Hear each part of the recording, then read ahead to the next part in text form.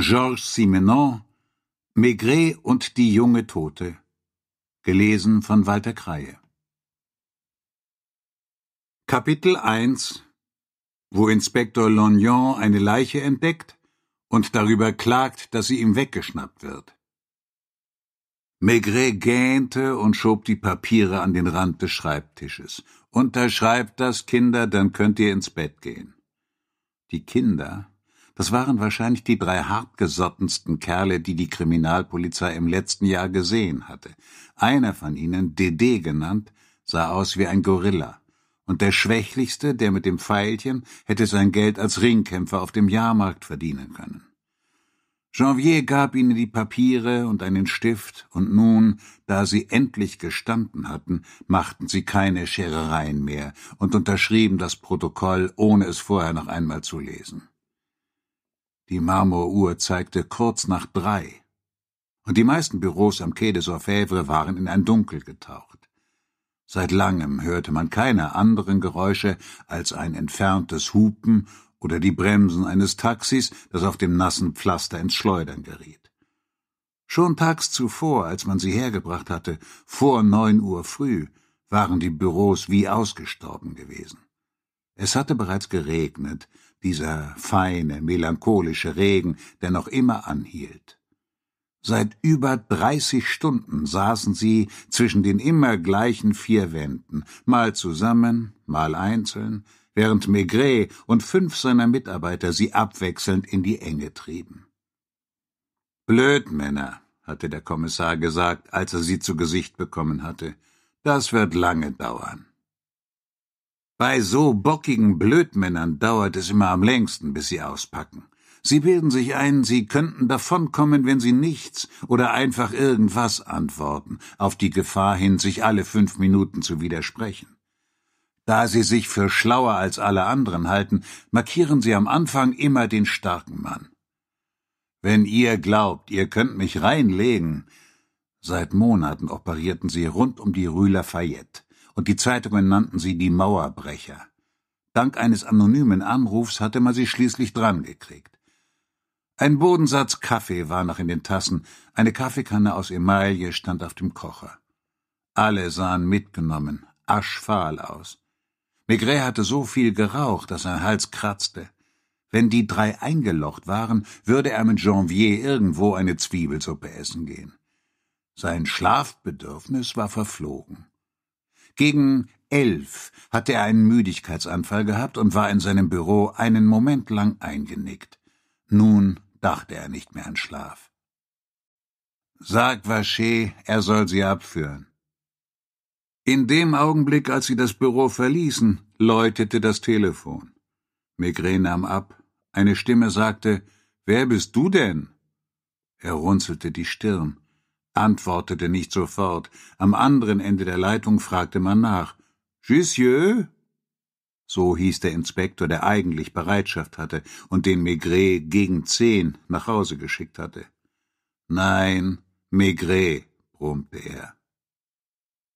Entschuldigen Sie, Herr Kommissar, hier ist Raymond von der Zentrale. Der Anruf kam von dem anderen Gebäude, wo in einem riesigen Zimmer alle Notrufe zusammenliefen. Sobald die Scheibe einer der roten Notrufsäulen, die fast in ganz Paris aufgestellt waren, zerbrach, blinkte ein Lämpchen auf einer großen Wandkarte und ein Mann schob seinen Stecker in eine der Buchsen der Vermittlungsanlage. Zentrale, Mal handelte es sich um eine Schlägerei, mal um einen renitenten Betrunkenen, mal um einen Streifenpolizisten, der Hilfe benötigte. Der Mann in der Zentrale schob seinen Stecker in eine andere Buchse. Die Wache in der Rue de Grenelle? Bist du das, Justin? Schick einen Wagen, Höhe Haus Nummer 210. Zu zweit oder zu dritt schoben sie in der Zentrale Nachtdienst und machten sich wohl auch einen Kaffee. Manchmal, wenn es sich um etwas Ernstes handelte, verständigten sie die Kriminalpolizei. Es kam auch vor, dass sie am Quai anriefen, um mit einem Kumpel zu plaudern. Maigret kannte Raymond. Jussieu ist nicht da. Irgendwas Besonderes, was du ihm sagen willst? Nur, dass gerade die Leiche einer jungen Frau gefunden wurde, auf der Place Ventimille. Keine Details? Die Männer vom zweiten Revier müssen vor Ort sein. Ich habe den Anruf vor drei Minuten bekommen. Danke. Die drei Muskelprotze hatten das Büro verlassen. Janvier kam zurück, die Augenlider leicht gerötet, wie jedes Mal, wenn er Nachtdienst hatte, und Bartstoppeln, die ihn kränklich aussehen ließen. Maigret warf sich seinen Mantel über, suchte seinen Hut. Kommst du? Sie gingen hintereinander die Treppe hinunter. Eigentlich wollten sie ja in den Hallen eine Zwiebelsuppe essen. Vor den schwarzen, im Hof geparkten Autos zögerte Maigret jedoch. Man hat gerade auf der Place Vingt-Mille eine tote junge Frau gefunden. Dann, wie jemand, der einen Vorwand sucht, um nicht schlafen zu gehen, sehen wir nach? Janvier setzte sich ans Steuer eines der Wagen. Sie waren beide von dem stundenlangen Verhör zu abgestumpft, um miteinander zu sprechen. Maigret kam nicht in den Sinn, dass das zweite Revier Loyons Bereich war, dem seine Kollegen den Spitznamen Inspektor Griesgram gaben. Hätte er daran gedacht, so hätte es keinen Unterschied gemacht, denn Loyon hatte nicht zwangsläufig Nachtdienst auf der Wache in der Rue de la Rochefoucauld. Die Straßen waren verlassen, nass, überzogen mit feinen Tropfen, die den Gaslaternen einen Glorienschein verliehen. Nur selten huschten Silhouetten an den Hauswänden vorbei. An der Ecke Rue Montmartre, Grand Boulevard, war noch ein Café geöffnet, und etwas weiter entdeckten sie die Leuchtschilder von zwei oder drei Nachtclubs und Taxis, die am Straßenrand warteten. Ein paar Schritte von der Place Blanche entfernt lag die Place Vingt-Mille, wie eine friedliche kleine Insel. Ein Polizeiwagen parkte dort. Am Eingangstor zu dem winzigen Platz standen vier oder fünf Männer um eine helle, auf dem Boden ausgestreckte Gestalt. Sofort erkannte Maigret den kleinen, dünnen Loyon. Inspektor Griesgram hatte sich von der Gruppe gelöst, um nachzusehen, wer da kam, und er erkannte seinerseits Maigret und Janvier. Eine Katastrophe, brummte der Kommissar. Denn Loyon würde ihm sicherlich vorwerfen, das absichtlich getan zu haben. Das hier war sein Revier, sein Bereich. Ein Drama ereignete sich, während er Dienst hatte, verschaffte ihm vielleicht die Gelegenheit, sich auszuzeichnen, worauf er seit so vielen Jahren wartete.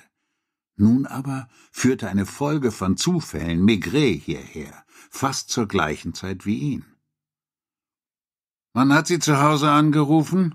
fragte er argwöhnisch, schon überzeugt, dass man sich gegen ihn verschworen hatte. Ich war am Quai. Raymond hat angerufen. Ich wollte nur vorbeischauen. Bloß aus Rücksicht auf Loyon würde Maigret nicht fortgehen. Erst musste er wissen, was passiert war. Sie ist tot? Fragte er und zeigte auf die Frau, die auf dem Gehsteig lag. Loyon nickte. Drei Polizisten in Uniform waren da, dazu ein Paar und Passanten, die, wie der Kommissar später erfuhr, die Tote entdeckt und die Polizei gerufen hatten. Hätte sich das Ganze hundert Meter weiter ereignet, es hätte einen richtigen Menschenauflauf gegeben, aber in der Nacht querte kaum jemand die Place Vingt-Mille. Wer ist sie? Keine Ahnung. Sie hat keine Papiere bei sich. Keine Handtasche? Nein. Maigret machte drei Schritte, beugte sich vor. Die junge Frau lag auf der rechten Seite, eine Wange auf dem feuchten Gehsteig, ein Schuh fehlte. Den anderen Schuh hat man nicht gefunden? Lognon verneinte. Ein unerwarteter Anblick, die Zehen durch den Seidenstrumpf schimmern zu sehen. Sie trug ein Abendkleid aus hellblauem Satin. Es war ihr zu groß. Vielleicht schien es auch nur so, weil sie auf dem Boden lag. Sie hatte ein junges Gesicht. Maigret vermutete, dass sie kaum älter als zwanzig war. Der Arzt? Ich erwarte ihn, er müsste längst hier sein. Maigret wandte sich Janvier zu. Ruf den Erkennungsdienst an, sie sollen Fotografen schicken. Auf dem Kleid war kein Blut zu sehen. Der Kommissar nahm eine der Taschenlampen der Polizisten und leuchtete das Gesicht an. Ihm schien, dass das linke Auge leicht angeschwollen war, die Oberlippe etwas stärker. Kein Mantel? fragte er noch. Es war März, die Luft ziemlich mild, doch nicht so, dass man nachts, dazu bei Regen, in einem leichten, schulterfreien Kleid spazieren geht, das nur von dünnen Trägern gehalten wird. Vermutlich ist sie nicht hier getötet worden, murmelte Lorgnon düster und gab sich den Anschein, bloß seine Pflicht zu tun, indem er dem Kommissar half und sich nicht persönlich für die Angelegenheit zu interessieren. Absichtlich hielt er sich etwas beiseite. Janvier war in eine Bar an der Place Blanche gegangen, um zu telefonieren. Ein Taxi fuhr kurz darauf vor, mit einem Arzt aus dem Viertel. Werfen Sie einen Blick drauf, Doktor, aber verändern Sie Ihre Lage nicht, ehe die Fotografen kommen. Sie ist tot, kein Zweifel. Der Arzt beugte sich hinunter, befühlte ihr Handgelenk und ihre Brust, erhob sich, teilnahmslos, ohne ein Wort, und wartete, wie die anderen. Kommst du? fragte die Frau, die sich bei ihrem Mann untergehakt hatte und zu frieren begann. Wart noch etwas. Worauf? Ich weiß nicht. Irgendwas werden Sie gleich tun. Maigret drehte sich zu ihnen um. Sie haben Ihren Namen und Ihre Adresse angegeben? Dem Mann dort, ja. Sie zeigten auf Lognon. Um wie viel Uhr haben Sie die Leiche entdeckt? Sie sahen sich an. Wir haben den Nachtclub um drei verlassen. Fünf nach drei, stellte die Frau richtig. Ich habe auf meine Armbanduhr gesehen, als du zur Garderobe bist. Ist doch egal. Wir haben nur drei oder vier Minuten hierher gebraucht. Wir gingen gerade um den Platz herum, als ich einen hellen Fleck auf dem Gehsteig sah. Sie war schon tot? Vermutlich. Sie rührte sich nicht. Sie haben nichts angefasst? Der Mann schüttelte den Kopf. Ich habe meine Frau losgeschickt, um die Polizei zu rufen. Es gibt eine Notrufsäule an der Ecke Boulevard de Clichy. Ich kenne sie, denn wir wohnen am Boulevard de Batignolles, ganz in der Nähe. Janvier war schon wieder da. Sie werden in ein paar Minuten hier sein, verkündete er. Moe war wahrscheinlich nicht da, oder? Ohne dass er hätte sagen können, warum, spürte Maigret, dass da eine ziemlich komplizierte Sache ihren Lauf nahm. Er wartete, die Pfeife im Mund, die Hände in den Taschen und warf von Zeit zu Zeit einen Blick auf die ausgestreckte Gestalt. Das blaue Kleid sah abgetragen aus und war aus gewöhnlichem Stoff.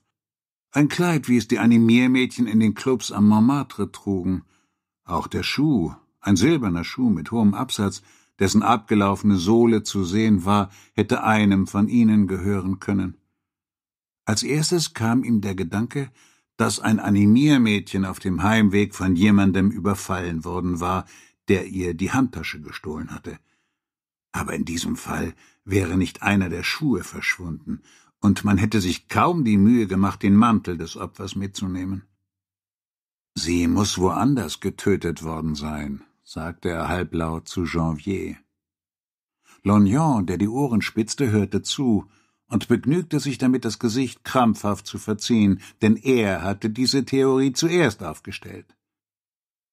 Warum hatte man, falls sie woanders umgebracht worden war, ihren Leichnam auf diesem Platz abgelegt? Es war unwahrscheinlich, dass der Mörder die junge Frau geschultert hatte. Er musste einen Wagen benutzt haben.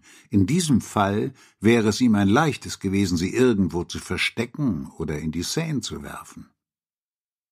Maigret gestand sich nicht ein, was ihn am meisten stutzig machte. Das Gesicht des Opfers. Er kannte es bisher nur im Profil. Waren es vielleicht die Verletzungen, die ihr einen schmollenden Gesichtsausdruck gaben? Man hätte sie für ein kleines, schlecht gelauntes Mädchen halten können. Die braunen, sehr weichen, nach hinten geworfenen Haare fielen natürlich. Im Regen war ihr Make-up ein wenig zerlaufen, aber das machte sie nicht älter oder hässlicher, sondern nur noch jünger und anziehender. Kommen Sie kurz her, Lognon. Maigret nahm ihn beiseite. Ich höre, Chef. Haben Sie eine Idee? Sie wissen zu gut, dass ich nie Ideen habe. Ich bin nur ein kleiner Inspektor. Haben Sie dieses Mädchen schon mal gesehen? Lognon kannte die Umgebung der Place Blanche und der Place Pigalle bestens. Nein. Ein Animiermädchen? Wenn, dann keine, die das regelmäßig macht. Die kenne ich fast alle. Ich werde sie brauchen. Sie müssen das nicht sagen, um mir eine Freude zu machen. Von dem Moment an, wo man sich am Quai de Orfèvre um die Sache kümmert, geht mich das nichts mehr an. Und denken Sie nicht, dass ich was dagegen habe. Das ist in Ordnung, ich bin es gewöhnt. Geben Sie mir Anweisungen, und ich werde mein Bestes tun. Vielleicht wäre es nicht schlecht, wenn man jetzt gleich die Türsteher der Nachtclubs befragt. Lognon warf einen Blick auf den ausgestreckten Körper und seufzte. Ich geh schon. Für ihn hieß das, dass man ihn loswerden wollte. Er überquerte in seinem stets müden Gang die Straße und zwang sich dazu, nicht zurückzuschauen. Der Wagen des Erkennungsdienstes fuhr vor. Einer der Beamten mühte sich damit ab, einen Betrunkenen zu verscheuchen, der sich darüber empörte, dass niemand der kleinen Dame zu Hilfe kam. Ihr seid doch alle gleich, ihr Polypen, nur weil man ein Glas zu viel getrunken hat. Nachdem die Fotos gemacht waren, konnte sich der Arzt über die Leiche beugen und sie auf den Rücken drehen. Er sah nun das ganze Gesicht, das so noch jünger aussah. Woran ist sie gestorben? fragte Maigret. Schädelbruch. Der Arzt fuhr der Toten mit den Fingern durchs Haar. Man hat ihr mit einem sehr schweren Gegenstand auf den Kopf geschlagen. Einem Hammer, einem Schraubenschlüssel, einem Bleirohr, was weiß ich. Davor hat sie mehrere Schläge ins Gesicht bekommen. Faustschläge wahrscheinlich. Können Sie sagen, wann sie gestorben ist? Meiner Meinung nach zwischen zwei und drei Uhr am Morgen. Dr. Paul wird Ihnen nach der Autopsie genauere Angaben machen. Der Kastenwagen der Gerichtsmedizin war ebenfalls vorgefahren. Die Männer warteten nur auf ein Zeichen, um den Körper auf eine Trage zu legen und zum Pont d'Austerlitz mitzunehmen. Dann mal los, seufzte Maigret. Sein Blick suchte Janvier. Essen wir was? Sie hatten beide keinen Hunger mehr, setzten sich aber trotzdem in eine Brasserie und bestellten Zwiebelsuppe, weil sie es sich eine Stunde zuvor so vorgenommen hatten. Maigret hatte Anweisung gegeben, den Zeitungsredaktionen ein Foto der Toten zu schicken, damit es nach Möglichkeit schon in den Morgenblättern erschien. Gehen Sie hin? fragte Janvier. Maigret wusste, dass er das Leichenschauhaus meinte, das man jetzt Gerichtsmedizin nannte. Glaub schon. Dr. Paul wird dort sein. Ich habe ihn angerufen. Einen Calvados? Warum nicht? An einem Nachbartisch aßen zwei Frauen Sauerkraut, zwei Animiermädchen, die beide ein Satinkleid trugen. Maigret betrachtete sie aufmerksam, als versuchte er die feinsten Unterschiede zwischen ihnen und der jungen Toten herauszufinden. Gehst du nach Hause? Ich begleite Sie, beschloss Janvier. Es war halb fünf, als sie die Gerichtsmedizin betraten, wo Dr. Paul der kurz vor ihnen angekommen war, gerade einen weißen Kittel anzog. Wie bei jeder Autopsie klebte eine Zigarette an seiner Unterlippe. Haben Sie sie schon untersucht, Doktor? Nur flüchtig. Der Körper lag auf einer Marmorplatte und Maigret wandte sich ab. Was denken Sie? Ich denke, sie ist zwischen neunzehn und zweiundzwanzig. Sie war gesund, aber vermutlich untergewichtig. Ein Animiermädchen aus einem Club? Dr. Pauls Äuglein funkelten. Sie wollen sagen, dass sie mit den Gästen schlief? Ja, so ungefähr. Dann sage ich nein. Wie können Sie sich so sicher sein? Weil dieses Mädchen noch nie mit jemandem geschlafen hat. Janvier der den von einem Scheinwerfer angestrahlten Körper betrachtete, wurde rot und drehte den Kopf zur Seite. Sie sind sicher? Völlig. Er zog seine Gummihandschuhe an und legte sich auf einem Emailtisch seine Instrumente zurecht. Sie bleiben hier? Wir gehen nach nebenan. Brauchen Sie lange? Keine Stunde. Es hängt davon ab, was ich finde. Wollen Sie eine Analyse des Mageninhalts? Gern. Man weiß nie. Maigret und Janvier gingen in das Büro nebenan. Mit angespannten Mienen saßen sie da, wie Patienten im Wartezimmer. Beide hatten das Bild des jungen, weißen Körpers noch vor Augen. Ich frage mich, wer sie ist, murmelte Janvier nach langem Schweigen. Man zieht sich doch nur ein Abendkleid an, um ins Theater, in gewisse Nachtclubs oder zu einem Empfang zu gehen. Sie mussten beide den gleichen Gedanken haben. Irgendetwas stimmte da nicht. Von den mondänen Empfängen, für die man sich in Schale warf, gab es nicht viele. Und selten sah man dort ein so billiges und verblichenes Kleid wie das der Toten. Andererseits war nach dem, was der Doktor gerade gesagt hatte, schwer vorstellbar, dass das junge Mädchen in einem der Nachtclubs am Montmartre arbeitete. Eine Hochzeit, schlug Maigret halbherzig vor. Das ist auch ein Anlass, für den man sich festlich anzieht. Glauben Sie? Nein. Maigret seufzte, während er sich eine Pfeife anzündete. Warten wir ab. Sie schwiegen zehn Minuten, bis der Kommissar zu Janvier sagte, würde es dir etwas ausmachen, ihre Kleider zu holen? Muss das sein? Maigret nickte. Es sei denn, dir fehlt's an Mut. Janvier öffnete die Tür. Als er keine zwei Minuten später zurückkam, war er so blass, dass Maigret fürchtete, er könne sich übergeben. Er hielt das blaue Kleid und weiße Unterwäsche in der Hand. Ist Paul fertig? Ich weiß nicht. Ich habe lieber nicht hingesehen. Gib mir das Kleid. Es war oft gewaschen worden, und unter dem Saum war die Farbe ganz verblichen. Auf dem Etikett stand Mademoiselle Irène, 35, Rue de Douai. Das ist in der Nähe der Place Vingt-Mille, bemerkte Maigret. Er untersuchte die Strümpfe, einer der Füßlinge war durchnässt, den Slip, den Büstenhalter, einen schmalen Strapsgürtel. Mehr hatte sie nicht an? Nein, der Schuh stammt aus der Rue Notre-Dame de Lorette. Immer noch im selben Viertel. Gab man nichts auf die Aussage von Dr. Paul, passte alles zu einer Animierdame oder zu einer jungen Frau, die am Montmartre ein Abenteuer suchte. Vielleicht findet Lognon etwas heraus, sagte Janvier. Wohl kaum. Beide fühlten sich unwohl, denn sie dachten unwillkürlich daran, was hinter der Türe geschah. Es verging eine Dreiviertelstunde, bis sie sich öffnete. Der Leichnam war nicht mehr da. Ein Mitarbeiter der Gerichtsmedizin schloss gerade eines der Metallschubfächer, in denen die Leichen aufbewahrt wurden. Dr. Paul zog seinen Kittel aus und zündete sich eine Zigarette an. Ich habe nichts Besonderes festgestellt, sagte er. Gestorben ist sie an dem Schädelbruch. Es hat nicht nur einen Schlag gegeben, sondern mehrere, drei oder vier, und zwar gewaltige. Ich kann nicht sagen, womit.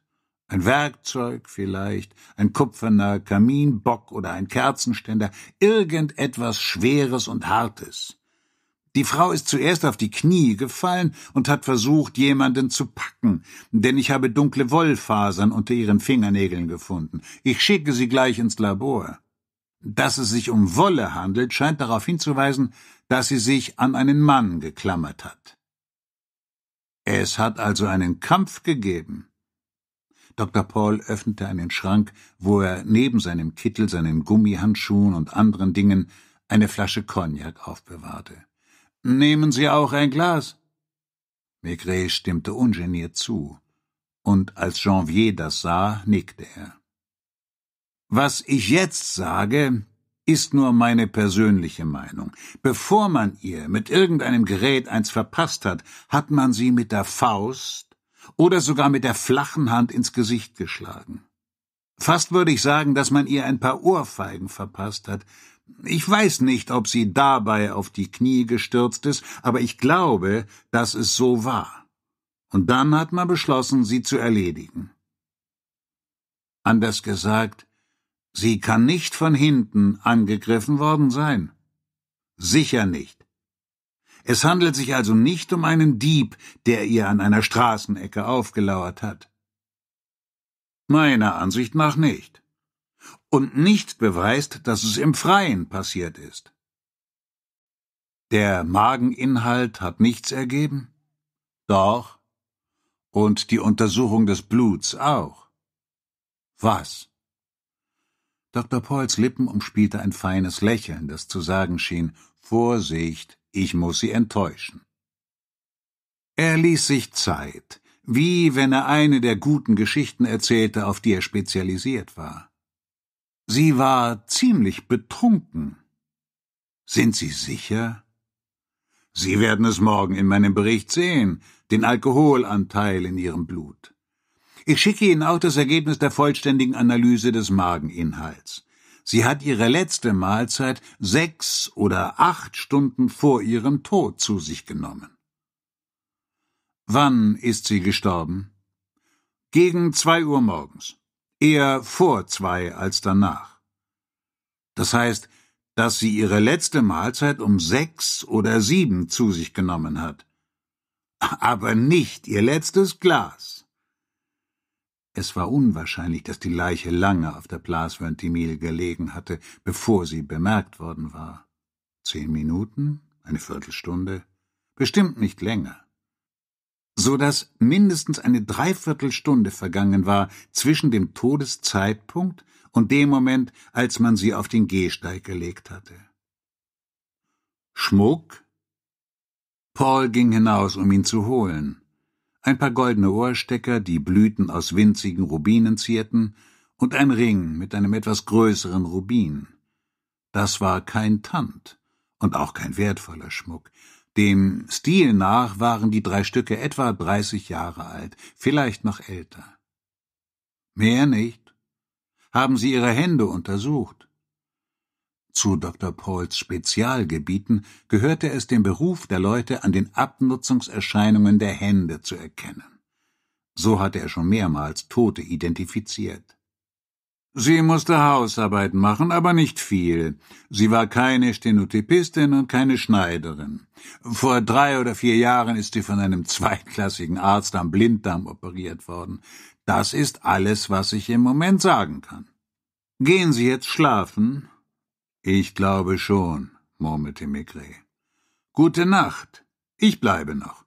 Sie erhalten meinen Bericht gegen neun Uhr früh. Noch einen Schluck? Maigret und Janvier gingen nach draußen. Auf den Kähnen am Quai herrschte schon Hochbetrieb. Ich setz Sie zu Hause ab, Chef. Maigret nickte. Sie kamen an der Gare de Lyon vorbei, wo gerade ein Zug eingefahren war. Der Himmel wurde fahl, die Luft war kälter als in der Nacht. Hinter manchen Fenstern ging das Licht an, ein paar Leute gingen bereits zur Arbeit. Ich will dich erst am Nachmittag wieder im Büro sehen. Und Sie? Ich gehe wohl auch schlafen. Gute Nacht, Chef. Maigret stieg leise die Treppe hoch. Als er gerade den Schlüssel ins Schloss steckte, ging die Tür auf. Madame Maigret drehte im Nachthemd den Schalter und blinzelte im hellen Flurlicht. Du kommst spät. Wie viel Uhr ist es? Selbst wenn sie tief schlief, gelang es ihnen nicht, die Treppe so hoch zu steigen, dass sie ihn nicht hörte. Ich weiß nicht. Fünf vorbei. Hast du Hunger? Nein. Komm schnell schlafen. Eine Tasse Kaffee? Danke. Er zog sich aus, glitt in das warme Bett. Anstatt einzuschlafen, dachte er weiter an die junge Tote von der Place Ventimille. Nach und nach erwachte Paris, er hörte einzelne Geräusche, mal nah, mal fern, die sich allmählich zu einer wohlbekannten Sinfonie fügten. Die Concierge schoben die Mülltonnen an den Bordstein. Im Treppenhaus halten die Schritte des Milchmädchens wieder, das die Flaschen vor die Türen stellte. Schließlich stand Madame Maigret mit aller Vorsicht auf, und er musste sich anstrengen, um sich nicht durch ein Lächeln zu verraten. Er hörte sie im Badezimmer, dann in der Küche, wo sie das Gas anzündete, roch bald den Kaffeeduft, der durch die Wohnung zog. Er war nicht mit Absicht wach geblieben. Wahrscheinlich kam der Schlaf nicht, weil er zu müde war. Seine Frau schreckte hoch, als er in Pantoffeln und im Morgenrock in die Küche kam, wo sie frühstückte. Die Lampe brannte noch, obwohl draußen schon Tag war. Du schläfst nicht? Wie du siehst. Möchtest du was essen? Gern. Sie fragte ihn nicht, warum er den größten Teil der Nacht draußen verbracht hatte. Sie hatte bemerkt, dass sein Mantel feucht war. Hoffentlich hast du dich nicht erkältet. Als er seinen Kaffee getrunken hatte, nahm er den Telefonhörer ab und rief im zweiten Revier an. Ist Inspektor Lognon da? Die Nachtclubs hatten schon lange geschlossen und Lognon hätte zu Bett gehen können, aber er war noch in seinem Büro. Lognon, hier ist Maigret. Haben Sie etwas Neues? Nichts. Ich bin in alle Lokale gegangen und habe alle Fahrer der wartenden Taxis befragt. Nach dem Fingerzeig von Dr. Paul hatte Maigret nichts anderes erwartet. Ich glaube, Sie können schlafen gehen. Und Sie? In Lognons Sprache bedeutete das, Sie schicken mich schlafen, um die Untersuchung auf Ihre Art fortzuführen und um hinterher zu sagen, dieser Trottel von Lognon hat nichts herausgefunden. Maigret dachte an die abgemagerte, kränkliche Madame Lognon, deren Gebrechen sie daran hinderten, ihre Wohnung an der Place Constantin-Piqueur zu verlassen. Wenn der Inspektor nach Hause kam, dann, um sie seufzen und klagen zu hören, um den Haushalt zu machen und die Einkäufe zu erledigen. Hast du auch wirklich unter dem Buffet sauber gemacht? Er bekam Mitleid mit Griesgram. Ich habe einen kleinen Hinweis, weiß aber nicht, ob der etwas hergibt. Schweigen am anderen Ende der Leitung. Wenn Sie wirklich keine Lust haben zu schlafen hol ich Sie in ein oder zwei Stunden ab. Ich bin im Büro. Maigret rief am Quai des Orfèvres an, damit man ihm einen Fahrer schickte, der die Kleider des Mädchens mitbringen sollte. In der Badewanne wäre er fast eingeschlafen, und einen Augenblick lang war er versucht, Lognon anzurufen, damit der ohne ihn Mademoiselle Irene in der Rue de Douai aufsuchen sollte. Es regnete nicht mehr. Der Himmel war weiß mit einem leichten Gelbstich, der hoffen ließ, dass die Sonne sich noch zeigen würde. Kommst du zum Essen? Vermutlich. Ich weiß nicht. Ich habe geglaubt, dass deine Untersuchung letzte Nacht abgeschlossen war. Die ist erledigt. Es handelt sich um eine neue. Er wartete mit dem Hinuntergehen, bis er das kleine Polizeiauto am Straßenrand halten sah. Der Fahrer hupte dreimal. Vom Fenster aus gab Maigret ihm ein Zeichen, dass er auf dem Weg sei. Bis später. Zehn Minuten danach, als das Auto durch den Faubourg Montmartre fuhr, hatte er bereits vergessen, dass er die Nacht über nicht geschlafen hatte.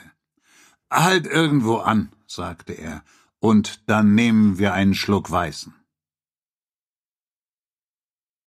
Zweites Kapitel wo Griesgram eine alte Bekannte wieder trifft und Lapointe einen merkwürdigen Auftrag erhält. Inspektor Lognon wartete am Straßenrand. Rue de la Rochefoucauld. Und schon von weitem wirkte er so, als krümmten sich seine Schultern unter der Last des Schicksals. Stets trug er mausgraue Anzüge, die noch nie gebügelt worden waren, und sein Mantel war ebenso grau, sein Hut von einem hässlichen Braun. Dass er an diesem Morgen eine gallig-grüne Gesichtsfarbe hatte, lag weder daran, dass er kein Auge zugemacht hatte, noch an seinem Schnupfen. So sah er jeden Tag aus, und selbst wenn er geschlafen hatte, bot er den gleichen elenden Anblick. Maigret hatte ihm am Telefon gesagt, dass er ihn abholen würde, aber nicht, dass er draußen warten sollte. Lognon tat so, als stünde er schon seit Stunden so da, nicht nur, dass man ihm seinen Fall wegschnappte, nein, man stahl ihm seine Zeit und ließ ihn nach einer schlaflosen Nacht auf der Straße versauern. Maigret öffnete Lognon die Wagentür und warf einen Blick auf die Fassade des Kommissariats, dessen verblichene Fahne müde herunterhing. In diesem Gebäude hatte er seinerzeit angefangen. nicht als Inspektor, sondern als Sekretär des Kommissars. Lognon nahm wortlos Platz, verkniff es sich danach zu fragen, wohin es ging. Der Fahrer, der seine Anweisungen hatte, bog nach links ab und steuerte auf die Rue de Douai zu. Mit Lognon zu reden war immer heikel, weil er, ganz gleich, was man sagte, in allem eine Demütigung sah. Haben Sie die Zeitung gelesen? Ich hatte keine Zeit dazu. Maigret hatte gerade eine gekauft und zog sie aus der Tasche. Das Foto der Unbekannten prangte auf der ersten Seite, aber man sah nur den Kopf mit dem geschwollenen Auge und den geschwollenen Lippen. Sie musste trotzdem gut zu erkennen sein. Ich hoffe, dass am Quai jetzt die ersten Anrufe eingehen, fuhr der Kommissar fort und Lognon dachte, anders gesagt, ich habe also die Nacht für nichts und wieder nichts damit zugebracht, von einer Bar zur nächsten, von einem Taxifahrer zum anderen zu gehen. Dabei genügt es, das Foto in der Zeitung zu veröffentlichen und auf Anrufe zu warten. Er lachte nicht höhnisch auf, was schwer zu erklären war. Sein Gesicht nahm einen düsteren, resignierten Ausdruck an, als hätte er sich entschlossen, ein lebender Vorwurf an die grausame und schlecht organisierte Menschheit zu sein. Er stellte keine Fragen. Er war nur ein einfaches Rädchen im Polizeiapparat, und einem Rädchen gibt man keine Erklärungen. Die Rue de Douai war menschenleer. Nur eine Concierge stand auf ihrer Türschwelle. Das Auto hielt vor einem malvenfarbenen Geschäft mit einem Namenszug in Schreibschrift Mademoiselle Irène, darunter in kleineren Buchstaben Haute Couture. Im staubigen Schaufenster hingen nur zwei Kleider, ein weißes mit Pailletten und ein Straßenkleid aus schwarzer Seide. Maigret stieg aus, gab Griesgram ein Zeichen, ihm zu folgen, bat den Fahrer zu warten und griff nach dem in Packpapier eingeschlagenen Paket, das ihm die Gerichtsmedizin geschickt hatte. Als er die Tür öffnen wollte, stellte er fest, dass sie verschlossen war und der Griff fehlte. Es war kurz nach halb zehn. Der Kommissar drückte sein Gesicht gegen die Scheibe, sah Licht in einem Zimmer hinter dem Laden und klopfte. Mehrere Minuten vergingen, als ob niemand da wäre, der sein Lärmen hörte, und neben ihm stand Lognon, reglos, ohne die Zähne auseinanderzubringen. Er rauchte nicht, Seit Jahren rauchte er nicht mehr, seitdem seine Frau krank geworden war und behauptete, der Rauch würde ihr die Luft zum Atmen nehmen. Endlich tauchte hinten ein Schatten auf. Eine junge Frau in einem Morgenmantel, den sie über der Brust zusammenhielt, blickte die beiden an. Sie verschwand, wohl um jemandem Bescheid zu geben, kehrte zurück, durchquerte den mit Kleidern und Mänteln überhäuften Laden und entschloss sich endlich die Tür aufzumachen. Was gibt's? fragte sie, misstrauisch den Blick erst auf Maigret, dann auf Lognon, dann auf das Paket gerichtet. Mademoiselle Irene?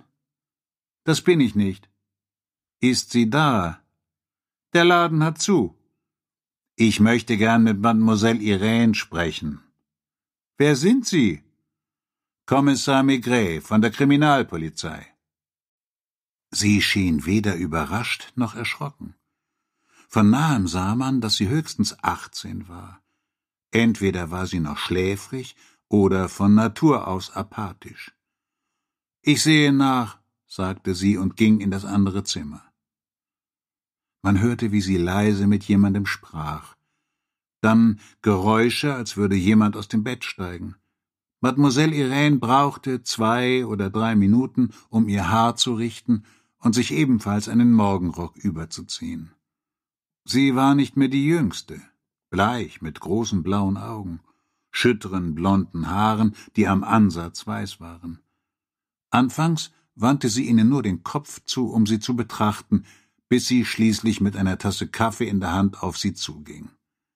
Sie wandte sich an Lognon, nicht an Maigret. Was willst du noch von mir? fragte sie. Ich weiß nicht. Der Kommissar möchte Sie sprechen. Mademoiselle Irene?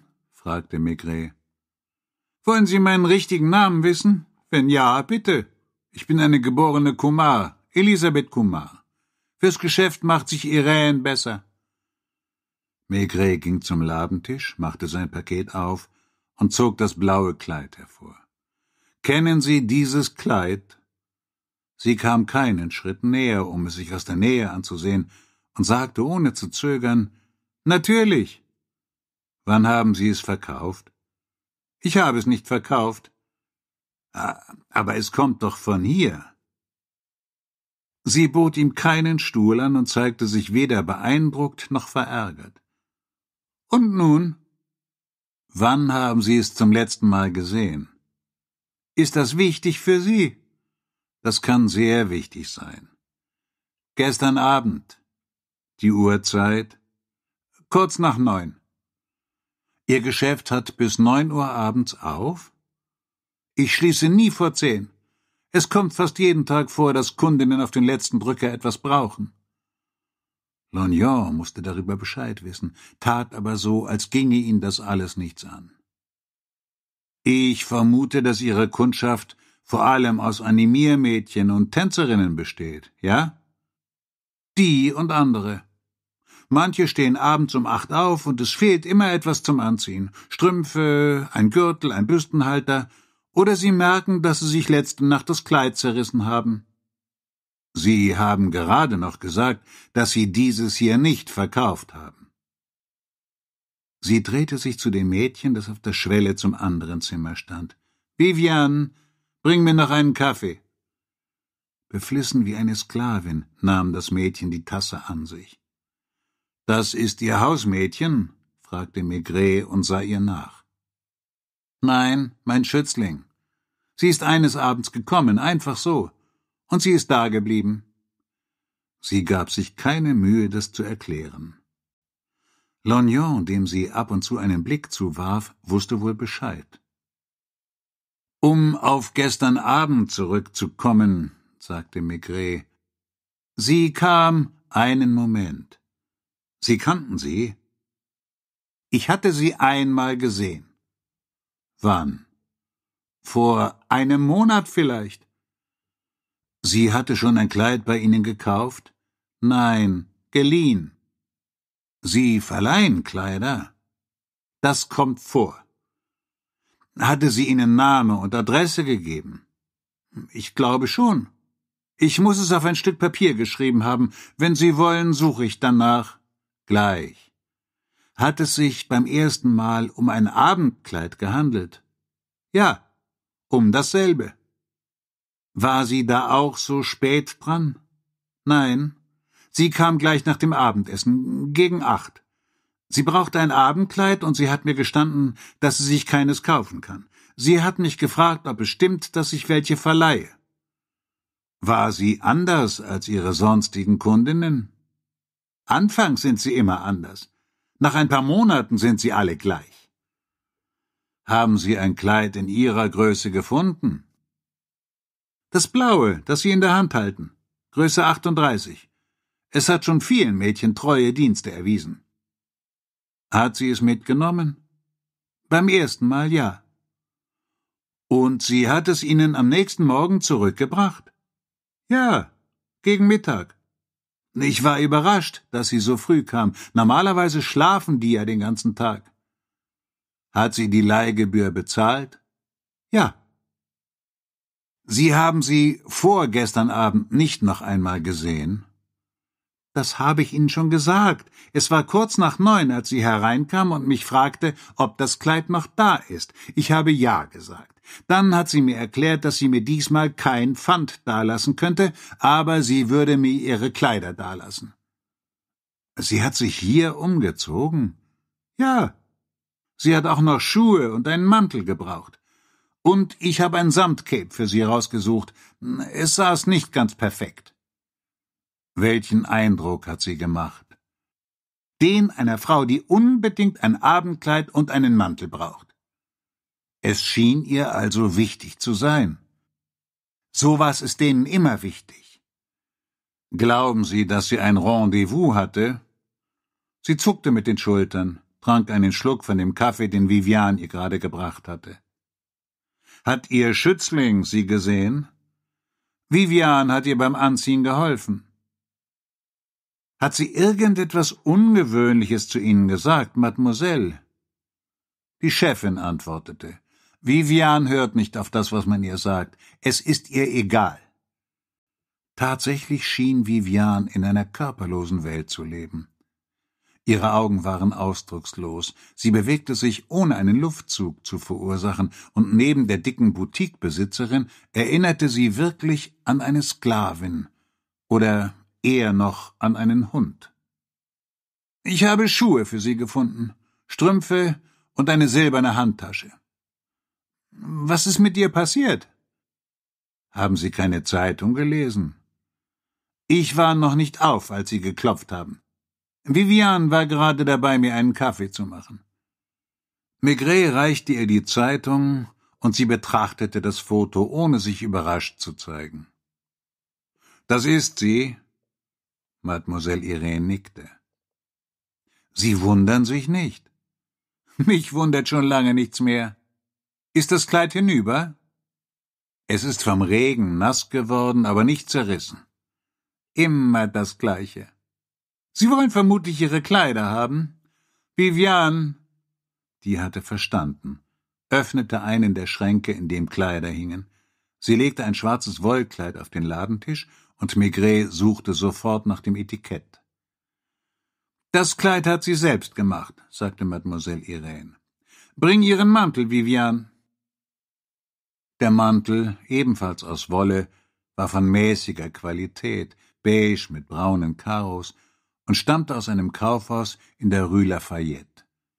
Billige Sachen, wie Sie sehen. Die Schuhe taugen nichts mehr. Und der Unterrock auch nicht. Alles lag ausgebreitet auf dem Ladentisch. Dann brachte die Sklavin eine schwarze Lederhandtasche mit Metallverschluss.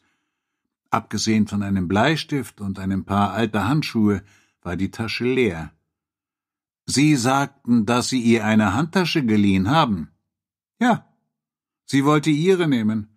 Ich habe ihr gesagt, dass sie nicht zu dem Kleid passt. Und ich habe eine kleine silberfarbene Abendtasche für sie geholt. Sie hat ihr Rouge, ihren Puder und ihr Taschentuch hineingetan. Kein Portemonnaie? Vielleicht. Ich habe nicht darauf geachtet. Lognon sah immer noch aus, als nähme er ungebeten an einem Gespräch teil. Um wie viel Uhr ist sie losgegangen? Das Umziehen hat ungefähr eine Viertelstunde gedauert. War sie in Eile? Sie wirkte so. Sie hat zwei, dreimal auf die Uhr gesehen auf ihre eigene? Ich habe an ihr keine Uhr gesehen. Über dem Ladentisch hängt eine Wanduhr. Als sie wegging, regnete es. Hat sie ein Taxi genommen? Es gab kein Taxi auf der Straße. Sie ist Richtung Rue Blanche gegangen. Hat sie Ihnen wieder Name und Adresse gegeben? Ich habe sie nicht darum gebeten. Würden Sie versuchen, den Zettel zu finden, auf dem sie das beides beim ersten Mal notiert hat? Seufzend ging sie hinter den Ladentisch, zog eine Schublade auf, in der alles Mögliche lag, Hefte, Rechnungen, Stifte, Stoffproben und Knöpfe aller Art. Als sie unmotiviert darin herumwühlte, sagte sie Verstehen Sie, es hat keinen Zweck, die Adressen aufzubewahren, denn die wohnen üblicherweise in möblierten Zimmern, die Sie häufiger als Ihre Kleidung wechseln. Wenn Sie Ihre Miete nicht mehr bezahlen können, hauen Sie ab und Nein, da ist nichts. Wenn ich mich richtig erinnere, war es hier im Viertel. Eine bekannte Straße. Ich finde es nicht. Wenn Sie Wert darauf legen, suche ich weiter und rufe Sie an. Bitte. Arbeitet der mit Ihnen zusammen? fragte sie und deutete auf Lognon. Er kann Ihnen so einiges über mich erzählen, aber er wird Ihnen auch sagen, dass ich seit Jahren sauber bin. Stimmt doch, oder? Maigret schlug die Kleidungsstücke in das Packpapier ein. Lassen Sie mir das blaue Kleid nicht da? Noch nicht. Sie bekommen es später zurück. Wie Sie wünschen. Beim Hinausgehen fiel Maigret etwas ein. Als sie gestern Abend kam, hat sie da bloß nach einem Kleid verlangt oder nach dem Kleid, das sie schon einmal getragen hatte? nachdem das sie schon einmal getragen hatte. Glauben Sie, dass sie auch ein anderes genommen hätte, wenn es nicht da gewesen wäre? Weiß nicht. Sie hat nach dem gefragt. Danke. Keine Ursache. Die Sklavin schloss hinter ihnen die Tür und sie stiegen wieder in den Wagen. Lognon sagte immer noch nichts, wartete auf Fragen. War sie im Gefängnis? Drei oder viermal. Hehlerei? Ja. Wann ist sie das letzte Mal verurteilt worden? Vor vier oder fünf Jahren. Sie ist erst Tänzerin gewesen, dann Puffmutter in einem Haus, wie es sie früher noch gab. Hat sie immer eine Sklavin gehabt? Der Fahrer wartete auf Anweisungen. Wollen Sie nach Hause, Lognon? Wenn Sie keine dringenden Aufträge für mich haben. Place Constantin Piqueur, sagte der Kommissar. Ich kann zu Fuß gehen. Um Himmels willen, immer musste er so demütig und resigniert tun. Kennen Sie diese Vivian? Die nicht. Sie wechseln von Zeit zu Zeit. Setzt sie sie vor die Tür? Nein, die Mädchen gehen von allein. Sie sammelt sie auf, wenn sie abgebrannt sind und nicht mehr wissen, wohin. Warum? Vielleicht, um sie nicht auf der Straße zu lassen. Lognon schien zu sagen, ich weiß, dass Sie das nicht glauben, dass Sie irgendein Schurkenstück dahinter vermuten, aber es soll vorkommen, dass so eine Frau Mitleid hat und etwas aus reiner Nächstenliebe tut. Was mich angeht, glaubt man ja auch, dass... Maigret seufzte. Am besten legen Sie sich schlafen, Lognon. Ich brauche Sie wahrscheinlich kommende Nacht. Was halten Sie von der Sache?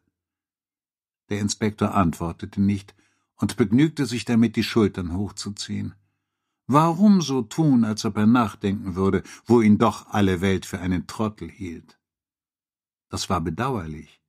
Nicht nur, weil er intelligent war, sondern weil er einer der gewissenhaftesten Männer bei der Stadtpolizei war. Sie hielten an einem kleinen Platz vor einem Mietshaus. Sie rufen mich im Büro an? Nein, zu Hause. Mir ist es lieber, wenn Sie zu Hause warten. Eine halbe Stunde später betrat Maigret mit seinem Paket unter dem Arm das Büro der Inspektoren am Quai des Orfèvres. Nichts für mich, Lucas? Nichts, Chef. Er runzelte die Stirn, überrascht und enttäuscht. Es war jetzt Stunden her, dass das Foto in den Zeitungen erschienen war. Keine Anrufe? Nur wegen eines Käsediebstahls in den Hallen. Ich spreche von dem Mädchen, das heute Nacht getötet wurde. Gar nichts. Dr. Pauls Bericht lag auf seinem Schreibtisch. Er warf nur einen Blick darauf und stellte fest, dass es keine neuen Erkenntnisse gab. Schickst du mir La Pointe?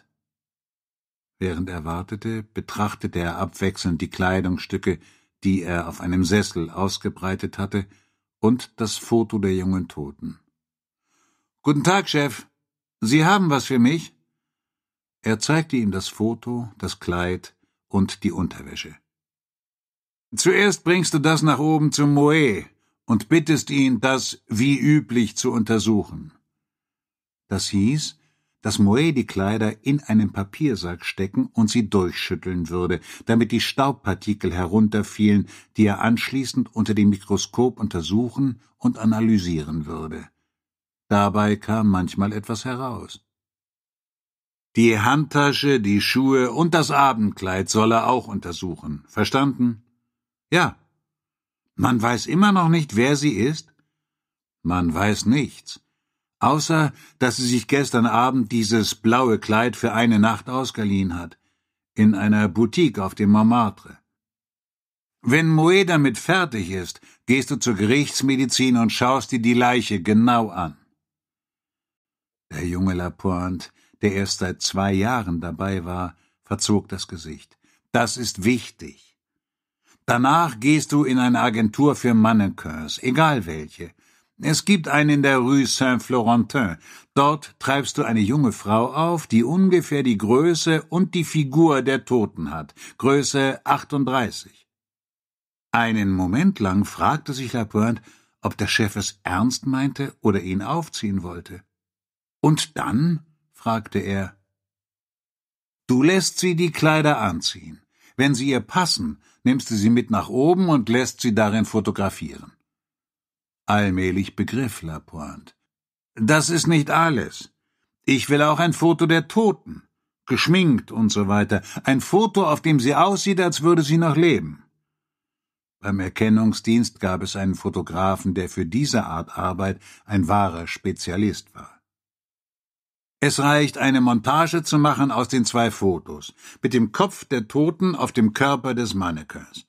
Beeil dich, das muss noch in die letzte Ausgabe der Abendzeitungen. Maigret blieb allein in seinem Büro, unterschrieb eilige Papiere, stopfte seine Pfeife und beauftragte Lucas damit, für alle Fälle die Akte Elisabeth Kumar, genannt Irene, zu holen. Er war davon überzeugt, dass das nichts brächte und dass sie die Wahrheit gesagt hatte. Aber bis jetzt war sie die einzige Person, die die Tote von der Place Vintimille gekannt hatte. Je mehr Zeit verging, desto überraschter war er, dass kein einziger Anruf einging. Wenn die Tote in Paris lebte, waren verschiedene Annahmen möglich. Zuerst, dass sie bei ihren Eltern lebte, die sich, sobald sie das Foto in der Zeitung sahen, sofort ans nächste Polizeirevier oder an den Quai des Orfèvres wenden würden. Wenn sie eine eigene Wohnung hatte, gab es Nachbarn, eine Concierge, wahrscheinlich machte sie ihre Besorgungen im Viertel. Lebte sie mit einer Freundin, wie es oft vorkam, dann gäbe es noch jemanden, der über ihr Verschwinden beunruhigt sein musste und ihr Porträt wiedererkennen würde. Sie konnte auch in einer der zahlreichen Pensionen für Studenten oder berufstätige Mädchen wohnen, das erhöhte die Zahl ihrer Bekannten noch einmal. Oder sie hatte ein möbliertes Zimmer in einem der tausend kleinen Pariser Hotels. Maigret rief im Büro der Inspektoren an. Ist Torrance da? Hat er nichts zu tun? Bittet ihn, zu mir zu kommen. Wenn sie bei ihren Eltern lebte, brauchte man nur abzuwarten. Wenn sie allein oder mit einer Freundin wohnte, auch. Aber in den anderen Fällen war es möglich, die Sache zu beschleunigen. Setz dich, Torrance. Siehst du dieses Foto? Gut. Am Nachmittag werden wir ein besseres haben. Stell dir vor, das Mädchen trägt ein schwarzes Kleid und einen karierten, beigefarbenen Mantel. So kennen die Leute sie. Genau in diesem Augenblick glitt ein Sonnenstrahl durch das Fenster und zeichnete eine helle Linie auf den Schreibtisch. Maigret hielt kurz inne, um ihn zu begrüßen, so wie man einen Vogel ansieht, der sich soeben auf das Fensterbrett gesetzt hat. Zuerst gehst du hinunter zur Fremdenpolizei und sag denen, sie sollen das Foto in den billigen Hotels herumzeigen. Am besten sie beginnen im neunten und achtzehnten Arrondissement. Verstehst du, was ich meine? Ja. Wissen Sie, wie sie heißt? Wir wissen nichts. Du stellst eine Liste mit allen Unterkünften für junge Mädchen auf und klapperst sie selbst der Reihe nach ab. Das wird wahrscheinlich nichts bringen, aber ich will keine Möglichkeit außer Acht lassen. Ich hab verstanden. Das ist alles. Nimm dir einen Wagen, damit es schneller geht. Es war plötzlich warm geworden, und er machte das Fenster auf, kramte noch ein wenig in den Papieren auf seinem Schreibtisch herum, sah auf die Uhr und beschloss, nach Hause und zu Bett zu gehen. Weck mich gegen vier, bat er seine Frau. Wenn es sein muss. Es musste nicht sein. Schließlich blieb einem nichts anderes übrig, als zu warten. Er schlief fast augenblicklich ein, fiel in einen schweren Schlaf, und als seine Frau mit einer Tasse Kaffee ans Bett trat, sah er sie überrascht an und wunderte sich über das sonnendurchflutete Zimmer. Es ist vier Uhr. Du hast gesagt. Stimmt. Hat jemand angerufen? Nur der Klempner, um zu sagen, die ersten Ausgaben der Nachmittagszeitungen waren gegen eins erschienen. Sie brachten alle dasselbe Foto wie am Morgen. Obwohl die Tote etwas entstellt war, hatte Mademoiselle Irene sie auf den ersten Blick erkannt. Dabei hatte sie sie nur zweimal gesehen. Es blieb die Möglichkeit, dass sie nicht aus Paris war, dass sie nirgends abgestiegen war, sondern beide Male direkt vom Bahnhof in die Rue Douai gegangen war. Das klang nicht sehr wahrscheinlich, da sie ihre Alltagskleidung in der Rue Lafayette gekauft hatte, von dem selbstgenähten Kleid abgesehen. Kommst du zum Abendessen? Vielleicht. Wenn du heute Abend wieder unterwegs bist, nimm unbedingt deinen dicken Überzieher mit. Nach Sonnenuntergang wird es kalt. Als er in seinem Büro ankam, lag keine Nachricht auf seiner Schreibunterlage. Das verstimmte ihn, und er rief Lucas an. Immer noch nichts? Kein Anruf? Immer noch nichts, Chef. Ich habe Ihnen die Akte Elisabeth Coumar mitgebracht. Im Stehen blätterte er darin, ohne etwas anderes zu finden als das, was ihm Lognon gesagt hatte.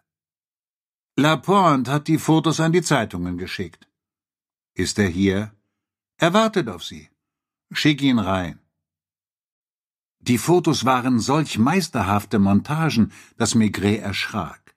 Plötzlich hatte er das Bild des Mädchens vor Augen, nicht so, wie er es im Regen, im Schein der Taschenlampe auf der Place Ventimille gesehen hatte, nicht so, wie er es später auf dem Marmortisch der Gerichtsmedizin gesehen hatte, sondern so, wie das Mädchen an dem Abend ausgesehen haben musste, als es zu Mademoiselle Irene gegangen war. Auch Lapointe schien beeindruckt. Was halten Sie davon, Chef? sagte er zögerlich und als er keine Antwort bekam, sie war hübsch, oder? Das war weder das Wort, das er suchte, noch das, das der Wahrheit entsprach.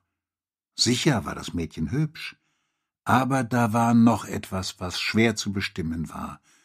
Dem Fotografen war es sogar gelungen, den Augen, die eine unlösbare Frage zu stellen schienen, das Leben zurückzugeben. Auf zwei Abzügen trug sie nur ihr schwarzes Kleid, auf einem anderen hatte sie ihren karierten braunen Mantel an und auf dem letzten schließlich das Abendkleid. Man stellte sie sich auf den Straßen von Paris vor, wo es so viele Mädchen wie sie gab. Mädchen, die durch die Menge huschten, einen Augenblick vor den Auslagen stehen blieben und dann ihres Weges gingen, der sie weiß Gott wohin führte. Sie hatte einen Vater, eine Mutter gehabt, später Schulfreundinnen. Männer, Frauen hatten sie gekannt. Sie hatte mit ihnen gesprochen, sie hatten sie bei ihrem Namen gerufen. Nun aber, da sie tot war, schien sich niemand mehr an sie zu erinnern. Niemand machte sich Sorgen, als ob sie nie existiert hätte. War das sehr schwierig? Was? Ein Mannequin zu finden. Nur peinlich. Ein gutes Dutzend hat mich umringt und alle wollten die Kleider anprobieren. In deiner Gegenwart? Das machen die immer so. Braver Lapointe, der nach zwei Jahren Kriminalpolizei immer noch rot werden konnte.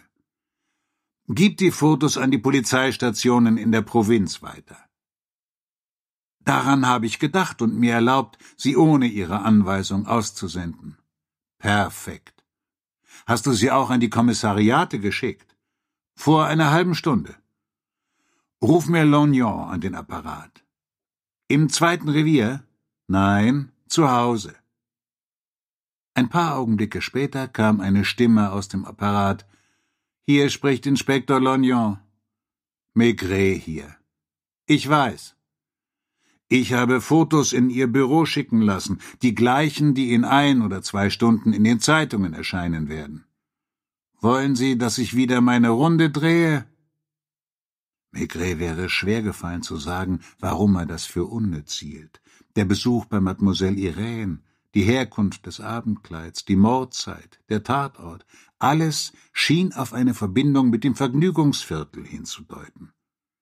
Warum hatte die Unbekannte um neun Uhr abends den Wunsch gehabt, sich ein Abendkleid zu besorgen, wenn nicht, weil sie es für einen bestimmten Anlass brauchte? Fürs Theater war neun Uhr zu spät. Und nur bei Premieren oder in der Oper war Abendgarderobe Pflicht. Versuchen Sie es, sicherheitshalber. Überprüfen Sie vor allem die Nachttaxis. Maigret hängte ein. Lapointe war immer noch da, wartete auf Anweisungen. Aber Maigret wusste nicht, welche Anweisungen er ihm geben sollte. Ebenfalls sicherheitshalber rief Maigret in der Boutique in der Rue de Douai an. Mademoiselle Irène am Apparat. Haben Sie die Adresse wiedergefunden? Ah, Sie sind es. Nein. Ich habe überall gesucht. Ich muss den Zettel weggeworfen oder die Maße einer Kundin draufgeschrieben haben. Aber Ihr Vorname ist mir wieder eingefallen. Ich bin mir fast sicher, sie nennt sich Louise. Und dann ein Name, der auch mit einem L beginnt, irgendwie mit La, etwas wie La Montagne oder La Bruyère. Nein, so nicht, aber ähnlich. Als sie ihre Sachen in die silberne Tasche getan hat, haben Sie da einen Ausweis gesehen? Nein. Schlüssel? Einen Moment. Ich glaube, ich erinnere mich an Schlüssel. Nein, nicht mehrere, ein einziger aus Kupfer. Er hörte, wie sie rief Vivian, komm mal kurz her. Er verstand nicht, was sie zu ihrer Sklavin oder ihrem Schützling sagte. Vivian glaubt auch, dass sie einen Schlüssel bemerkt hat, bestätigte sie. Einen flachen Schlüssel? Ja, so einen, wie man sie heute meistens herstellt. Hatte sie Geld dabei? Ein paar zusammengefaltete Scheine, daran erinnere ich mich auch. Nicht viele, zwei oder drei, hundert Franc-Scheine. Ich dachte mir noch, dass sie damit nicht weit kommt. Sonst nichts? Nein, das war, glaube ich, alles. An der Tür klopfte es. Janvier kam herein. Beim Anblick der Abzüge auf dem Schreibtisch erschrak er, so wie vorher Maigret. Sie haben Fotos von ihr aufgetrieben? fragte er verwundert. Er runzelte die Stirn. Hat man die da oben gemacht? Schließlich murmelte er Merkwürdiges Mädchen, oder? Sie wussten immer noch nichts von ihr, außer dass niemand sie zu kennen schien, bis auf eine Boutiquebesitzerin. Was tun wir jetzt? Maigret konnte nur mit den Achseln zucken und antworten Wir warten ab. Kapitel 3 Wo es um das junge Dienstmädchen geht, das nicht telefonieren kann, und eine alte Dame aus der Rue de Clichy. Maigret war ein wenig missmutig und enttäuscht bis sieben Uhr abends am Quai geblieben und hatte dann den Bus zurück zum Boulevard Richard Lenoir genommen.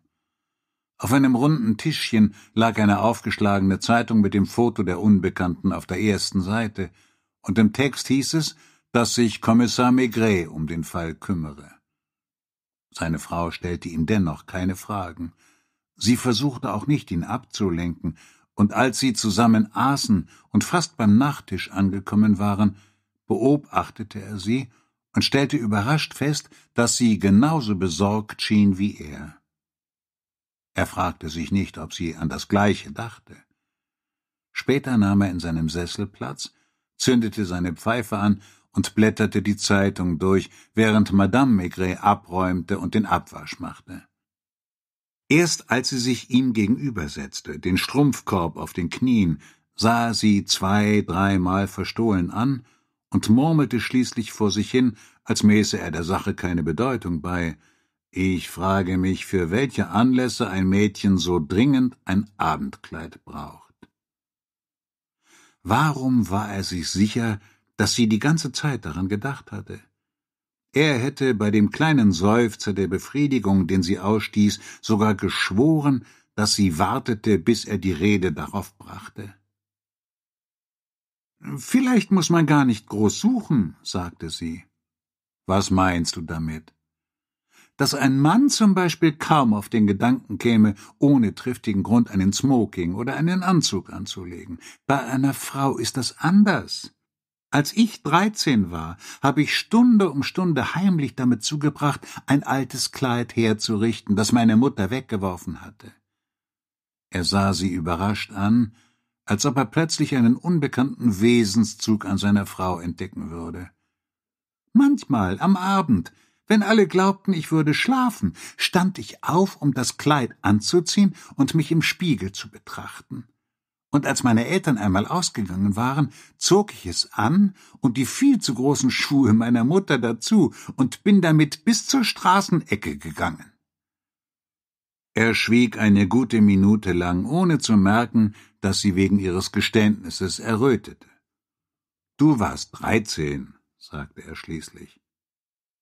Eine meiner Tanten, Cecile, die du nicht mehr kennengelernt hast, aber von der ich dir oft erzählt habe, die, die eine Zeit lang sehr reich gewesen ist und deren Mann von heute auf morgen vor dem Ruin stand, die schloss sich oft in ihrem Zimmer ein verbrachte Stunden damit, sich zu frisieren und so anzukleiden, als wollte sie in die Oper gehen.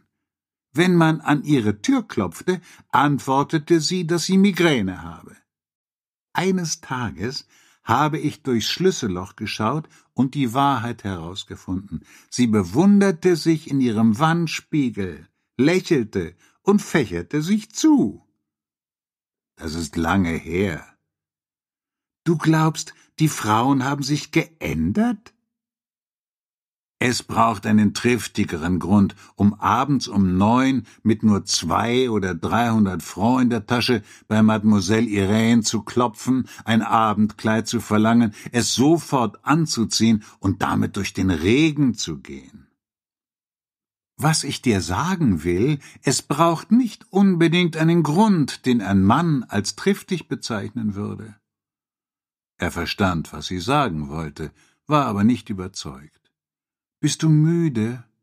Er nickte. Sie gingen früh schlafen. Am Morgen war es windig.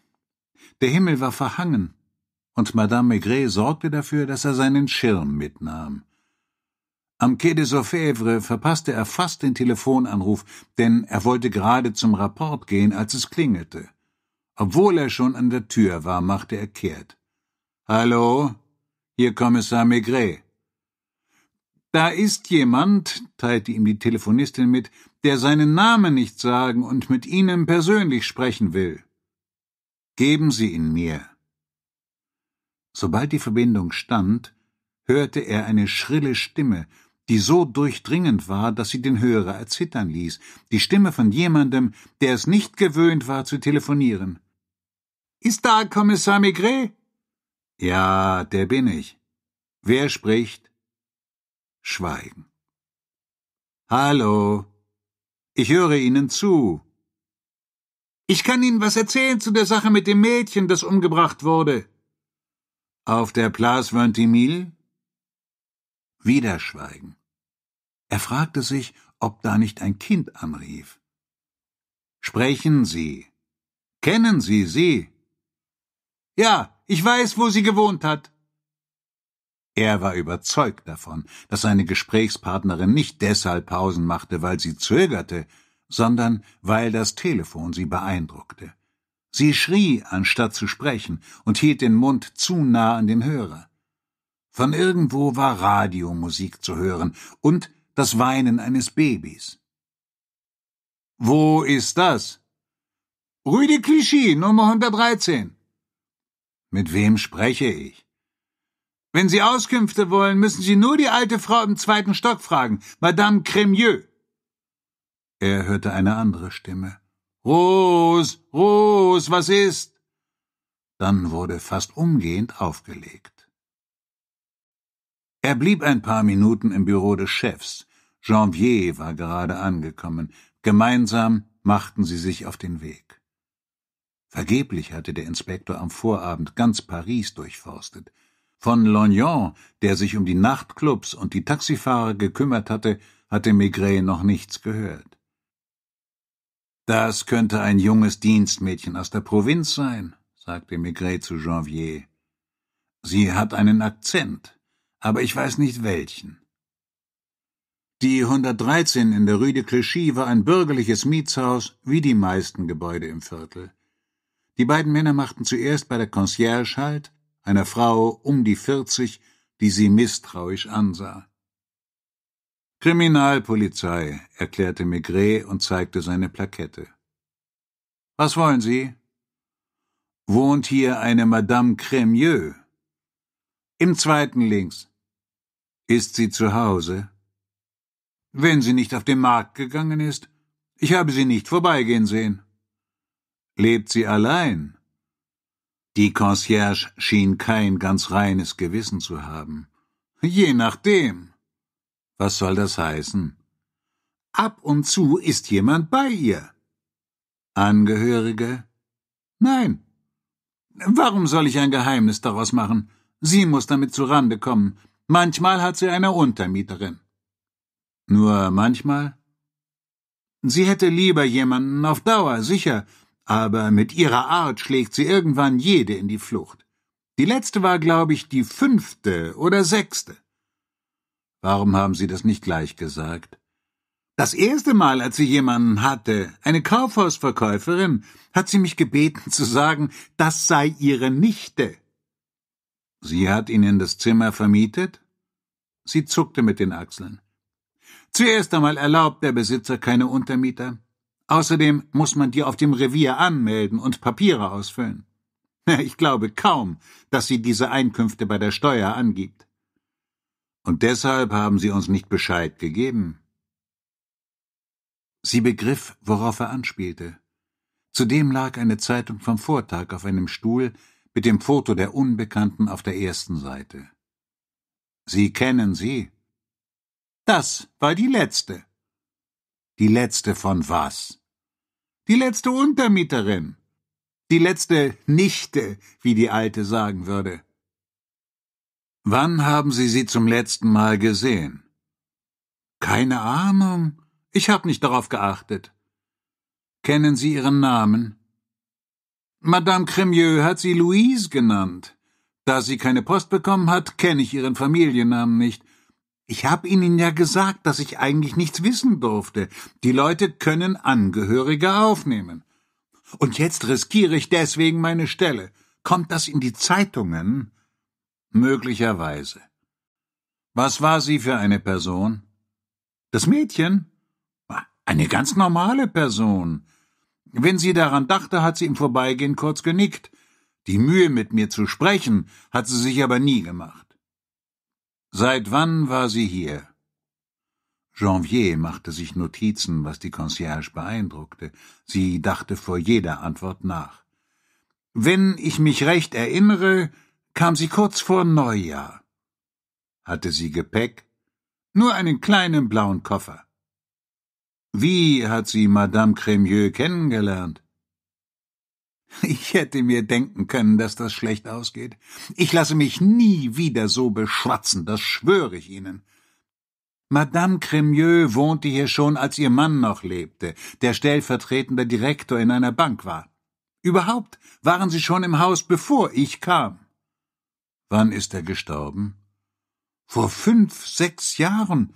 Sie hatten keine Kinder. Sie hat zu jammern angefangen, sagte, dass es schrecklich ist, in einer so großen Wohnung zu leben. Dann hat sie von Geld gesprochen, von ihrer Rente, die gleich blieb, obwohl alles ständig teurer würde. War sie reich? Sie muss was haben.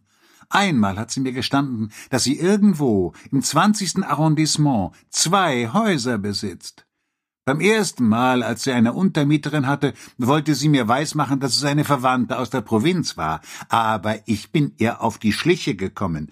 Damals hat sie mir ein Viertel der Miete angeboten, und ich war so blöd, das anzunehmen. Ihre Wohnung ist wirklich zu groß für eine Person. Hat sie Anzeigen aufgegeben? Ja, ohne Adresse, nur mit Telefonnummer. Aus welchem Milieu kamen Ihre Untermieterinnen? Schwer zu sagen. Fast immer aus gutem Haus. Mädchen, die Arbeit hatten und froh waren, ein größeres Zimmer als in einer Pension zu haben, und das zum selben Preis oder sogar noch günstiger. Einmal hatte sie ein Mädchen, das wie die anderen aussah, aber nachts Männer empfing. Das war nach zwei Tagen vorbei. Erzählen Sie mir von der letzten. Was wollen Sie wissen? Alles. Die Concierge blickte unwillkürlich auf das Zeitungsfoto. Ich hab's Ihnen schon gesagt, ich hab Sie nur vorbeigehen sehen. Sie ging morgens gegen neun oder halb zehn aus dem Haus.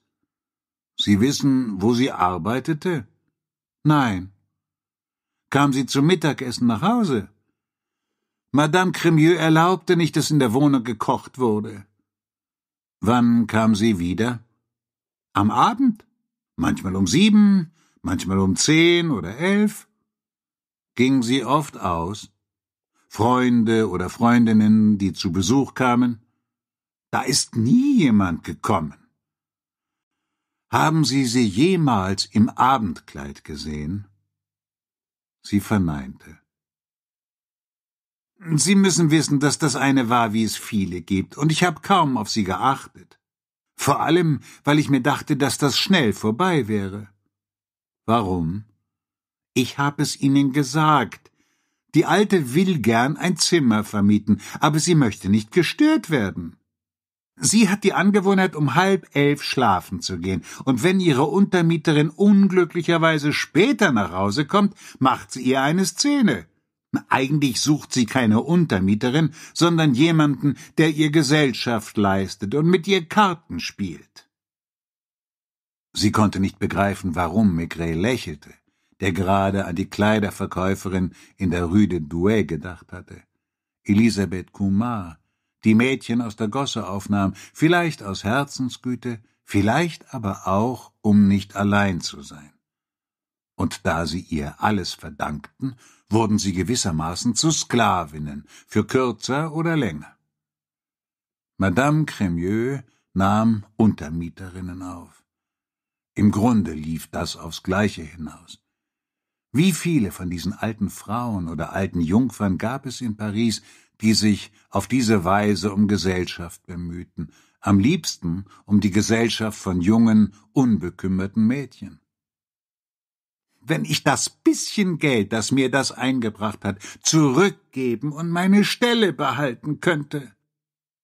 Unterm Strich wissen Sie weder, wer sie war, noch woher sie kam, noch was sie machte, noch mit wem sie verkehrte.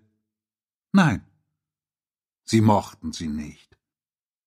Ich mag keine Leute, die nicht mehr Geld haben als ich und sich für was Besseres halten. Sie glauben, dass sie arm war? Ich habe sie immer im selben Kleid und im selben Mantel gesehen. Gibt es Dienstmädchen hier im Haus?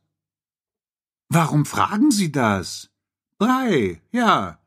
Zuerst das aus dem ersten Stock, dann das aus dem zweiten und ist eines von denen ein Landei und noch sehr jung? Sie meinen sicher Rose. Welche ist das? Die aus dem zweiten. Die Larcher hatten schon zwei Kinder. Madame Larcher ist vor zwei Monaten niedergekommen, und da sie damit nicht zu Rande kam, hat sie ein junges Dienstmädchen aus der Normandie kommen lassen. Haben die Larchers Telefon? Ja. Der Mann hat eine gute Stellung bei einer Versicherung. Sie haben sich vor kurzem ein Auto gekauft. Ich danke Ihnen.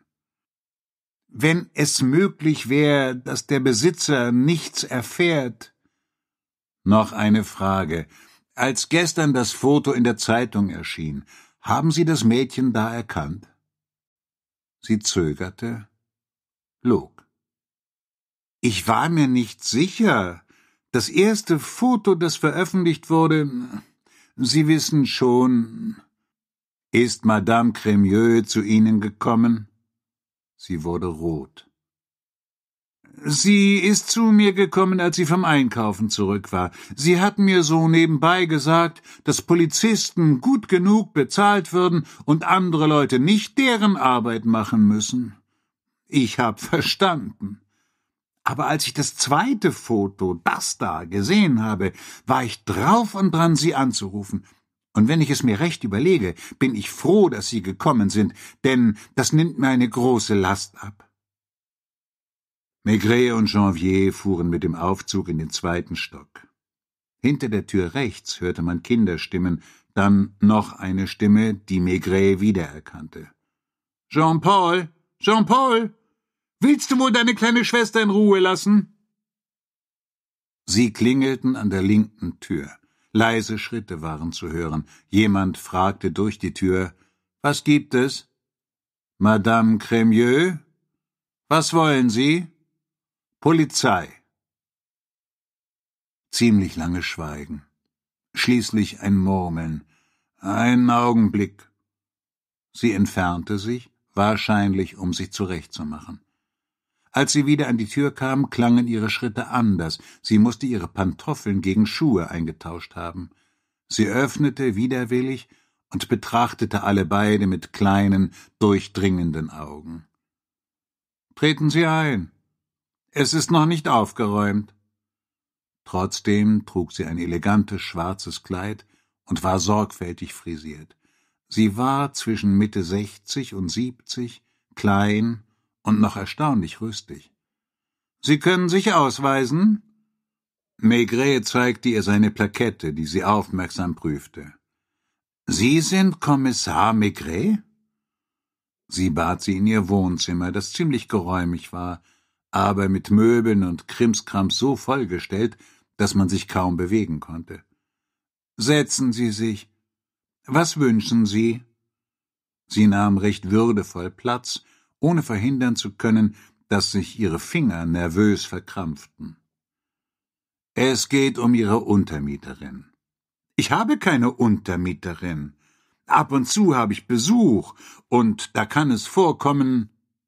Wir sind informiert, Madame Cremieux. Sie geriet nicht aus der Fassung, warf dem Kommissar aber einen scharfen Blick zu. Worüber informiert? Alles. Wir sind nicht vom Finanzamt.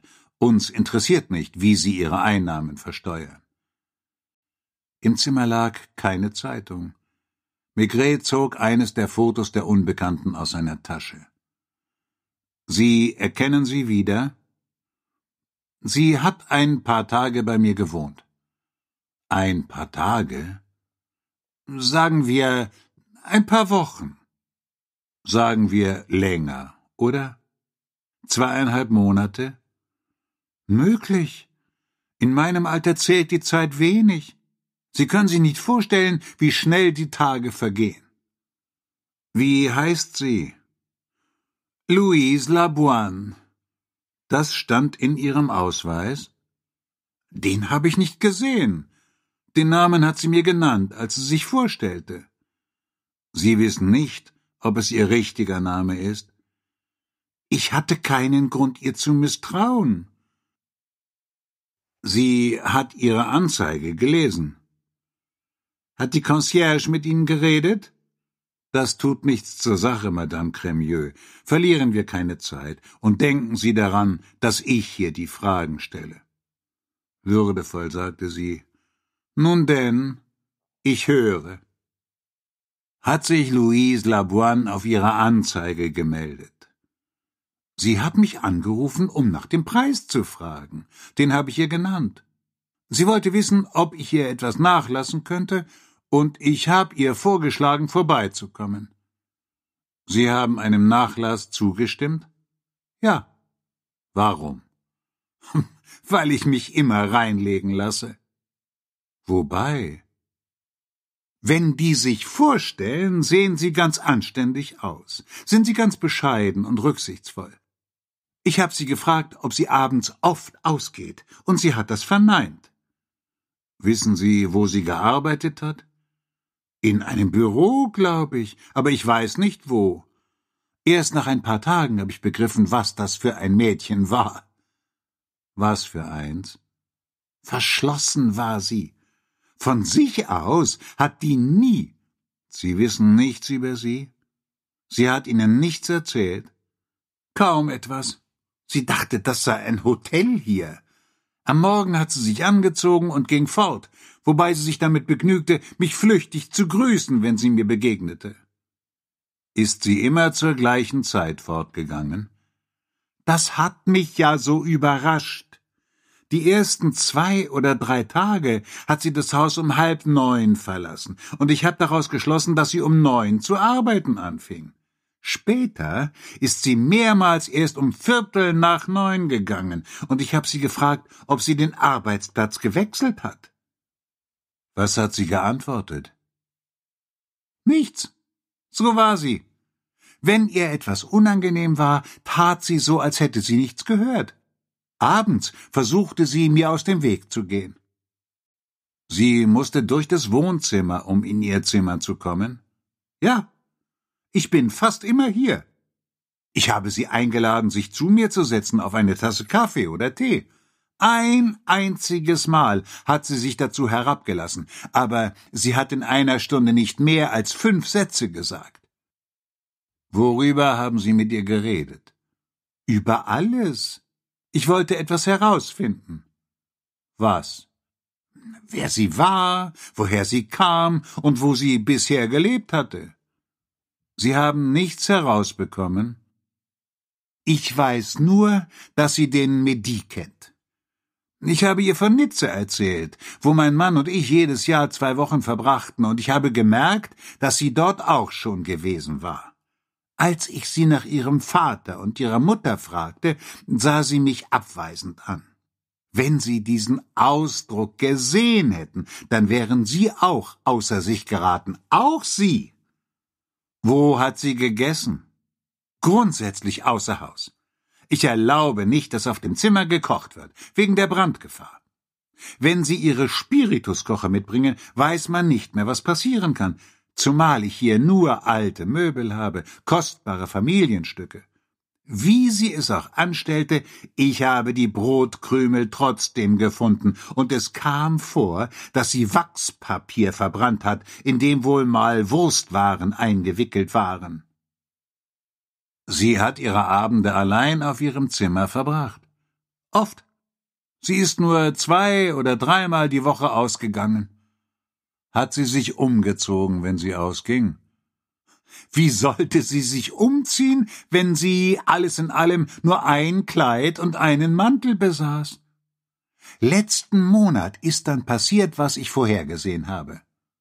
Was hatten Sie vorhergesehen? dass sie die Miete eines Tages nicht mehr bezahlen kann. Sie hat nicht mehr gezahlt?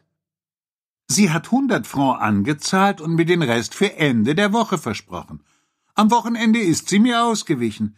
Ich habe mich ihr in den Weg gestellt. Sie hat mir gesagt, dass sie in ein oder zwei Tagen Geld bekäme.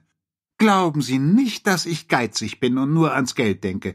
Natürlich brauche ich es, wie wir alle. Wenn sie sich doch nur wie ein Mensch benommen hätte, ich hätte mehr Geduld gehabt. Sie haben ihr gekündigt? Vor drei Tagen. Am Vorabend des Tages, an dem sie verschwunden ist. Ich habe ihr einfach mitgeteilt, dass ich eine Verwandte aus der Provinz erwarte und das Zimmer für sie brauche. Wie hat sie reagiert? Sie hat gesagt, na gut. Dürfen wir ihr Zimmer sehen? Die alte Dame erhob sich, immer noch in würdevoller Haltung. Folgen Sie mir. Sie werden sehen, dass sie nirgendwo ein Zimmer wie dieses gefunden hätte. Es stimmte, das Zimmer war geräumig und hell. Eingerichtet war es wie ein Wohnzimmer im Stil des neunzehnten Jahrhunderts. Das Bett war aus massivem Mahagoni und zwischen den hohen Fenstern stand ein Empire-Schreibtisch, der Monsieur Cremieux gehört haben musste und für den man keinen anderen Platz gefunden hatte. Schwere Samtvorhänge rahmten die Fenster ein, und an den Wänden hingen Familienfotos in schwarzen oder goldenen Rahmen. Die einzige kleine Unannehmlichkeit besteht darin, dass man das Badezimmer teilen muss. Ich habe immer gewartet, dass sie als Erste hineingegangen ist und bin nie eingetreten, ohne anzuklopfen. Ich gehe davon aus, dass Sie seit Ihrem Fortgehen nichts angefasst haben. Natürlich nicht. Als Sie merkten, dass sie nicht zurückkam, haben Sie da Ihre Sachen durchsucht? Da gibt es nicht viel zu durchsuchen. Ich habe nur nachgesehen, ob sie ihre Sachen mitgenommen hatte. Sie hat nichts mitgenommen? Nein, Sie können sich selbst vergewissern. Auf der Kommode lagen ein Kamm, eine Haarbürste, ein billiges Maniküre-Set und eine Puderdose einer gängigen Marke. Dann noch ein Röhrchen Aspirin und ein anderes mit Schlaftabletten. Maigret zog die Schubladen auf, fand nur etwas Wäsche und, eingewickelt in einen Unterrock aus Kunstseide, ein elektrisches Bügeleisen. Was hab ich Ihnen gesagt? rief Madame Cremieux aus. Was? Ich hatte ihr auch gesagt, dass ich Wäsche waschen und bügeln nicht dulde. Das also hat sie gemacht, wenn sie sich abends für eine Stunde ins Bad eingeschlossen hat, und deshalb hat sie sich immer eingeschlossen. Eine andere Schublade enthielt eine Schachtel mit gewöhnlichem Papier, zwei oder drei Bleistifte und einen Füller. Im Schrank hing ein Hausmantel aus Baumwolle, und in einer Ecke stand ein blauer Stoffkoffer. Der Koffer war abgeschlossen, nirgends war ein Schlüssel zu sehen. Maigret ließ das Schloss mit der Spitze seines Taschenmessers aufspringen, während die Alte ihm dabei zuschaute. Der Koffer war leer. Es hat nie jemand nach ihr gefragt. Niemand.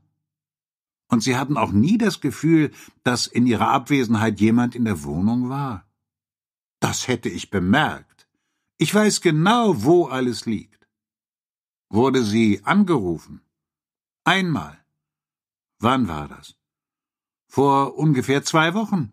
Nein, nein, das ist länger her. Vor einem Monat vielleicht. An einem Abend gegen acht wollte sie jemand sprechen, als sie in ihrem Zimmer war. Ein Mann? Eine Frau? Können Sie sich an den Wortlaut erinnern? Sie hat gesagt, ist Mademoiselle Laboine da? Ich glaube ja, habe ich gesagt und an ihrer Tür geklopft. Telefon, Mademoiselle Louise. Für mich? hat sie erstaunt gefragt. Für Sie, ja. Ich komme. Damals schien es mir so, als hätte sie geweint. Vor oder nach dem Anruf?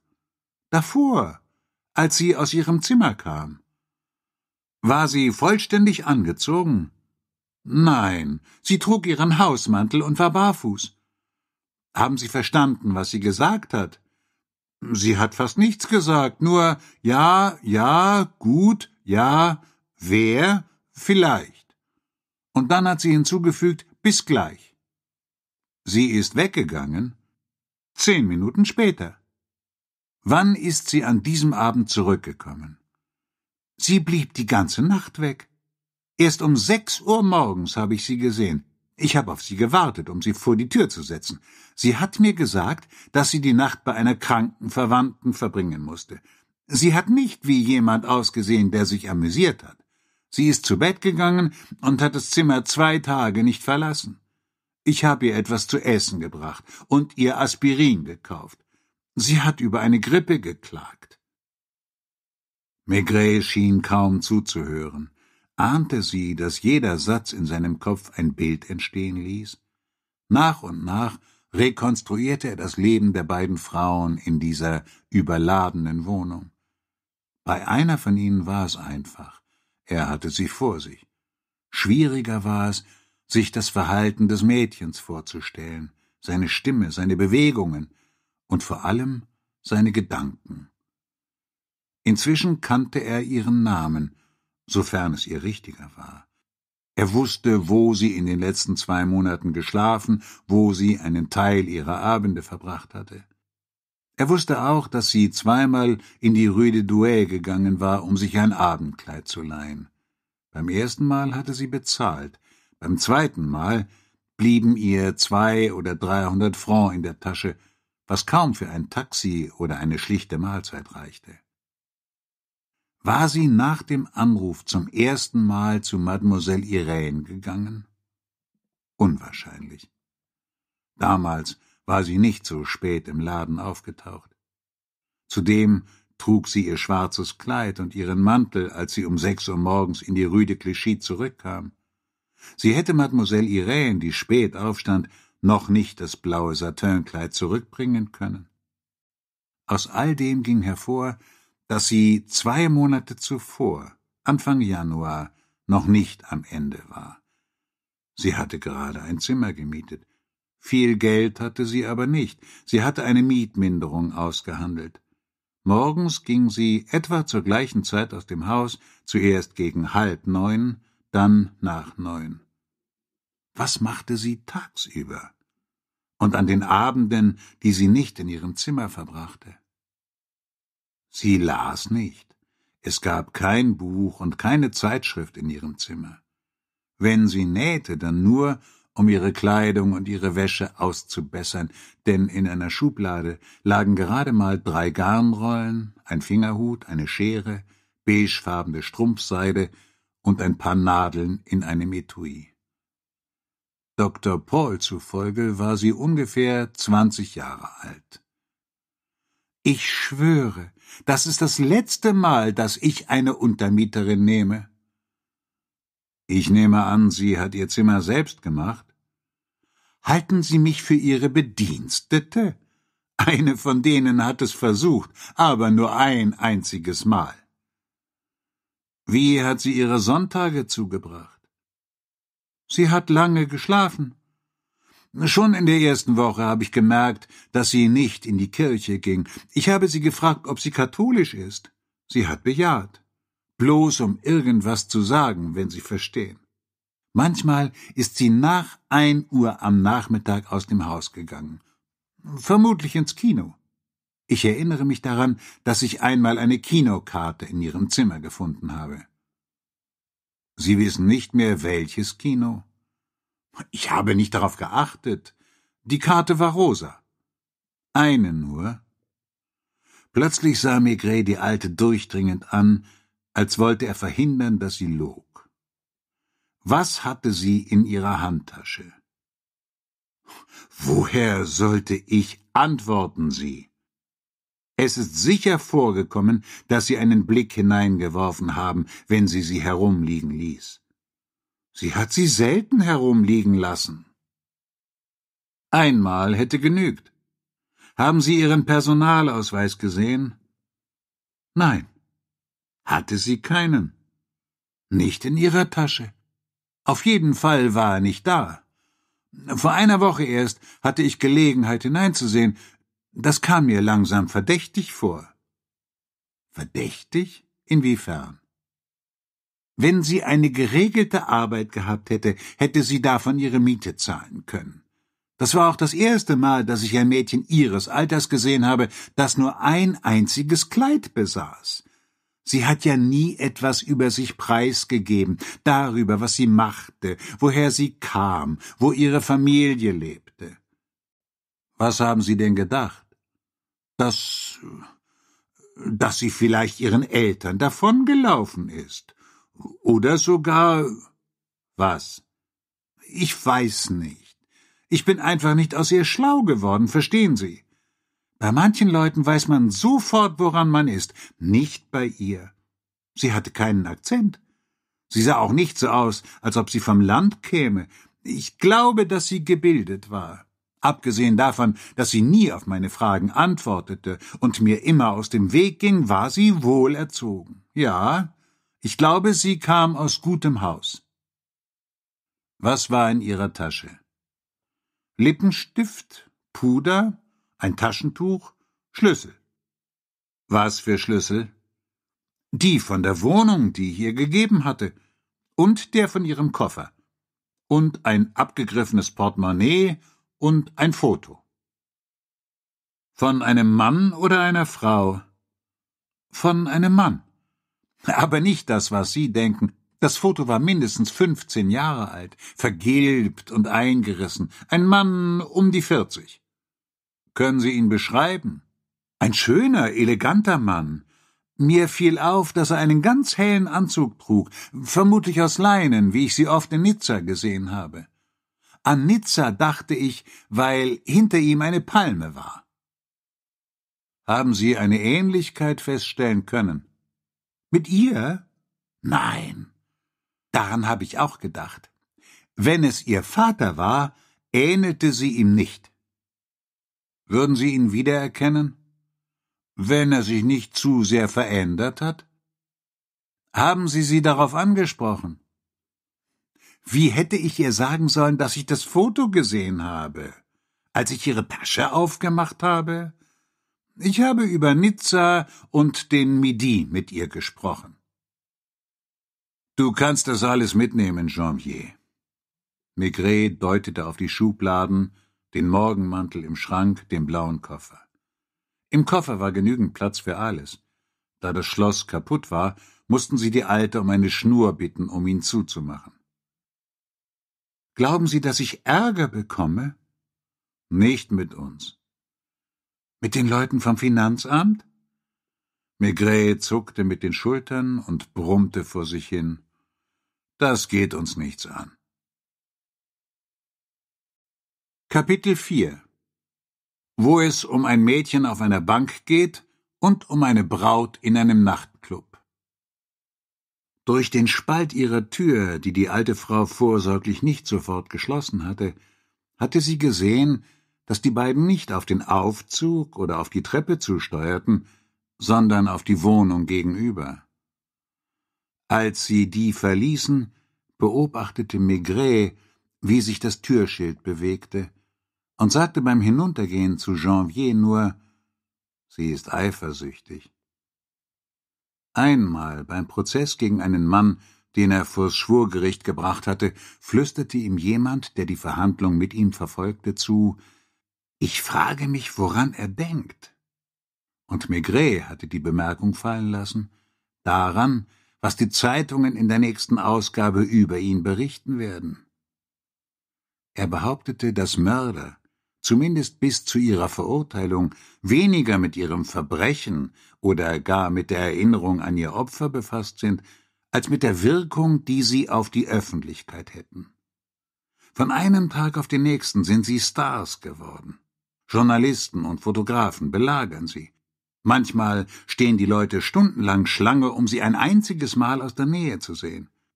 Ist es da nicht natürlich, dass sie sich wie Schmierenkomödianten verhalten?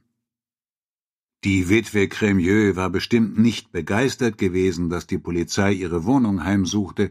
Zudem hatte Maigret eine Art Fragen zu stellen, die es nicht erlaubte, so zu antworten, wie man es gern getan hätte. Sie hatte einige nicht sehr angenehme Dinge zugeben müssen. Aber zumindest hatten sie sich fast eine Stunde mit ihr beschäftigt und sogar ihre unbedeutendsten Worte in ein Notizbuch geschrieben. Nun aber einen Augenblick später klingelte derselbe Kommissar gegenüber und erwies einem kleinen, ungehobelten Dienstmädchen die gleiche Ehre. Trinken wir was? Es war nach elf. Sie gingen in eine Bar an der Straßenecke und tranken wortlos ihren Aperitif, während sie über all das nachdachten, was sie soeben erfahren hatten. Mit Louise Laboine war es wie mit Fotoplatten, die man in Entwicklerflüssigkeit taucht. Zwei Tage vorher existierte sie für sie noch nicht. Dann nahm sie blaue Konturen an, ein Profil auf dem nassen Pflaster der Place Vintimille, ein weißer Körper auf dem Marmortisch der Gerichtsmedizin. Nun hatte sie einen Namen und ein Bild begann sich abzuzeichnen, zunächst noch schemenhaft. Rose Chefin war ein wenig verärgert gewesen, als Maigret zu ihr gesagt hatte, würde es Ihnen etwas ausmachen, auf die Kinder aufzupassen, während wir Ihre Angestellten ein paar Fragen stellen? Rose war keine sechzehn und noch grün hinter den Ohren. Du hast mich heute Morgen angerufen, stimmt's? Ja. Kanntest du Louise Laboine? Ihren Namen wusste ich nicht. Du bist ihr auf der Treppe begegnet? Ja. Hat sie mit dir gesprochen? Sie hat nie mit mir gesprochen, aber sie hat mich jedes Mal angelächelt. Ich habe immer gedacht, dass sie traurig ist. Sie sah aus wie eine Filmschauspielerin. Bist du ihr auch woanders als auf der Treppe begegnet? Mehrmals. Wo? Auf einer Bank am Square de la Trinité. Da gehe ich fast jeden Nachmittag mit den Kindern hin. Was hat sie da gemacht? Nichts. Hat sie auf jemanden gewartet? Ich habe sie nie mit jemand gesehen. Hat sie gelesen? Nein. Einmal hat sie ein Sandwich gegessen. Glauben Sie, sie hat geahnt, dass sie sterben wird? Mehr hatten sie von Rose nicht erfahren. Das hieß, dass das Mädchen seit einiger Zeit keiner geregelten Arbeit nachging. Sie gab sich keine Mühe, weit fortzugehen. Sie ging die Rue de Clichy hinunter und setzte sich vor die Trinitätkirche. Hast du mal gesehen, dass sie in die Kirche gegangen ist? Nein. Der Kommissar bezahlte, wischte sich den Mund ab und stieg, gefolgt von Janvier, wieder in den kleinen Wagen. Am Quai des Orfèvres sah er eine graue Gestalt im Vorzimmer und erkannte Lognon, dessen Nase so rot war wie nie zuvor. Sie warten auf mich, Lognon. Seit einer Stunde. Es scheint, als hätten Sie nicht geschlafen. Das ist nicht wichtig. Kommen Sie in mein Büro. Die Leute, die gesehen hatten, wie Lorgnon auf ihn wartete, hatten ihn wohl nicht für einen Polizisten gehalten, sondern für jemanden, der ein Geständnis ablegen wollte, so finster und bekümmert wirkte er. Diesmal war er wirklich erkältet, seine Stimme klang heiser, und er zog unablässig sein Taschentuch hervor. Er vermied es darüber zu klagen, nahm einen resignierten Gesichtsausdruck an, wie jemand, der sein ganzes Leben gelitten hat und der für den Rest seiner Tage leiden wird. Maigret setzte sich, stopfte seine Pfeife, während sein Gegenüber auf dem Stuhl hin und her rückte und nicht wagte, etwas zu sagen. Vermutlich haben Sie Neuigkeiten. Ich bin gekommen, um Bericht zu erstatten. Ich höre, mein Lieber. Maigrets Herzlichkeit prallte vom Grieskram ab, der irgendeine Ironie dahinter vermutete. Ich habe gestern Abend meine Runde von vorgestern Nacht wieder aufgenommen. Gründlicher diesmal. Bis etwa drei Uhr morgens. Bis vier Minuten nach drei, genau gesagt. Ohne Ergebnisse. Während er sprach, zog er einen Zettel aus seiner Tasche.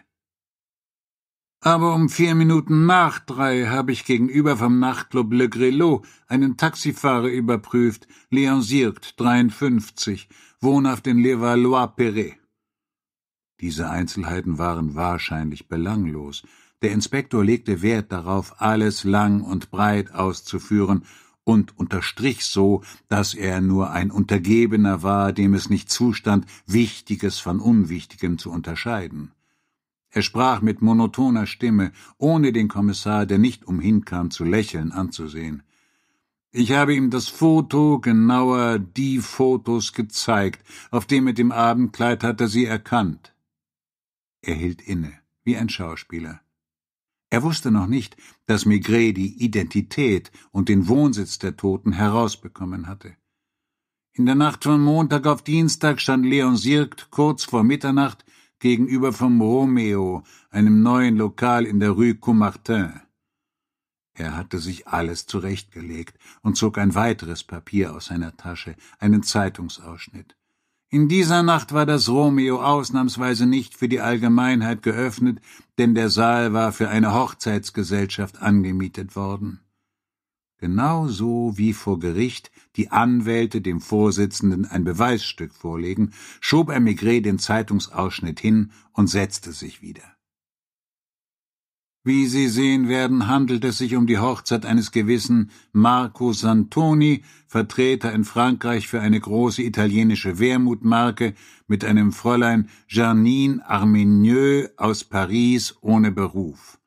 Es waren viele Gäste da, denn Marco Santoni scheint in Amüsierkreisen ziemlich bekannt zu sein. Haben Sie diese Einzelheiten von Sirkt? Nein, ich bin ins Romeo gegangen. Der Fahrer hat also mit mehreren Kollegen gewartet. Es regnete leicht. Viertel nach zwölf hat ein Mädchen in blauem Abendkleid und dunklem Samtcape das Etablissement verlassen. Sirkt hat ihr das übliche Taxi zugerufen, aber sie hat den Kopf geschüttelt und ist weitergegangen. Ist er sicher, dass sie es war? Ja, ein Neonschild erhält den Eingang zum Romeo. Da Sirkt meist nachts arbeitet, hat er gleich gesehen, dass es ein ziemlich schäbiges Kleid war.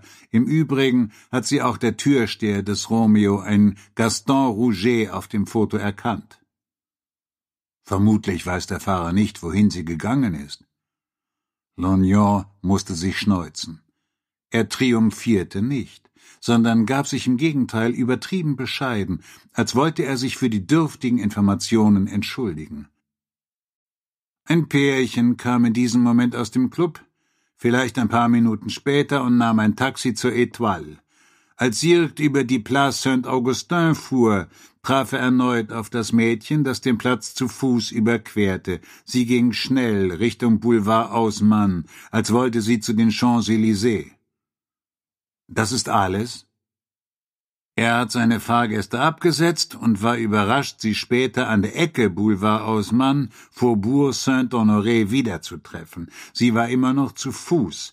Er sah auf die Uhr, weil er wissen wollte, wie lange sie für den Weg gebraucht hatte. Es war kurz vor eins. Louise Laboine war gegen zwei Uhr umgebracht worden. Und um drei hatte man sie tot auf der Place Vingt-Mille gefunden. Lognon hatte gute Arbeit geleistet. Und er hatte noch etwas im Köcher. Das wurde Migré klar, als er sah, wie er auf seinem Platz blieb und einen dritten Zettel aus seiner Tasche zog. Marco Santoni wohnt in der Rue de Berry. Haben Sie ihn auch gesehen? Nein. Als das Festessen im Romeo zu Ende war, sind die Frischvermählten nach Florenz geflogen, wo sie einige Tage verbringen werden. Ich habe mit seinem Diener, Joseph Ruchon, gesprochen. Lognon stand kein Wagen zur Verfügung. Er hatte sicher kein Taxi genommen, da er wusste, dass man seine Abrechnung unter die Lupe nehmen würde. Nachts hatte er alle diese Wege zu Fuß machen müssen und am Morgen wohl die Metro oder den Bus genommen. Ich habe zudem den Barkeeper im Fouquets auf den Champs-Élysées befragt und die von zwei anderen Etablissements, den Barkeeper von Maxims habe ich nicht angetroffen, da er außerhalb wohnt und noch nicht da war. Seine Tasche schien unerschöpflich. Zettel um Zettel fischte er heraus, einen für jeden Teil seiner Ermittlungen. Santoni ist 45 Jahre alt, ein schöner Mann, etwas dicklich, sehr gepflegt. Er verkehrt in Nachtclubs, Bars und den besten Restaurants. Er hat zahllose Geliebte, vor allem Mannequins und Tänzerinnen. Soweit ich es in Erfahrung bringen konnte, ist er Janine Arminieux vor vier oder fünf Monaten begegnet. Sie war Mannequin? Nein, sie verkehrte nicht in denselben Kreisen. Er hat nie gesagt, wo er sie aufgegabelt hat. Wie alt?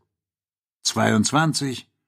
Kurz nachdem sie Santoni kennengelernt hatte, hat sie sich im Hotel Washington, Rue Washington einquartiert. Er kam sie oft besuchen, und manchmal verbrachte sie die Nacht bei ihm. Das ist seine erste Ehe? Ja. Hat der Diener das Foto der Toten gesehen? Ich habe es ihm gezeigt, er versichert, sie nicht zu kennen. Ich habe es auch den drei Barkeepern gezeigt, mit dem gleichen Ergebnis hat sich der Diener in der Nacht von Montag auf Dienstag in der Wohnung aufgehalten. Er hat das Gepäck für die Abreise des Paares fertig gemacht. Niemand hat geklingelt. Santoni und seine Frau sind ganz aufgekratzt um fünf Uhr morgens heimgekommen, haben sich umgezogen und sind rasch Richtung Orly aufgebrochen. Wieder hielt er inne. Jedes Mal erweckte Londion den Eindruck, er sei mit seinem Latein am Ende, aber an der Art des Schweigens und der Bescheidenheit seines Auftritts erkannte Maigret, dass er es nicht war. Sie wissen nicht, ob das Mädchen lange im Romeo geblieben ist? Ich habe doch gesagt, dass ich den Türsteher befragt hatte. Musste man die Einladungen am Einlass zeigen? Nein. Manche haben ihre Karte vorgezeigt, andere nicht. Der Türsteher erinnert sich, dass das Mädchen ankam, als man gerade mit dem Tanzen begonnen hatte. Eben weil sie nicht wie ein Stammgast aussah, hat er sie hereingelassen. Er hielt sie für eine Freundin der Braut. Sie ist also ungefähr eine Viertelstunde geblieben? Ja, ich habe den Barkeeper gefragt. War er heute Morgen im Romeo? Longyon antwortete nur Nein, ich war bei ihm zu Hause an der Porte d'Iterne. Er schlief noch. Alle diese Wegstrecken zusammengezählt, kam man auf eine beeindruckende Kilometerzahl. Gegen seinen Willen stellte sich Maigret vor, wie Lognon sie zu Fuß zurücklegte. erst nachts, dann am frühen Morgen, wie eine Ameise, die eine zu schwere Last trägt, sich aber trotzdem durch nichts von ihrem Weg abbringen lässt. Es gab wahrscheinlich keinen anderen Inspektor, der ein solches Pensum erledigte, ohne ein Detail zu vergessen, ohne etwas dem Zufall zu überlassen. Und dennoch würde der arme Lognon sein Lebensziel, endlich an den Quai des Orfèvres versetzt zu werden, niemals erreichen. Das lag an seinem Charakter, aber auch daran, dass er durch alle Prüfungen rasselte und keine vernünftige Ausbildung hatte. Was sagt der Barkeeper?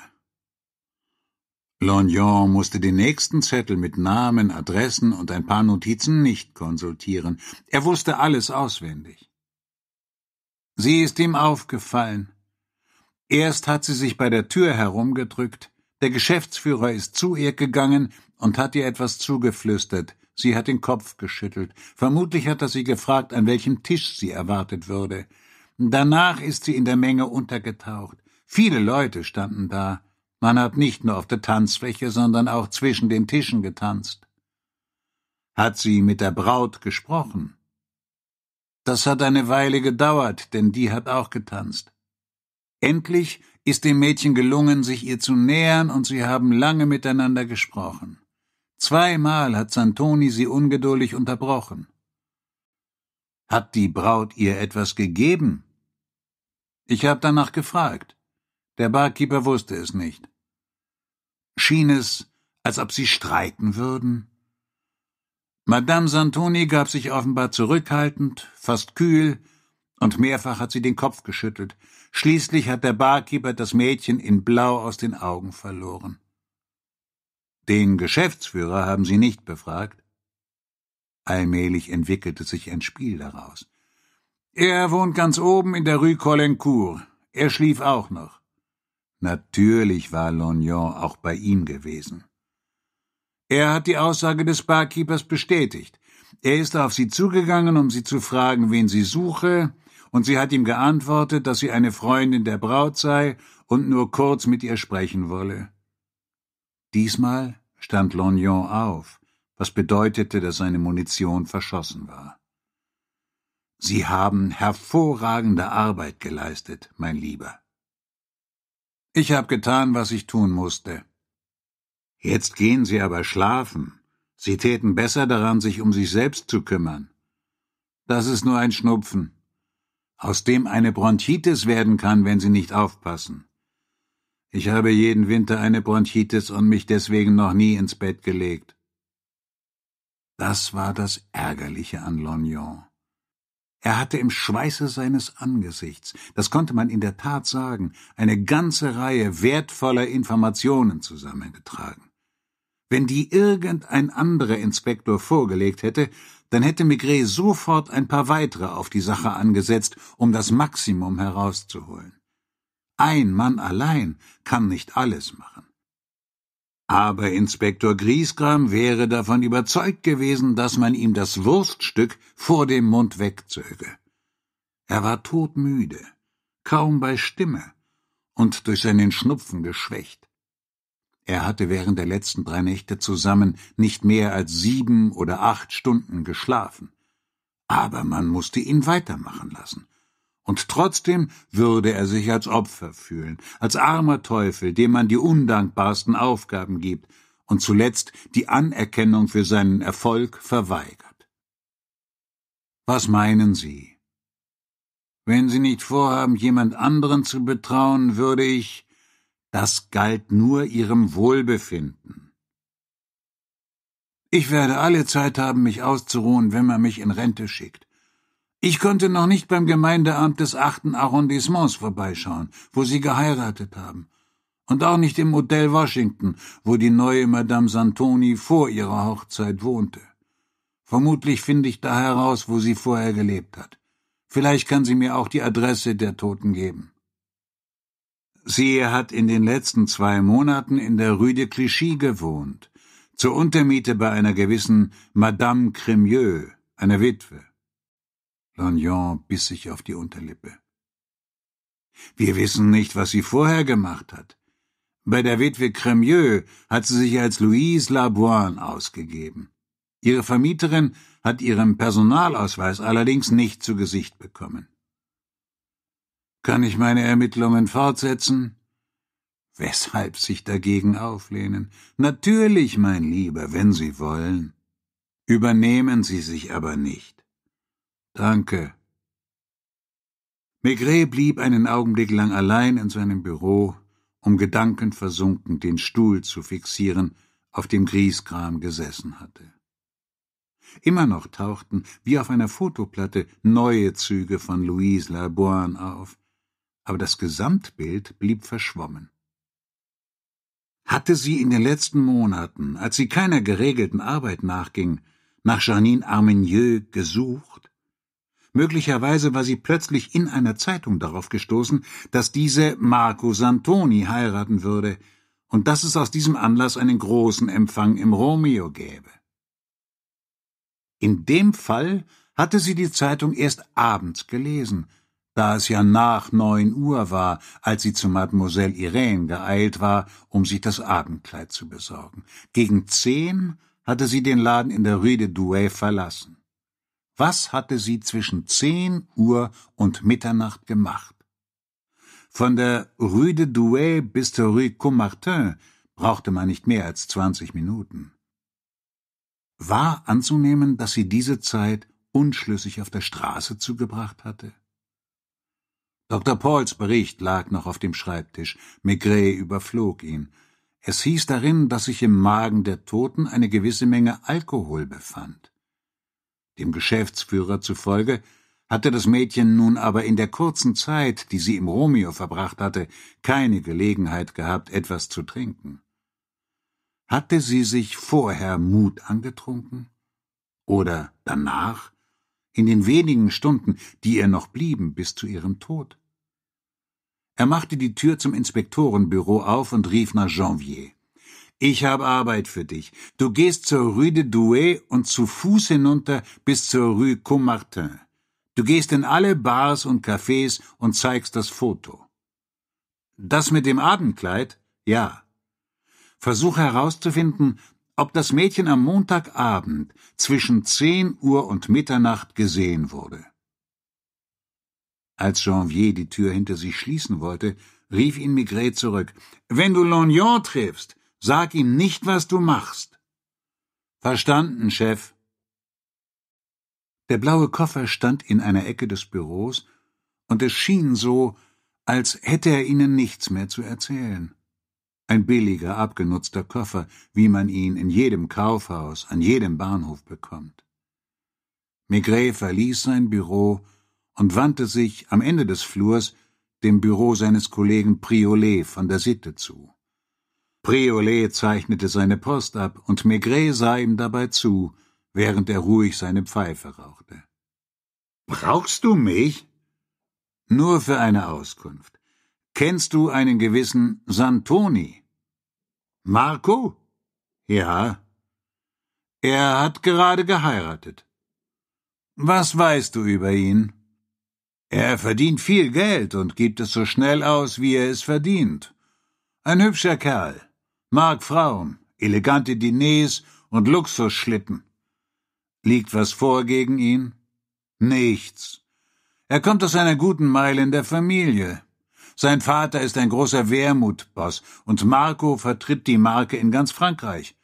Er verkehrt in den Bars auf den Champs-Élysées, den großen Restaurants und umgibt sich gern mit schönen Mädchen. Seit ein paar Monaten hängt er am Haken. Von Janine Armenieux? Ich weiß nicht, wie sie heißt. Wir haben keinen Grund, uns mit ihm und seinen Liebschaften zu befassen. Ich habe nur von seiner Heirat erfahren, weil er eine Wahnsinnsfete in einem Nachtclub ausgerichtet hat, den er dafür angemietet hat. Ich möchte, dass du dich nach seiner Frau erkundigst. Sie hat in den letzten Monaten im Hotel Washington gewohnt. Ich muss wissen, woher sie kommt, was sie gemacht hat, bevor er sie kennenlernte, wer ihre Freundinnen und Freunde waren, vor allem ihre Freundinnen. Priolet machte sich Notizen auf einem Block. Das ist alles? Gibt es da einen Zusammenhang mit der Toten von der Place Vintimille? Maigret nickte. Du hast wahrscheinlich nichts in den Akten über eine gewisse Louise Laboine? Priolet wandte sich der geöffneten Tür zu. Dauphin, hast du den Namen gehört? Ja, Chef. Kannst du das mal überprüfen? Ein paar Minuten später rief Inspektor Dauphin aus dem Nebenzimmer Nichts. Tut mir leid, Alter. Ich kümmere mich um Madame Santoni. Es wird allerdings schwierig sein, sie in nächster Zeit zu befragen, da die frisch Vermählten den Zeitungen nach in Italien sind. Ich möchte nicht, dass du sie jetzt befragst. Die Uhr auf dem Kamin, die gleiche schwarze Uhr, die in Maigrets Büro und in den Büros aller Kommissare hing, zeigte kurz vor zwölf Uhr. Nimmst du ein Glas? Nicht jetzt, antwortete Priolet. Ich warte auf jemanden. Es sah so aus, als wüsste Maigret nicht, was er mit seinem massigen Körper anfangen sollte. Er ging langsam über den Flur, blickte mürrisch in den gläsernen Warteraum, wo sich zwei, drei Leute langweilten. Ein paar Minuten später stieg er die Stufen einer schmalen Treppe hoch und stieß im Dachgeschoss des Palais de Justice die Tür zum Untersuchungslabor auf. Moe beugte sich über ein Mikroskop. Hast du die Kleidungsstücke untersucht, die ich dir geschickt habe? Hier oben herrschte nie Unruhe. Männer in grauen Kitteln gaben sich minutiösen Arbeiten hin, bedienten in einer friedvollen Atmosphäre komplizierte Apparaturen, und Moe war das Sinnbild inneren Friedens. Das schwarze Kleid, sagte er, war nie in der Reinigung, aber man hat die Flecken oft mit Benzin behandelt und es regelmäßig ausgebürstet. Dennoch haben sich Staubpartikel festgesetzt. Ich habe sie analysiert und zudem die Flecken untersucht, bei denen das Benzin nichts genutzt hat. Auf diese Weise bin ich auf grüne Farbspuren gestoßen. Ist das alles? Beinahe. Ein paar Sandkörner noch. Von einem Fluss? Nein, Meeressand. Die Art von Sand, die man an der normannischen Küste findet. Das ist nicht der gleiche wie der am Mittelmeer. Nein, und auch nicht der gleiche wie der am Atlantik. Maigret blieb noch im Labor, klopfte seine Pfeife am Absatz aus. Als er wieder unten war, schlug es zwölf, und die Inspektoren gingen gerade zum Mittagessen. Lucas sucht Sie, rief ihm einer zu, Jussieu, der in seiner Abteilung arbeitete. Er traf Lucas mit Hut auf dem Kopf an. Ich wollte gerade gehen. Hab eine Nachricht auf Ihrem Schreibtisch hinterlassen. Ferré möchte, dass Sie ihn so schnell wie möglich anrufen. Es scheint sich um die junge Tote zu drehen. Maigret ging in sein Büro zurück und nahm den Hörer ab. Geben Sie mir die mobile Brigade in Nizza.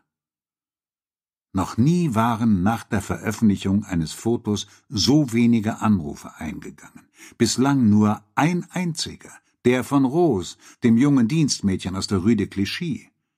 Dabei mussten Dutzende, ja Hunderte von Menschen das Mädchen gesehen haben, das sich zumindest für mehrere Monate in Paris aufgehalten hatte. Hallo, Ferré. Sind Sie es, Chef? Inspektor Ferré hatte für Maigret gearbeitet, bis er sich der Gesundheit seiner Frau zuliebe nach Nizza hatte versetzen lassen. Ich habe heute früh einen Anruf bekommen, wegen der Person, mit der Sie sich beschäftigen. Wissen Sie übrigens inzwischen, wie sie heißt? Sie heißt wahrscheinlich Louise Laboine. Genau. Soll ich Ihnen Einzelheiten geben? Es ist nichts Großartiges. Ich warte auf Ihre Anweisungen, ehe wir weitere Nachforschungen anstellen. Heute Morgen also, gegen halb neun, bekam ich einen Anruf von einer Fischhändlerin, einer gewissen Alice Fenourou. Hallo? Ich höre. Maigret notierte sicherheitshalber den Namen auf einem von Lognons Zetteln. Sie behauptet, das Mädchen auf einem Foto im Éclaireur wiedererkannt zu haben. Aber das liegt länger zurück, vier oder fünf Jahre offenbar. Das Mädchen, damals noch ein halbes Kind, wohnte mit seiner Mutter im Nachbarhaus. Hat sie Einzelheiten berichtet? Die Mutter hatte offensichtlich eine schlechte Zahlungsmoral. Daran hat sie sich am besten erinnert. Leute, denen man nie Kredit geben sollte, hat sie zu mir gesagt. Was weiß sie noch? Mutter und Tochter bewohnten eine ziemlich komfortable Wohnung unweit der Avenue Clemenceau. Die Mutter soll damals eine schöne Frau gewesen sein. Sie war zu der Zeit deutlich über fünfzig, also älter, als es Mütter von fünfzehn oder sechzehnjährigen für gewöhnlich sind. Wovon lebten die beiden? Das weiß niemand. Die Mutter putzte sich heraus, ging regelmäßig nach dem Mittagessen aus und kehrte erst spät in der Nacht zurück. Das ist alles? Kein Mann mit von der Partie. Kein Mann. Wenn es irgendetwas Auffälliges gegeben hätte, wäre die Fischhändlerin nur zu glücklich gewesen, mir davon zu erzählen. Haben Sie das Viertel zusammen verlassen? So sieht es aus. Eines schönen Tages sind Sie verschwunden, und es scheint so, als hätten Sie ordentlich Schulden hinterlassen. Hast du nachgesehen, ob der Name Laboine irgendwo in deinen Akten steht? Darum habe ich mich als erstes gekümmert. Da ist nichts. Ich habe meine Kollegen gefragt. Einem der ehemaligen sagte der Name was. Was genau, wusste er aber nicht. Magst du dich darum kümmern? Ich tue mein Bestes. Was wollen Sie vor allem wissen? Alles. Wann die Tochter Nizza verlassen hat, was aus der Mutter geworden ist, womit sie ihren Lebensunterhalt bestritten haben, mit wem sie verkehrten. Wenn die Tochter übrigens damals 15 oder 16 war, ist sie wahrscheinlich noch zur Schule gegangen. Kannst du das in den städtischen Schulen überprüfen? Verstanden. Ich ruf sie an, sobald ich etwas Neues weiß. Geh auch ins Casino, wegen der Mutter. Daran habe ich auch gerade gedacht. Noch ein paar neue Züge. Das Telefonat beschwor ein junges Mädchen herauf, das bei einer Fischhändlerin einkaufte, die es frostig behandelte, weil die Mutter ihr Geld schuldete. Maigret zog seinen Mantel an, setzte den Hut auf und ging die Treppe hinunter, wo er einem Mann, flankiert von zwei Polizisten, begegnete, den er nicht weiter beachtete. Ehe er über den Hof ging, betrat er das Büro der Fremdenpolizei, einen Zettel in der Hand, auf dem die Namen Louise und Janine Armenieux standen. Kannst du deine Leute bitten, nach diesen beiden Namen in der Kartei zu suchen? Eher letztes Jahr als dieses. Besser der arme Lognon erfuhr nicht, dass man so einen Teil seiner Arbeit erledigte. Die Sonne war herausgekommen und die Pfützen auf dem Pflaster verdunsteten schon. Maigret hätte beinahe ein Taxi angehalten, ging dann aber langsam zur Brasserie Dauphine und stellte sich an die Bar. Er wusste nicht, was er trinken wollte. Zwei Inspektoren, die nicht zu seiner Abteilung gehörten, diskutierten über das Rentenalter. Was soll's denn sein, Kommissar Maigret? Er wirkte missmutig. Doch wer ihn kannte, wusste, dass das nicht der Fall war. Er war nur überall gleichzeitig, in der Wohnung der Witwe an der Rue de Clichy, bei der Boutiquebesitzerin in der Rue de Douai, auf der Bank an der Place de la Trinité. Und nun auch in Nizza, bei einem jungen Mädchen in einem Fischladen. Alle diese noch verworrenen Bilder überlagerten sich, doch etwas würde sich daraus ergeben. Vor allem von einem konnte er sich nicht lösen, von dem eines nackten Körpers, der in grellem Scheinwerferlicht lag. Davor in weißem Kittel Dr. Paul, der sich seine Gummihandschuhe überstreifte. Einem Pernod, sagte er automatisch. Hatte Paul nicht gesagt, dass sie, ehe sie geschlagen worden war, auf die Knie gefallen war? Kurz davor war sie ins Romeo gegangen, in der Rue Commartin, wo einem Taxifahrer ihr schäbiges Kleid aufgefallen war, wo der Barkeeper gesehen hatte, wie sie sich unter die Tänzer gemischt hatte und wo sie mit dem Geschäftsführer und dann mit der Braut gesprochen hatte. Anschließend war sie im Regen weitergegangen. Man hatte sie auf der Place Saint-Augustin gesehen, dann am Boulevard Haussmann, Ecke Faubourg Saint-Honoré. Was dachte sie? Wo ging sie hin? Was erhoffte sie sich? Sie hatte so gut wie kein Geld mehr, kaum genug für eine Mahlzeit. Die Witwe Cremiot hatte sie vor die Tür gesetzt. Sehr weit konnte sie nicht gegangen sein, und irgendwo hatte sie ein paar Ohrfeigen oder Faustschläge abbekommen, sie war auf die Knie gefallen, und jemand hatte ihr mit einem harten, schweren Gegenstand auf den Schädel geschlagen. Das hatte sich, der Autopsie zufolge, gegen zwei Uhr ereignet. Was hatte sie zwischen Mitternacht und zwei Uhr gemacht? Danach war nicht mehr sie die Handelnde, sondern der Mörder, der ihre Leiche mitten auf der Place Ventimille abgelegt hatte. Merkwürdiges Mädchen, murmelte er. Wie bitte? fragte der Kellner. Nichts. Wie spät ist es? Er ging nach Hause zum Mittagessen. Die Frage, die du mir gestern Abend gestellt hast, sagte Madame Maigret, während sie zusammen aßen, ich habe den ganzen Morgen darüber nachgedacht. Für ein Mädchen gibt es noch einen Grund, ein Abendkleid zu tragen. Er brachte ihr gegenüber nicht das gleiche Zartgefühl auf wie Longyon gegenüber und murmelte zerstreut, ohne ihr eine Chance zu lassen, ich weiß, eine Hochzeit. Madame Maigret sagte nichts mehr. Kapitel 5 Wo es um eine Frau geht, die ihr Geld beim Roulette verdient, um eine alte Jungfer, die unbedingt alles sagen will, und um ein junges Ding, das sich unter dem Bett versteckt. Zwei, vielleicht dreimal an diesem Nachmittag blickte Maigret von seinen Papieren auf, sah in den arglos blauen Himmel mit goldgeränderten Wolken und einer Sonne, die über den Dächern zerrann, hielt seufzend inne und stand auf, um das Fenster zu öffnen. Er hatte jedes Mal kaum Zeit gehabt, die Frühlingsluft auszukosten, die seiner Pfeife besondere Würze gab. Kaum hatte er sich wieder gesetzt, erzitterten die Papiere, flogen auf und verstreuten sich im ganzen Zimmer. Dann waren die Wolken schon nicht mehr weiß und golden, sondern von einem bläulichen Grau, und der Regen fiel diagonal, klatschte gegen die Fensterbrüstung, während die Menschen auf dem Pont Saint-Michel plötzlich, wie in alten Stummfilmen, schneller gingen und die Frauen ihre Röcke schürzten.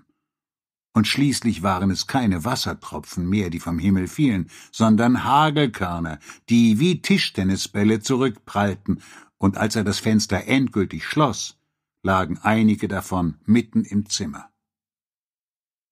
Ob Lognon immer noch unterwegs war, mit trübsinnigem Blick und angelegten Ohren, wie ein Jagdhund inmitten der Menge irgendeine Fährte verfolgte? Möglicherweise. Ja, wahrscheinlich. Er hatte nicht angerufen. Er hatte nie einen Schirm bei sich, gehörte auch nicht zu denen, die sich mit anderen in eine Toreinfahrt drücken, um das Ende des Regengusses abzuwarten. Im Gegenteil, er musste eine stechende Lust dabei empfinden, durchnässt zu werden, beim stärksten Schauer allein unterwegs zu sein, als Opfer einer ungerechten Welt und seines eigenen Gewissens. Janvier war gegen drei Uhr leicht beschwipst zurückgekommen. Selten traf man ihn so an, mit funkelnden Augen. Das ist es, Chef, sagte er in heiterem Ton. Was?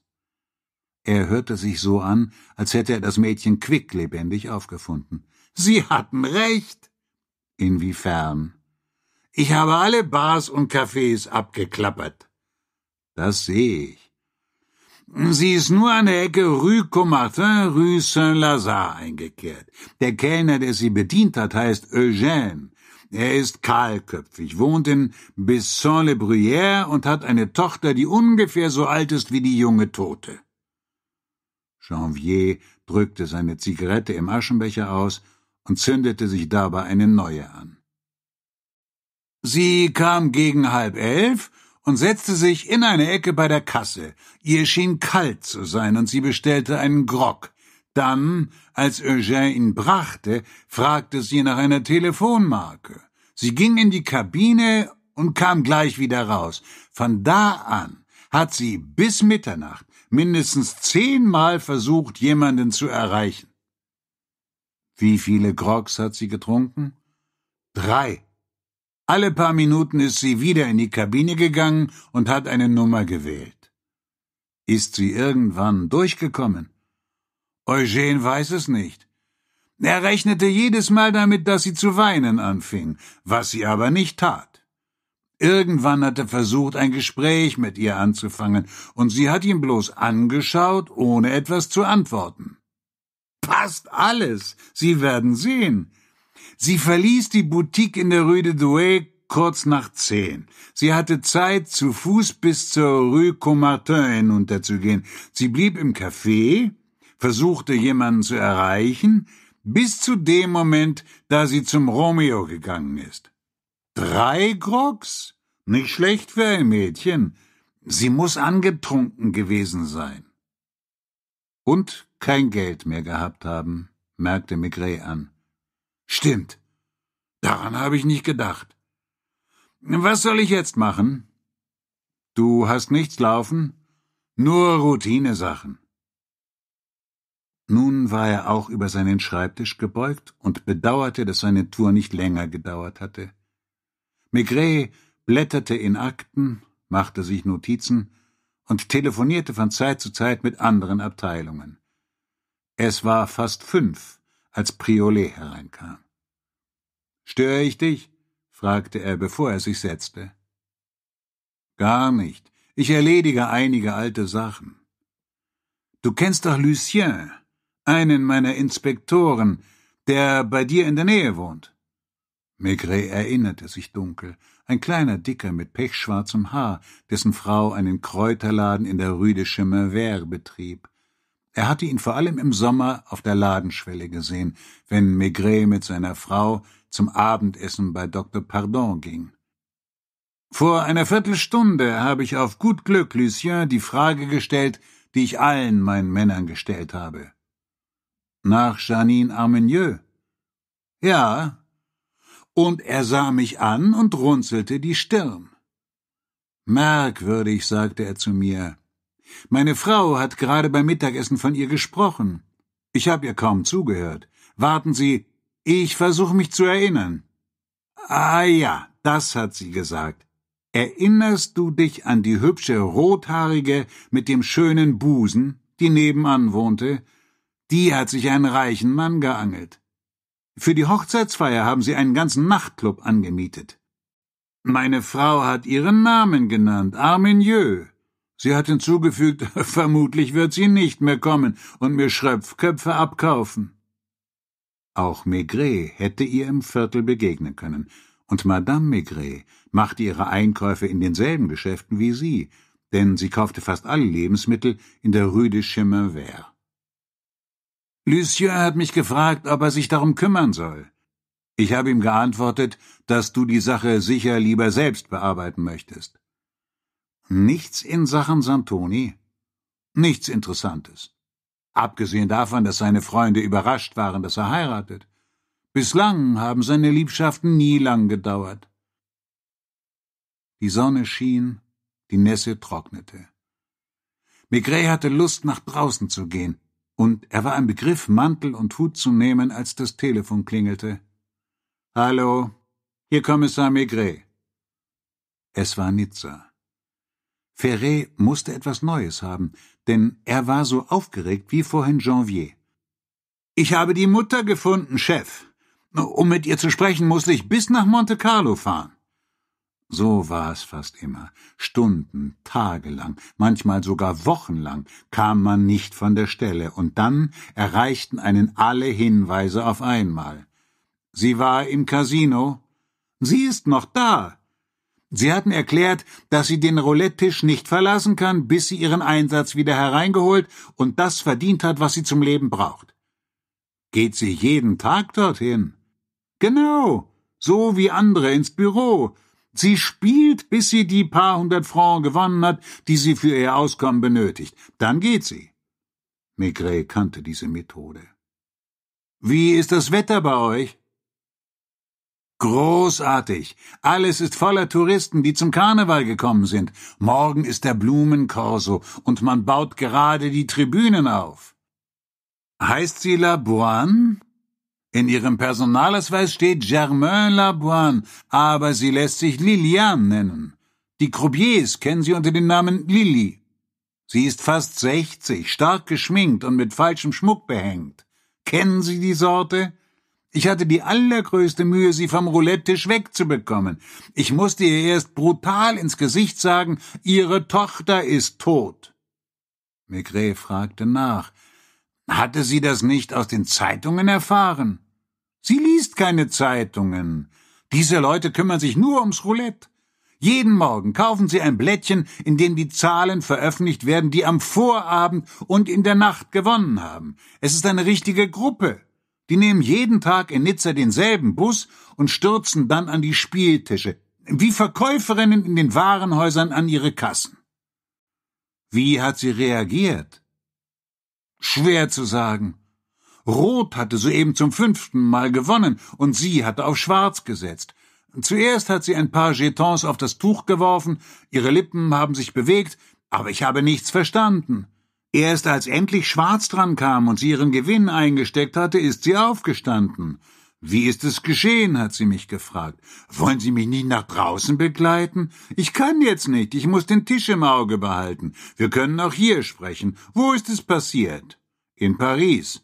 Ist sie im Krankenhaus gestorben? Man hat sie tot auf der Straße gefunden. Ein Unfall? Mord. Sie schien überrascht hat aber nicht aufgehört, der Stimme des Croupiers zu lauschen, der die Ergebnisse verkündete. Dann hat sie mich unterbrochen. Erlauben Sie? Sie hat Jetons auf ein Feld gelegt, und ich habe mich gefragt, ob sie Drogen nimmt.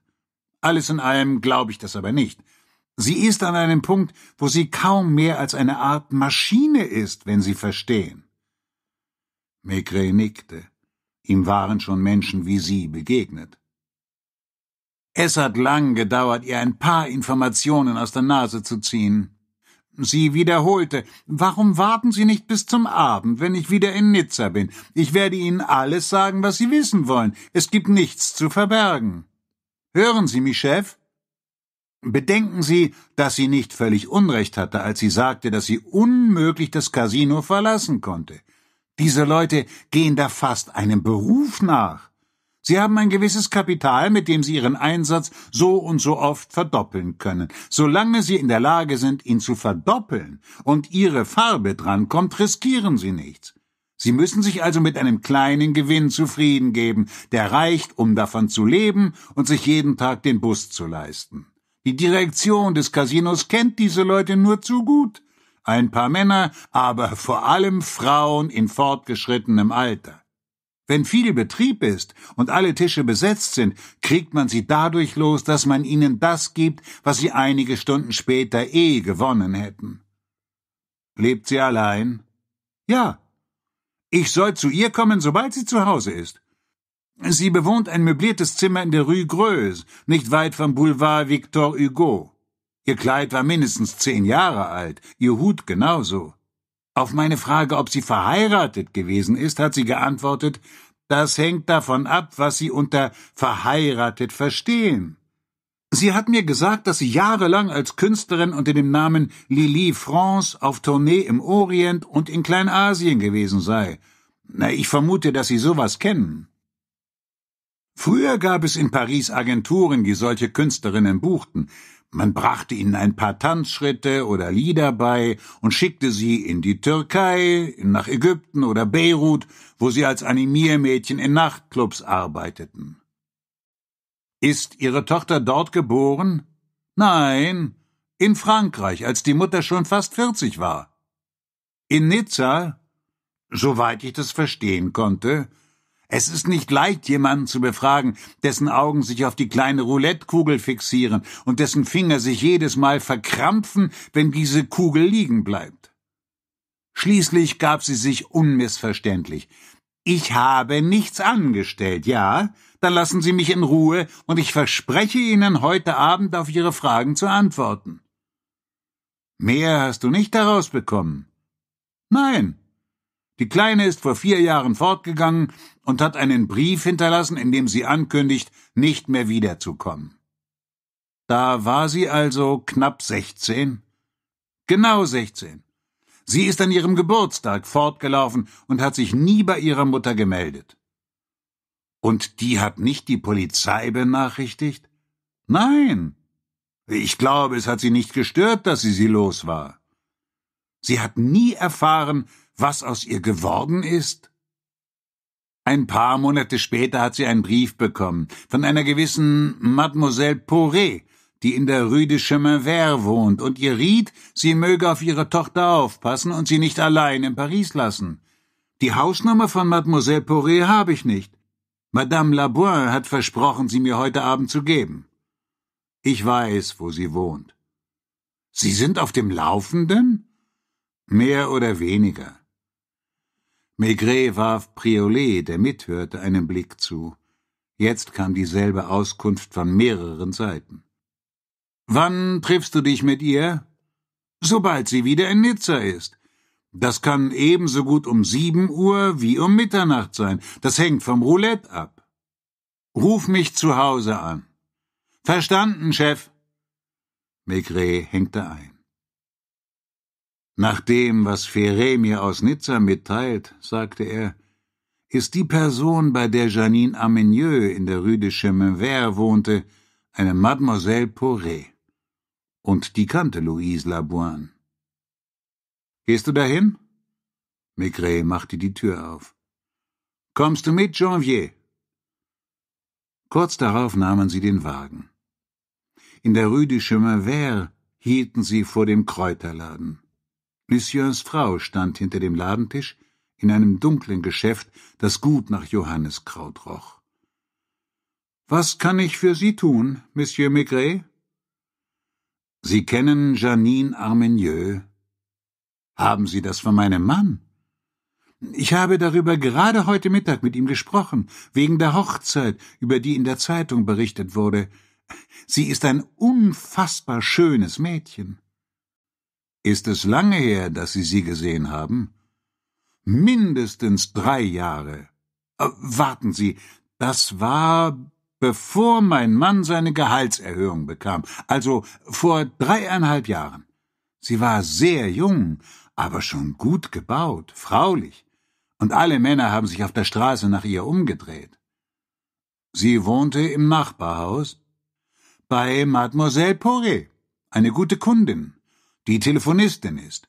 Sie ist ihre Tante. Ich glaube, am Ende haben sie sich nicht mehr gut verstanden und das Mädchen hat beschlossen, allein zu leben. Wissen Sie, ob Mademoiselle Poré zu Hause ist? Wenn ich mich nicht täusche, fängt sie diese Woche um sechs an und hört um drei auf. Gut möglich, dass Sie sie antreffen. Etwas später betraten Maigret und Janvier das Nachbarhaus. Mademoiselle Poré? fragten sie die Concierge. Zweiter Stock links. Es ist schon jemand bei ihr. Das Haus hatte keinen Aufzug. Das Treppenhaus war düster. Anstelle eines Klingelknopfes hing da eine Fransenkordel, die drinnen eine grelle Glocke auslöste. Die Tür ging sofort auf. Eine schmächtige Person mit spitzem Gesicht und kleinen schwarzen Augen sah sie ernst an. Was wünschen Sie?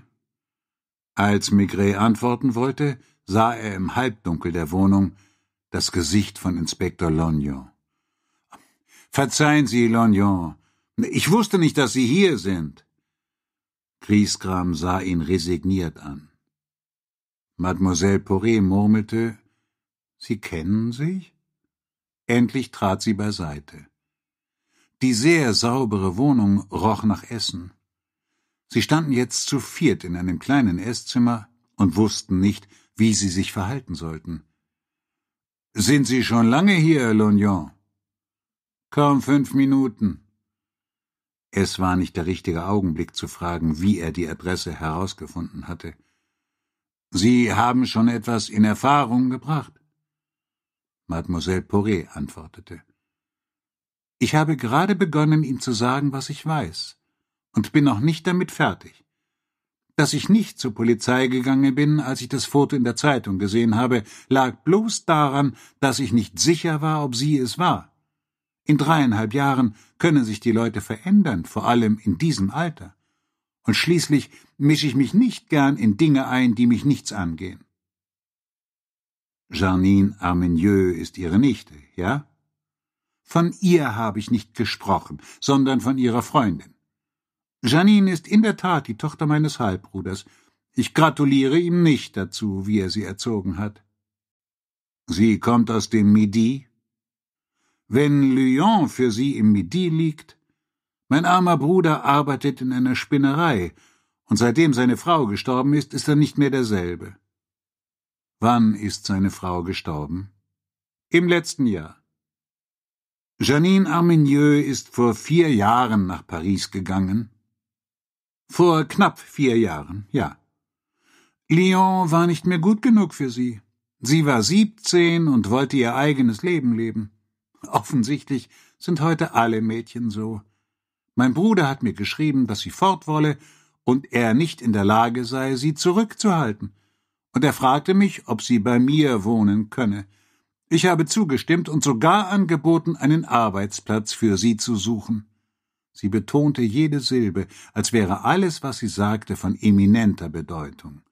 Ihr Blick wanderte von einem zum anderen, dann fragte sie plötzlich Wie kann es sein, wenn Sie alle von der Polizei sind, dass Sie getrennt voneinander gekommen sind? Was darauf antworten? Lognon senkte den Kopf.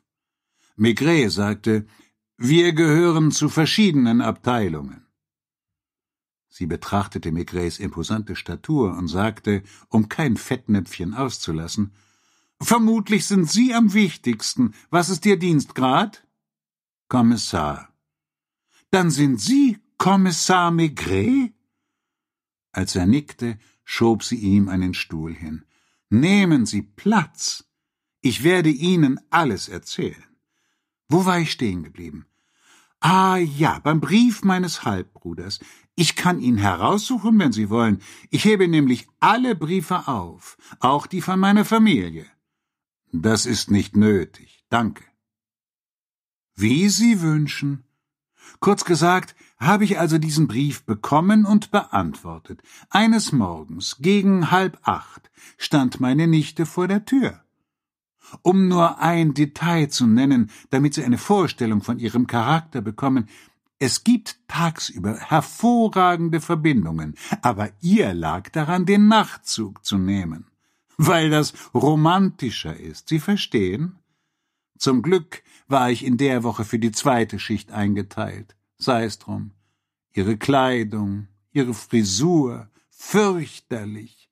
Ich habe ihr deutlich gesagt, dass die Leute mit dem Finger auf sie zeigen werden, wenn sie hier so rumläuft. Die Wohnung, die ich schon seit 22 Jahren bewohne, ist weder groß noch luxuriös, aber immerhin habe ich zwei Schlafzimmer. Eines habe ich Janine zur Verfügung gestellt. Eine Woche lang habe ich ihr Paris gezeigt. Was hatte sie vor? Das fragen Sie mich? Einen reichen Mann finden, das wollte sie. Den Zeitungen nach hat sie ihr Ziel ja erreicht. Nur dass ich das nicht gern erleben würde, was sie erlebt hat. Hat sie eine Stelle gefunden? Als Verkäuferin, in einem Laden auf dem Boulevard, in einem Lederwarengeschäft, nicht weit von der Place de l'Opéra. Ist sie da lange geblieben? Sie legte Wert darauf, die Geschichte auf ihre Art zu erzählen und gab ihm das zu verstehen. Wenn Sie dauernd dazwischenfunken, verliere ich noch den Faden. Ich sage Ihnen schon alles, keine Angst. Wir haben hier also zusammengelebt. Um genauer zu sein, ich stellte mir vor, dass wir hier zusammenlebten. Alle zwei Wochen habe ich morgens frei und in der Woche darauf ab drei Uhr nachmittags. Monate vergingen. Es war Winter, ein sehr kalter. Ich kaufte weiter hier im Viertel ein, wie immer. Und wegen der Lebensmittel kamen mir allmählich Zweifel, vor allem wegen der Butter, die ungewöhnlich schnell verschwand. Das Brot auch. Manchmal habe ich in der Speisekammer Fleisch und Kuchenreste nicht wiedergefunden, die aber da sein mussten. Hast du das Kotelett gegessen? Ja, Tante, ich hatte Hunger letzte Nacht. Kurzum, ich habe ein bisschen gebraucht, um zu verstehen, was da los war. Wissen Sie, wie es wirklich war? Die ganze Zeit war eine dritte Person in meiner Wohnung, ohne mein Wissen. Kein Mann, wohlgemerkt, ein junges Ding. Die, deren Foto man in der Zeitung abgedruckt hat und die man tot auf der Place Ventimille gefunden hat. Was unter uns gesagt beweist, dass ich mir zu Recht Sorgen gemacht habe. Menschen wie Ihnen und mir passiert sowas schließlich nicht. Sie blieb aufrecht stehen, mit dem Rücken zum Fenster, die Hände vor dem flachen Bauch gefaltet. Und ein Wort jagte das nächste, ein Satz den nächsten, wie ein Wasserfall. Ich bin gleich fertig, keine Sorge. Ich will Ihnen nicht die Zeit stehen. Sie sind ja vermutlich ein vielbeschäftigter Mann. Sie wandte sich ausschließlich Maigret zu. Longyon spielte für sie nur noch eine Statistenrolle. Als ich eines Morgens den Haushalt machte, fiel eine Garnrolle runter und rollte unter Janins Bett. Ich bückte mich, um sie aufzuheben, und dann hab ich vielleicht einen Schrei ausgestoßen, das kann ich Ihnen sagen. Möcht nicht wissen, was Sie an meiner Stelle getan hätten. Da lag jemand unter dem Bett und sah mich mit Katzenaugen an. Zum Glück war es eine Frau. Das hat mir weniger Angst gemacht. Ich habe für alle Fälle den Schürhaken geholt und gesagt, raus da! Sie war nicht mal so alt wie Janine, kaum älter als sechzehn. Aber wenn Sie glauben, sie hätte geweint oder mich um Entschuldigung gebeten, dann irren Sie sich. Sie starrte mich die ganze Zeit an, als ob ich das Ungeheuer wäre und nicht Sie. Wer hat Sie hier reingelassen? Ich bin eine Freundin von Janine. Ist das ein Grund, sich unter dem Bett zu verstecken? Was machen Sie da eigentlich? Ich warte, bis Sie aus dem Haus gehen. Um was zu tun? Um selbst aus dem Haus zu gehen. Können Sie sich das vorstellen, Herr Kommissar? Das ging schon Wochen so, Monate. Sie war zur selben Zeit nach Paris gekommen wie meine Nichte. Die beiden haben sich im Zug kennengelernt. Sie fuhren dritte Klasse, und da sie nicht schlafen konnten, haben sie die Nacht damit zugebracht, sich ihre kleinen Geschichten zu erzählen. Das Mädchen, das sich Louise nannte, hatte gerade genug Geld für zwei oder drei Wochen. Sie hat in irgendeinem Büro eine Stelle gefunden, wo sie Briefmarken aufkleben musste, aber der Chef hat ihr nachgestellt und da hat sie ihm eine Ohrfeige verpasst. Das zumindest hat sie mir gesagt, aber vielleicht stimmt es ja gar nicht. Als sie kein Geld mehr hatte und man sie in der Pension, wo sie schlief, vor die Tür gesetzt hat, ist sie zu Janine gekommen, und die hat ihr angeboten, ein paar Nächte hier zu schlafen, bis sie eine neue Stelle gefunden hätte. Janine hat nicht gewagt, mit mir darüber zu sprechen. Sie hat ihre Freundin während meiner Abwesenheit in die Wohnung gebracht. Und bis ich eingeschlafen war, versteckte sich Louise unterm Bett meiner Nichte. Wenn ich die zweite Schicht hatte, musste sie bis halb drei unterm Bett bleiben, da ich dann erst um drei zu arbeiten beginne. Maigret konnte sich ein Lächeln kaum verkneifen, aber die Tante ließ ihn nicht aus den Augen und schien für Ironie nicht empfänglich. Kurzum, wiederholte sie, schon wieder dieses Wort. Maigret sah auf die Uhr. Wenn ich Sie langweile? Keinesfalls. Haben Sie einen Termin? Das hat noch Zeit. Ich bin fertig. Ich will Ihnen bloß noch sagen, dass in diesen Monaten alles, was ich gesagt habe, von einer dritten Person mitgehört worden ist. Von einer Streunerin, die ich nicht mal kannte und die mich auf Schritt und Tritt ausspionierte. Ich habe mein kleines Leben geführt und geglaubt, für mich zu sein, ohne zu ahnen. Haben Sie Ihrer Mutter geschrieben? Woher wissen Sie das? Hat sie es Ihnen gesagt? Lognon machte ein betretenes Gesicht. Er hatte Mademoiselle Poré aufgespürt, wahrscheinlich nach vielen Strapazen. Wie viele Regenschauer hatte er abbekommen, ohne auch nur auf den Gedanken zu kommen, sich irgendwo unterzustellen. Maigret hatte sein Büro nicht verlassen müssen. Die Hinweise kamen zu ihm, ohne dass es ihm Unannehmlichkeiten bereitete. Nun aber stieß er nicht nur fast zur gleichen Zeit auf die Fährte, sondern schien auch noch mehr zu wissen. Ich habe ihrer Mutter nicht sofort geschrieben. Zuerst habe ich die Kleine hinausgeworfen und ihr eingeschärft, sich nie mehr bei mir blicken zu lassen. Vermutlich hätte ich sie anzeigen können. Wegen Hausfriedensbruch. Und wegen der Lebensmittel, die sie in diesen Monaten gestohlen hat. Als meine Nichte nach Hause kam, hab ich ihr den Marsch geblasen. Ich hab ihr gesagt, was ich von ihr und ihren Bekanntschaften halte. Janine taugte kaum mehr als die andere. Das wurde mir klar, als sie mich ein paar Wochen später verlassen hat, um sich ein Hotelzimmer zu nehmen. Mademoiselle hatte das Bedürfnis, frei zu sein, wenn Sie verstehen. Um Männer zu empfangen. Sind Sie da sicher? Warum sonst sollte sie für ein Zimmer zahlen, wo sie doch hier freie Kost und Logis hatte? Ich habe sie nach ihrer Freundin gefragt und den Namen und die Adresse der Mutter bekommen. Eine Woche lang habe ich gezögert und ihr dann einen Brief geschrieben, von dem ich eine Kopie da habe. Ich weiß nicht, ob das was gebracht hat. Jedenfalls kann sie nicht behaupten, ich hätte sie nicht gewarnt. Wollen Sie die Kopie sehen? Nicht nötig. Sind Sie mit Ihrer Nichte in Verbindung geblieben, nachdem sie gegangen war? Sie hat mich nie besucht. Nicht mal Neujahrsgrüße hat sie mir geschickt. Vermutlich sind die jungen Leute einfach so. Das wenige, was ich von ihr weiß, habe ich von meinem Bruder, der auf beiden Augen blind ist. Sie weiß genau, wie sie ihn einwickeln kann. Von Zeit zu Zeit schreibt sie ihm, erzählt ihm, dass sie eine Arbeit hat, bei bester Gesundheit ist und verspricht jedes Mal, dass sie ihn bald besuchen kommt. Sie ist nie nach Lyon zurückgekehrt. Einmal zu Weihnachten. Sie hat keine Geschwister. Sie hatte einen Bruder, der in einem Sanatorium gestorben ist. Kurzum, Maigret begann unwillkürlich mitzuzählen. Sie ist volljährig. Vermutlich hat sie meinem Bruder von ihrer Heirat erzählt. Zu mir hat er nichts gesagt. Aus der Zeitung habe ich davon erfahren. Seltsam, dass ihre Freundin genau in der Hochzeitsnacht getötet wurde. Finden Sie nicht?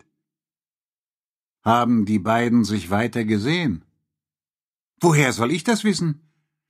Wenn Sie mich aber nach meiner Meinung fragen, Mädchen wie diese Louise, die geben nicht einfach auf. Wer anderen so auf der Tasche liegt und sich unter Betten versteckt, lässt sich durch nichts abschrecken. Und dieser Santoni ist wirklich ein reicher Mann. Sie haben Ihre Nichte also drei Jahre lang nicht gesehen? Etwas mehr als drei Jahre. Einmal, letztes Jahr im Juli, habe ich sie im Zug gesehen, am Bahnhof Saint-Lazare. Ich bin für einen Tag nach Mont-la-Jolie gefahren. Es war sehr heiß. Ich hatte Urlaub und Lust auf eine Landpartie. Auf dem Nebengleis stand ein Luxusschnellzug, der, wie man mir sagte, nach Deauville fuhr. In dem Moment, als wir losfuhren, habe ich Janine in einem Abteil entdeckt. Sie hat mit dem Finger auf mich gezeigt. Es saß wohl jemand neben ihr, und im letzten Augenblick hat sie mir ironisch zugezwinkert. War sie mit einer Frau unterwegs? Das konnte ich nicht sehen. Ich hatte den Eindruck, dass sie gut gekleidet war. Dieser Zug hatte nur erste Klasse Wagen. Janvier hatte sich wie gewöhnlich Notizen gemacht. Nicht viele, denn dieses Gequassel ließ sich in wenigen Worten zusammenfassen. Als ihre Nichte noch hier lebte, wussten Sie da, mit wem sie verkehrte? wenn man sie so hörte, mit niemandem. Es ist schwierig, Vertrauen zu einem Mädchen zu haben, das andere unter ihrem Bett versteckt. Ich danke Ihnen, Mademoiselle. Das ist alles, was Sie wissen wollen? Es sei denn, Sie hätten weitere Hinweise. Nicht, dass ich wüsste, nein. Wenn mir etwas einfällt. Mit Bedauern sah sie die beiden zur Tür gehen. Sie hätte gern noch etwas gesagt. Lorient ließ Maigret und Janvier den Vortritt. Als sie auf dem Gehsteig waren, wusste Maigret nicht recht, was er Lorient sagen sollte. Es tut mir leid, mein Guter. Wenn ich gewusst hätte, dass Sie da sind, das hat keine Bedeutung. Sie haben gute Arbeit geleistet. Wahrscheinlich geht es jetzt schnell voran. Heißt das, dass Sie keine Verwendung mehr für mich haben? Das habe ich nicht gesagt. Luciens Frau beobachtete sie durch die Schaufenster des Kräuterladens. Für den Augenblick habe ich keinen Auftrag für Sie. Vielleicht ist es ein guter Zeitpunkt, dass Sie sich ausruhen und Ihre Bronchitis auskurieren. Es ist nur ein Schnupfen, trotzdem danke. Kann ich Sie irgendwo absetzen? Ich nehme die Metro. Er gehörte eben zu denen, die mit der Metro fuhren, noch dazu, da es eben sechs geworden war, eingezwängt in der Menge. Mit dem Wagen fuhren die anderen. Wie Sie wünschen. Rufen Sie mich an, wenn Sie etwas Neues haben. Ich halte Sie meinerseits auf dem Laufenden. Als Maigret mit Janvier allein im Auto war, seufzte er, der arme Lognon. Wäre ich doch erst nach seinem Abgang aufgetaucht. Fahren Sie zurück zum Quai? Nein, setz mich zu Hause ab. Das war ganz in der Nähe. Es blieb ihnen keine Zeit, die neuesten Erkenntnisse zu besprechen. Beide dachten wohl an das sechzehnjährige Mädchen, das von zu Hause weggelaufen war und sich monatelang unter einem Bett versteckt hatte. Die Witwe Cremieux hatte gesagt, sie sei hochmütig gewesen und habe mit niemandem geredet. Rose, das Dienstmädchen der Larcher, hatte gesehen, wie sie ganz allein Stunden auf dem Square de la Trinité verbracht hatte. Ganz allein war sie auch zweimal in die Boutique von Mademoiselle Irene gegangen. Ganz allein war sie ins Romeo gegangen und ganz allein schließlich wieder herausgekommen das Angebot eines Taxifahrers ablehnend, der sie später im Regen die Place Saint-Augustin hatte überqueren und wieder später durch den Faubourg Saint-Honoré hatte gehen sehen. Danach nichts mehr, bis auf eine Leiche, die auf dem nassen Pflaster der Place Ventimille lag. Sie hatte weder das Samtcape noch die silberne Handtasche bei sich, und auch ein Stöckelschuh fehlte. Bis morgen, Chef, bis morgen, mein Guter. Keine Anweisungen? Janine Armenieux, die jetzige Madame Santoni, konnte man nicht vernehmen, sie war auf Hochzeitsreise in Florenz. Ich erwarte heute Abend einen Anruf aus Nizza. Es gab noch viele Lücken zu füllen. Und irgendwo gab es jemanden, der das Mädchen getötet und es dann zur Place Ventimille gebracht hatte. Kapitel 6, wo von einem merkwürdigen Vater die Rede ist und von Maigrets Skrupeln. Beim Abendessen erzählte Madame Maigret von der Tochter ihrer Etagennachbarin, die an diesem Tag zum ersten Mal zum Zahnarzt gegangen war und gesagt hatte, ja, was hatte sie nur gesagt? Maigret merkte nicht, dass er nur mit halbem Ohr zuhörte und dabei seine Frau ansah, deren Stimme wie eine angenehme Melodie dahinplätscherte. Plötzlich hielt sie inne und sagte Du lachst ja gar nicht. Du hast recht, das ist sehr lustig. Er war abwesend gewesen. Das passierte ihm manchmal. In diesen Momenten sah er die Menschen mit großen, etwas starren Augen an, und jene, die ihn nicht gut kannten, wussten nicht, dass sie nur eine Art Wand oder Hintergrund für ihn waren. Madame Maigret insistierte nicht und spülte das Geschirr ab, während er sich in seinem Sessel niederließ und seine Zeitung aufschlug. Als der Abwasch erledigt war, hörte man in der Wohnung nur mehr das Rascheln von Papier, wenn Maigret gerade eine Seite umschlug, und zweimal prasselte draußen Regen nieder. Gegen zehn Uhr, als sie sah, wie er bedächtig die Zeitung zusammenfaltete, hoffte sie schon, dass sie jetzt zu Bett gingen, doch ihr Mann griff sich ein Magazin vom Stapel und begann wieder zu lesen. Also fuhr sie mit ihrer Näharbeit fort und ließ von Zeit zu Zeit einen Satz fallen, um das Schweigen zu füllen. Es war gleichgültig, ob er antwortete oder nicht, oder lediglich kurz brummte. So war es noch gemütlicher. In der Wohnung über ihnen hatte man das Radio ausgemacht und war zu Bett gegangen. Wartest du auf etwas? Vielleicht kommt noch ein Anruf. Ferret hatte ihm versprochen, Louises Mutter erneut zu befragen, sobald sie aus Monte Carlo zurück war. Möglicherweise war Ferret durch eine andere Arbeit aufgehalten worden. Am Vorabend des Blumenkorsos dürften sie da unten viel zu tun haben. Später merkte Madame Maigret, dass ihr Mann vergaß, umzublättern. Seine Augen waren noch offen. Sie wartete lange, bis sie vorschlug, schlafen zu gehen. Es war nach elf. Maigret widersprach nicht. Er nahm das Telefon mit, das er im Schlafzimmer einstöpselte und auf seinen Nachttisch stellte. Sie zogen sich aus, gingen nacheinander ins Badezimmer und verrichteten ihre kleinen täglichen Rituale. Als sie im Bett lagen, machte Maigret das Licht aus und drehte sich zu seiner Frau, um sie zu umarmen. Gute Nacht. Gute Nacht. Versuch zu schlafen. Er dachte immer noch an Louise Labourne und all die anderen, die allmählich aus der Anonymität aufgetaucht waren, um Louise das Geleit zu geben. Der einzige Unterschied zu vorhin lag darin, dass diese anderen jetzt unscharf und grotesk wurden, miteinander verschmolzen und schließlich andere Rollen spielten. Noch später kam es Maigret so vor, als würde er Schach spielen, doch er war so müde und die Partie dauerte schon so lange, dass er die Figuren nicht mehr auseinanderhalten konnte.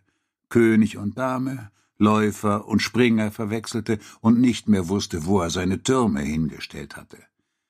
Das war beängstigend, denn sein Chef beobachtete ihn. Die Partie war entscheidend für den Quai des Orfèvres.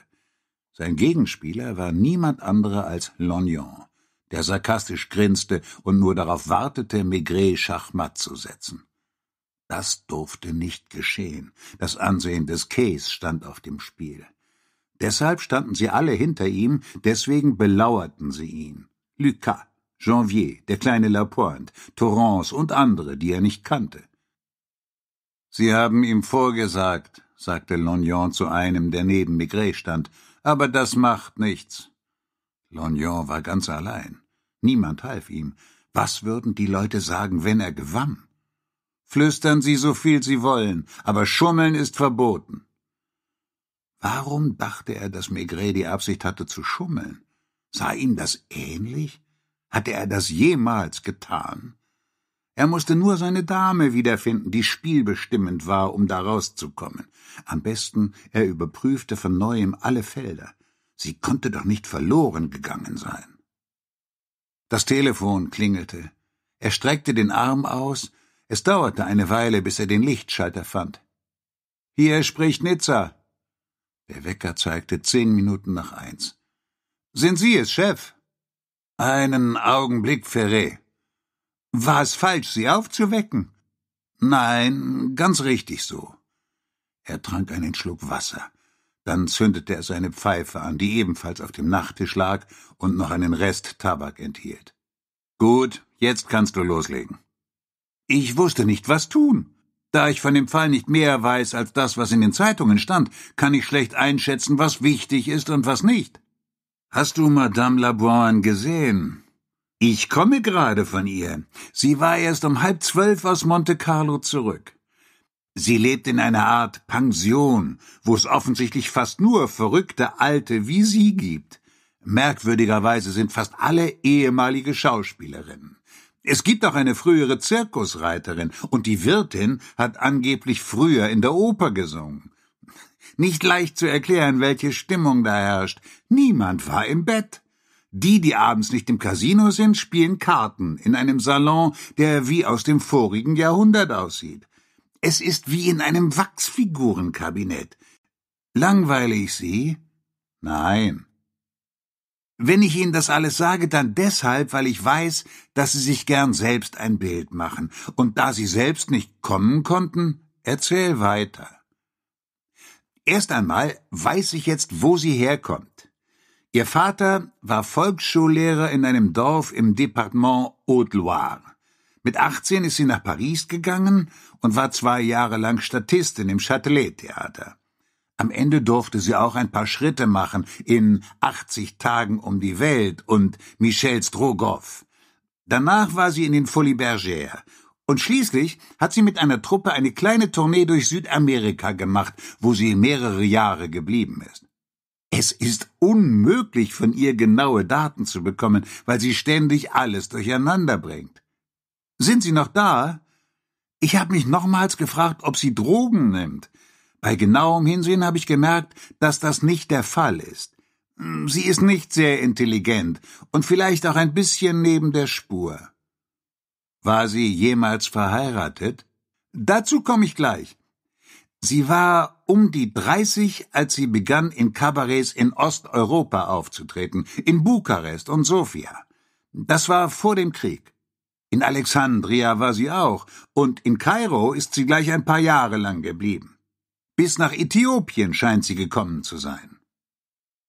Ich musste ihr diese Information einzeln aus der Nase ziehen. Sie war in einen Sessel versunken, tätschelte ihre geschwollenen Beine und dann bat sie mich um Erlaubnis, ihr Korsett abzulegen.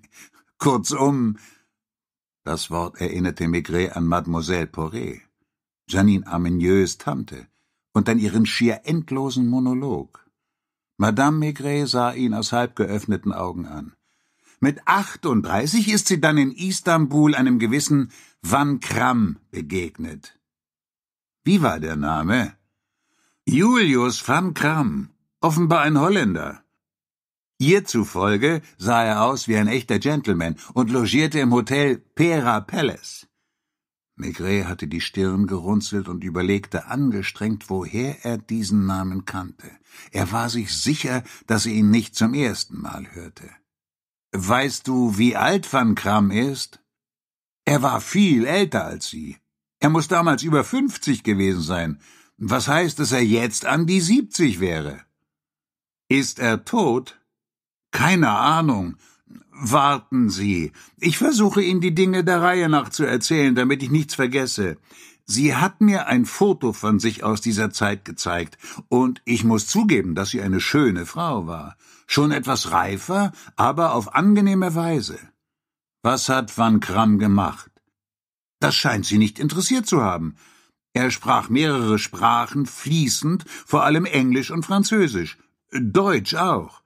Er war oft zu Gast auf Botschaftsempfängen. Er hat sich wohl in sie verliebt und sie haben eine Zeit lang zusammen gewohnt. Im Pera Palace? Nein, er hatte für sie eine Wohnung nicht weit vom Hotel angemietet. Nehmen Sie es mir nicht übel, wenn ich nicht präziser bin. Wenn Sie wüssten, wie schwierig es war, ihr diese Informationen abzuluxen. Alle Augenblicke lang unterbrach sie sich, um mir von irgendeiner Frau zu erzählen, die sie in diesem oder jenem Kabarett kennengelernt habe, bis sie dann zu jammern anfing und sagte, ich weiß, dass Sie mich für eine schlechte Mutter halten. Schließlich hat sie mir ein Gläschen Likör angeboten. Wenn sie schon keine Drogen nimmt, dann hängt sie zumindest an der Flasche. Niemals vor dem Casino, hat sie gesagt, und auch nicht beim Spiel, aber ein Gläschen danach zur Entspannung. Sie hat mir erklärt, dass das Spielen die anstrengendste aller Tätigkeiten sei. Na, zurück zu Van Kram. Nach ein paar Monaten merkte sie, dass sie schwanger war. Zum allerersten Mal. Sie konnte es nicht fassen und hat mit ihrem Geliebten gesprochen, in der Annahme, er würde ihr raten, das Kind loszuwerden. War sie dazu bereit? Sie, sie weiß es nicht. Sie spricht davon wie von einem schlimmen Streich, den ihr das Schicksal gespielt hat. Hunderttausendmal vorher hätte ich schwanger sein müssen, und dann passiert mir das mit achtunddreißig Jahren. Van Kram hat nicht aufgemuckt. Ein paar Wochen später hat er ihr einen Heiratsantrag gemacht. Wo haben Sie geheiratet? In Istanbul. Und hier wird es kompliziert. Ich glaube, sie war wirklich in ihn verliebt. Er hat sie in irgendein Büro gebracht und sie hat irgendwelche Papiere unterschrieben und einen Eid geschworen. Als er ihr sagte, jetzt seien sie verheiratet, glaubte sie ihm das. Einige Tage später schlug er ihr vor, nach Frankreich zu ziehen. Zusammen? Ja, sie sind mit einem italienischen Schiff nach Marseille gefahren. Hatte sie einen Pass auf den Namen Van Kram? Nein. Ich habe sie danach gefragt. Angeblich war keine Zeit, den Pass zu ändern. In Marseille haben sie zwei Wochen gelebt, von da sind sie nach Nizza. Dort wurde das Kind geboren. Sie haben im Hotel gelebt. Sie haben eine komfortable Wohnung gemietet, nicht weit von der Promenade des Anglais. Zwei Monate später ist Van Kram losgegangen, um Zigaretten zu holen, und nicht mehr zurückgekommen. Sie hat ihn nie wiedergesehen. Sie hat gar nichts mehr von ihm gehört. Er hat ihr mehrmals geschrieben. Von überall, aus London, Kopenhagen, Hamburg, New York, und jedes Mal hat er ihr Geld geschickt. Eine große Summe? Manchmal, dann wieder fast nichts. Er bat sie, von sich hören zu lassen, besonders was die Tochter angeht. Hat sie das gemacht? Ja. Postlagern, vermute ich. Ja. Seit dieser Zeit spielt sie. Ihre Tochter wurde größer, ging zur Schule. Sie hat ihren Vater nie gesehen? Sie war zwei Monate alt, als er fortging, und danach ist er wohl nie mehr nach Frankreich zurückgekehrt. Die letzte Postanweisung vor einem Jahr war ziemlich hoch, aber sie hat in einer Nacht alles verspielt. Hat Van Kram sie nie gefragt, wo seine Tochter ist? Weiß er, dass sie nach Paris gegangen ist? Ja, aber ihre Mutter kannte die Adresse des Mädchens nicht. Das ist alles, mein Alter. Fast. Ich hatte den Eindruck, dass sie nicht ganz ehrlich war, als sie behauptete, nichts von den Einnahmequellen ihres Mannes zu wissen. Ach, überhaupt das Wichtigste hätte ich fast vergessen. Als sie vor ein paar Jahren ihren Personalausweis verlängern lassen musste, wollte sie ihn auf den Namen Van Kram umschreiben lassen. Man bat sie um die Heiratsurkunde. Sie zeigte das einzige Stück Papier, das sie besaß, und das war auf Türkisch. Man hat es sorgfältig geprüft, ans türkische Konsulat geschickt und ihr erklärt, das Papier sei wertlos und sie nicht im geringsten verheiratet. Ist ihr das nahe gegangen? Nein. Nichts geht ihr nahe. Es sei denn, sie sieht ein Dutzend Mal rot kommen, wenn sie gerade ihren Einsatz auf Schwarz verdoppelt hat. Wenn man sie so reden hört, denkt man, sie sei nicht ganz von dieser Welt. Na, jedenfalls nicht von unserer. Als ich von ihrer Tochter gesprochen habe, zeigte sie keinerlei Gefühle. Sie hat nur gesagt, ich hoffe für sie, dass sie nicht zu sehr leiden musste. Gehst du jetzt schlafen? Leider nein. Ich muss schnell nach Juin-le-Pin, wo Sie gerade einen Falschspieler im Casino geschnappt haben. Brauchen Sie mich noch, Chef? Im Moment nicht. Eins noch. Hat sie dir ein Foto ihres Ex-Mannes gezeigt? Ich hab sie danach gefragt. Offenbar besitzt sie nur eins, das sie gegen seinen Willen gemacht hat. Er hasste es nämlich, fotografiert zu werden. Ihre Tochter muss es mit nach Paris genommen haben, denn es ist verschwunden. Danke. Kurz danach legte Migré auf. Anstatt weiter zu schlafen, stand er auf um sich eine neue Pfeife zu stopfen.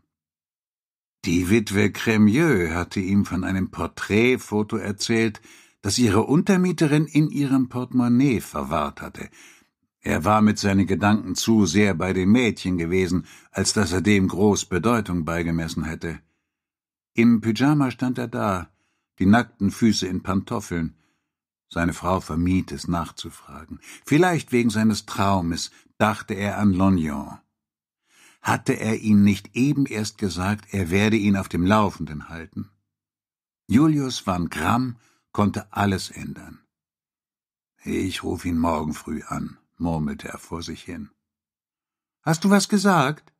Nichts. Ich spreche mit mir selbst. Er suchte die Nummer von Griesgrams Wohnung an der Place Constantin Piqueur heraus. Man konnte ihm wirklich nichts vorwerfen. Hallo, könnte ich bitte Ihren Mann sprechen? Äh, entschuldigen Sie, dass ich Sie geweckt habe, aber ich habe nicht geschlafen. Ich schlafe nachts nie mehr als ein oder zwei Stunden. So war Madame Lognon, bissig und wehleidig. Kommissar Maigret am Apparat. Ich habe Sie an der Stimme erkannt. Ich würde gern kurz mit Ihrem Mann sprechen. Ich dachte, er wäre bei Ihnen. Auf jeden Fall hat er mir gesagt, er würde zur Zeit für Sie arbeiten. Wann ist er aufgebrochen? Gleich nach dem Abendessen. Er hat das Essen hinuntergeschlungen und dann gesagt, dass er wahrscheinlich die ganze Nacht wegbleibt. Er hat Ihnen nicht gesagt, wohin er geht? Das sagt er mir nie. Ich danke Ihnen. Stimmt es, dass er für Sie arbeitet? Doch. Wie kann es dann sein, dass Sie nicht wissen, ich bin nicht zwangsläufig über jeden seiner Schritte informiert? Sie war nicht überzeugt, glaubte, dass er log, um ihren Mann zu decken, und wollte wohl weitere Fragen stellen, aber da hatte er sich schon verabschiedet. Sofort rief er im zweiten Revier an, wo sich ein gewisser Ledon meldete. Lognon ist nicht da? Er hat die ganze Nacht noch keinen Fuß ins Büro gesetzt. Ich danke dir. Wenn er kommt, sag ihm, er soll mich zu Hause anrufen. Verstanden, Herr Kommissar. Nun kam ihm ein bösartiger Gedanke, fast wie in seinem Traum. Es beunruhigte ihn mit einem Mal, dass Lognon unterwegs war und man nicht wusste, was er gerade tat. In den Nachtclubs gab es nichts mehr zu tun, die Taxifahrer waren schon befragt worden, und auch im Romeo war nichts mehr zu holen. Trotzdem war Lognon hinter etwas her. Gab es etwa eine heiße Spur? Maigret war auf seine Kollegen nicht neidisch und noch weniger auf seine Inspektoren. Wenn ein Fall gelöst wurde, schrieb er fast immer ihnen das Verdienst zu. Selten gab er Presseerklärungen ab. Noch am Nachmittag hatte er Lucas damit beauftragt, die am Quai akkreditierten Journalisten zu empfangen. Im aktuellen Fall jedoch sah es anders aus. Denn es stimmte, dass Lognon wie bei der Schachpartie in seinem Traum allein war, während Maigret die ganze Organisation der Kriminalpolizei zur Verfügung stand, die Unterstützung der mobilen Brigaden und des ganzen Polizeiapparats nicht eingerechnet. Er wurde rot bei diesem Gedanken und war drauf und dran, sich anzuziehen und zum Quai des Orfèvres zu fahren. Dort wartete Arbeit auf ihn. Nun, da er wusste, wer auf dem Foto war, das Louise ihrer Mutter geklaut und sorgfältig aufbewahrt hatte. Seine Frau sah, wie er ins Esszimmer ging, die Anrichte öffnete und sich ein Glas Pflaumenschnaps einschenkte. Legst du dich nicht wieder hin? Eigentlich musste er gehen, auch sein Instinkt trieb ihn dazu. Wenn er es nicht tat, dann um Lognon seine Chance zu geben, um sich selbst für seinen üblen Gedanken zu bestrafen.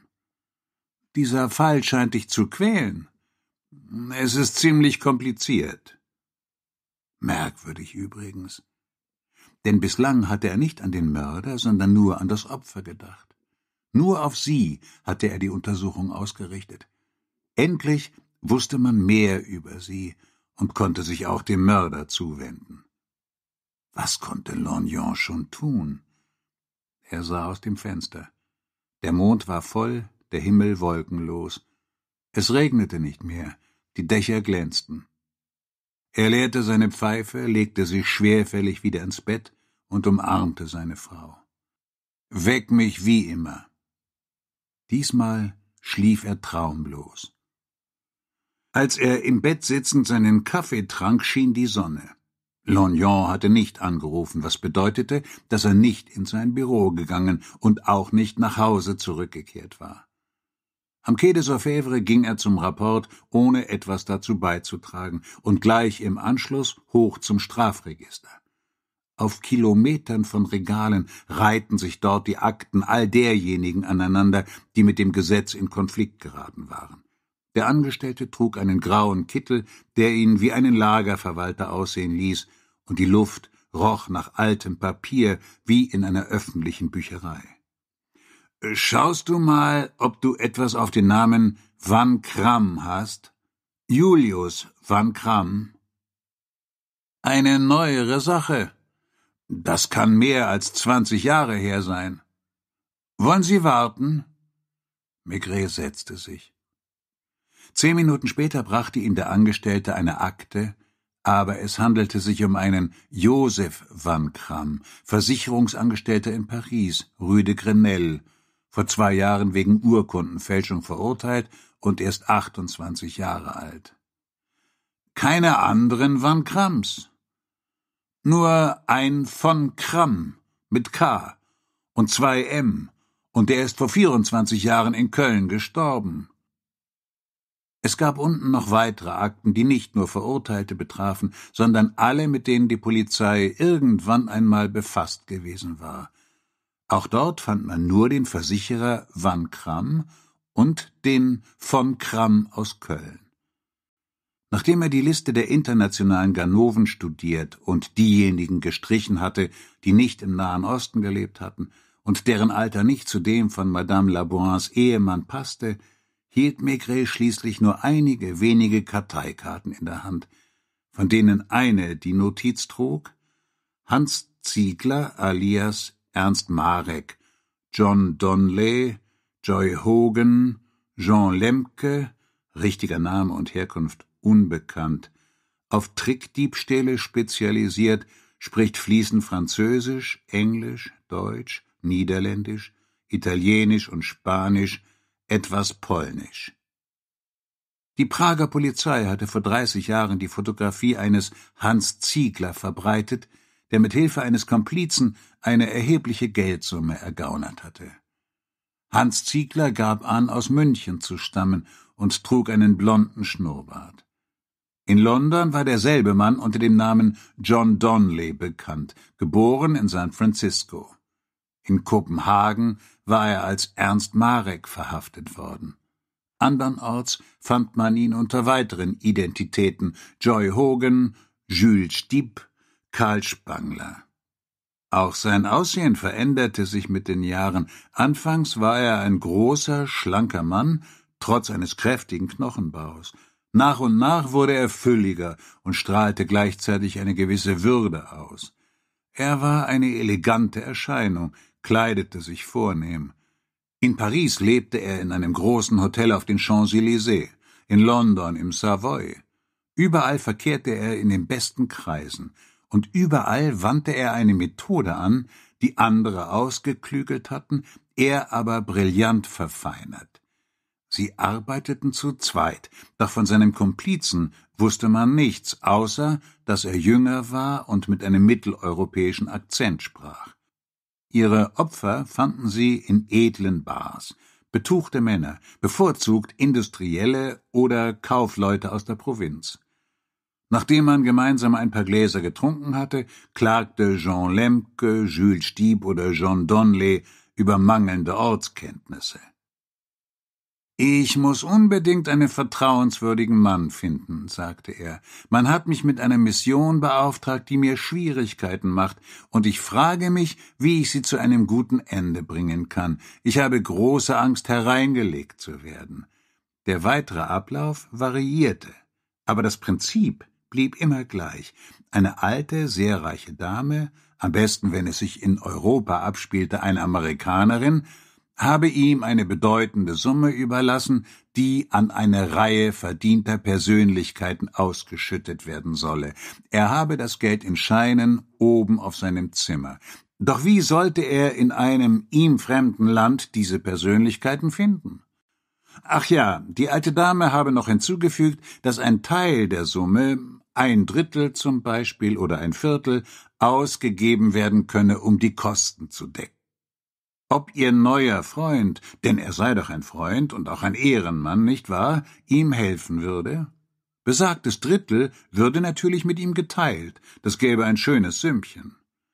Er sei leider gezwungen, Vorsicht walten zu lassen, gewisse Garantien zu verlangen. Wenn sein neuer Freund also eine gewisse Summe hinterlegen könnte, um seinen guten Willen zu zeigen, äh, warten Sie einen Augenblick, oder besser, kommen Sie doch mit in mein Zimmer. Dort waren die Banknoten, sie füllten in beeindruckenden Bündeln einen Aktenkoffer. Wir nehmen Sie mit, gehen bei Ihrer Bank vorbei, wo Sie das Geld abheben. Die Bank war immer eine andere. Wir deponieren alles auf meinem Konto und ich gebe Ihnen den Aktenkoffer, dessen Inhalt Sie nur noch verteilen müssen, nachdem Sie sich Ihren Anteil genommen haben. Im Taxi lag der Koffer zwischen ihnen. Das Opfer hob sein Geld ab. Vor seiner eigenen Bank, in der Regel eine Großbank in der Innenstadt, gab Lemke alias Stieb alias Ziegler den Koffer in die Obhut seines Kompagnons. Bin gleich wieder da. Er eilte mit dem Geld seines Opfers davon, das ihn nie wieder sah, aber rasch bemerkte, dass die Geldbündel, abgesehen von denen, die oben auflagen, bloßes Zeitungspapier waren. Wenn er verhaftet wurde, hatte er meistens nichts Kompromittierendes bei sich. Das Diebesgut war verschwunden, mitgenommen von einem Komplizen, dem er es in der Menschenmenge in der Bank übergeben hatte. Eine Akte nur, übermittelt von der dänischen Polizei, enthielt einen Zusatz. Ungesicherten Informationen zufolge soll es sich in Wirklichkeit um einen Holländer namens Julius van Kram handeln, geboren in Groningen. Als Sohn aus gutem Haus hat Van Kram ungefähr im Alter von 22 Jahren in einer Amsterdamer Bank gearbeitet, der sein Vater vorstand.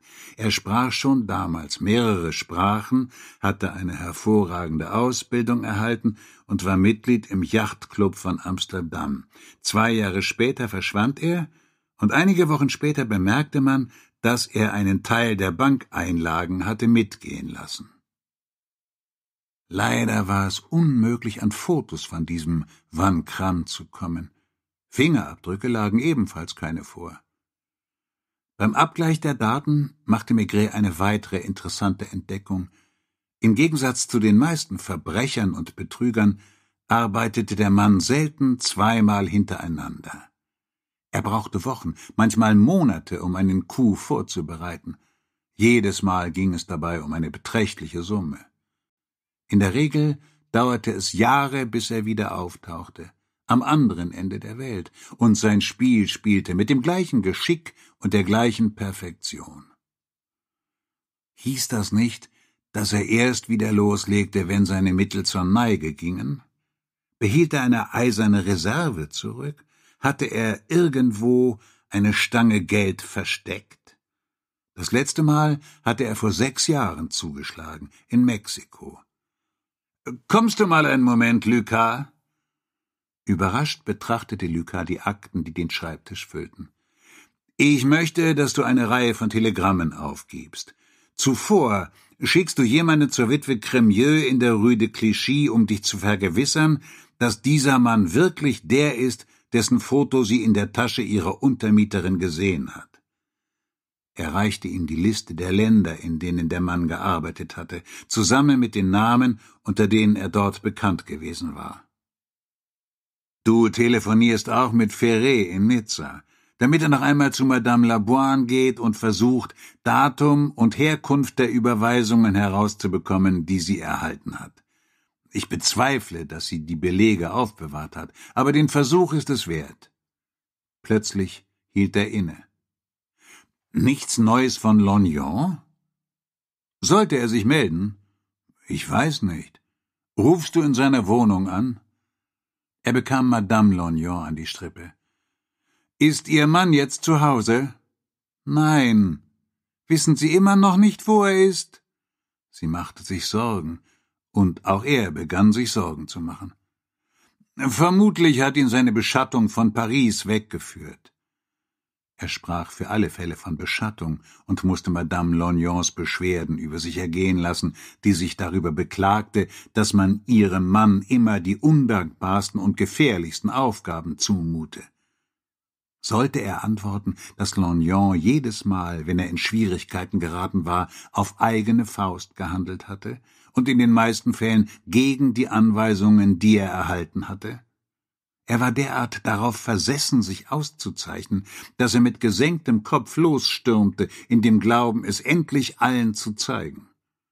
Man wusste um seinen Wert, nur er kannte ihn nicht. Maigret rief im zweiten Revier an, wo man nichts Neues von Griesgram wusste. Hat ihn niemand in der Nähe gesehen? Nicht, dass ich wüsste.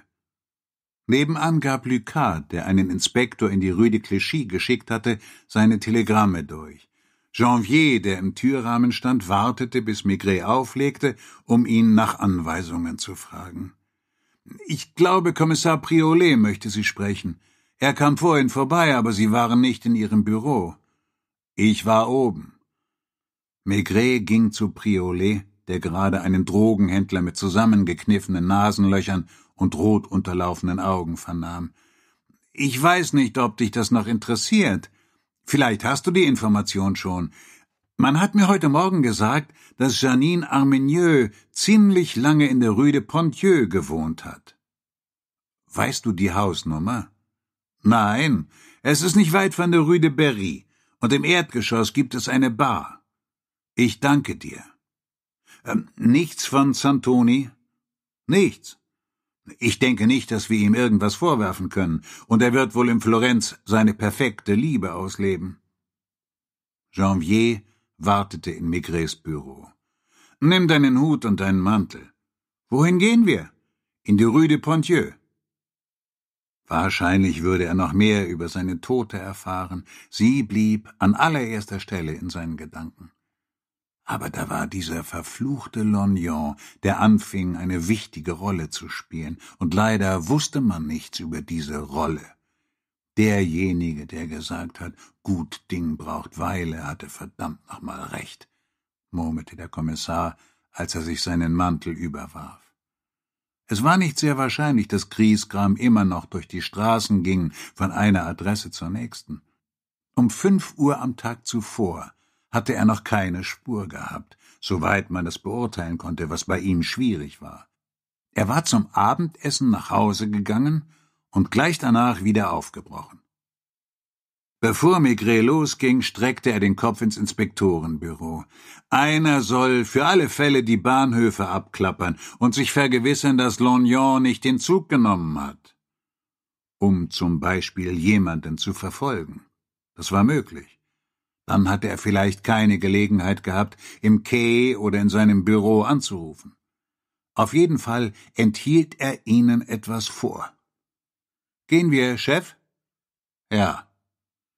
Maigret war schlecht gelaunt und ließ den Wagen an der Place Dauphine halten, um sich ein Glas zu genehmigen.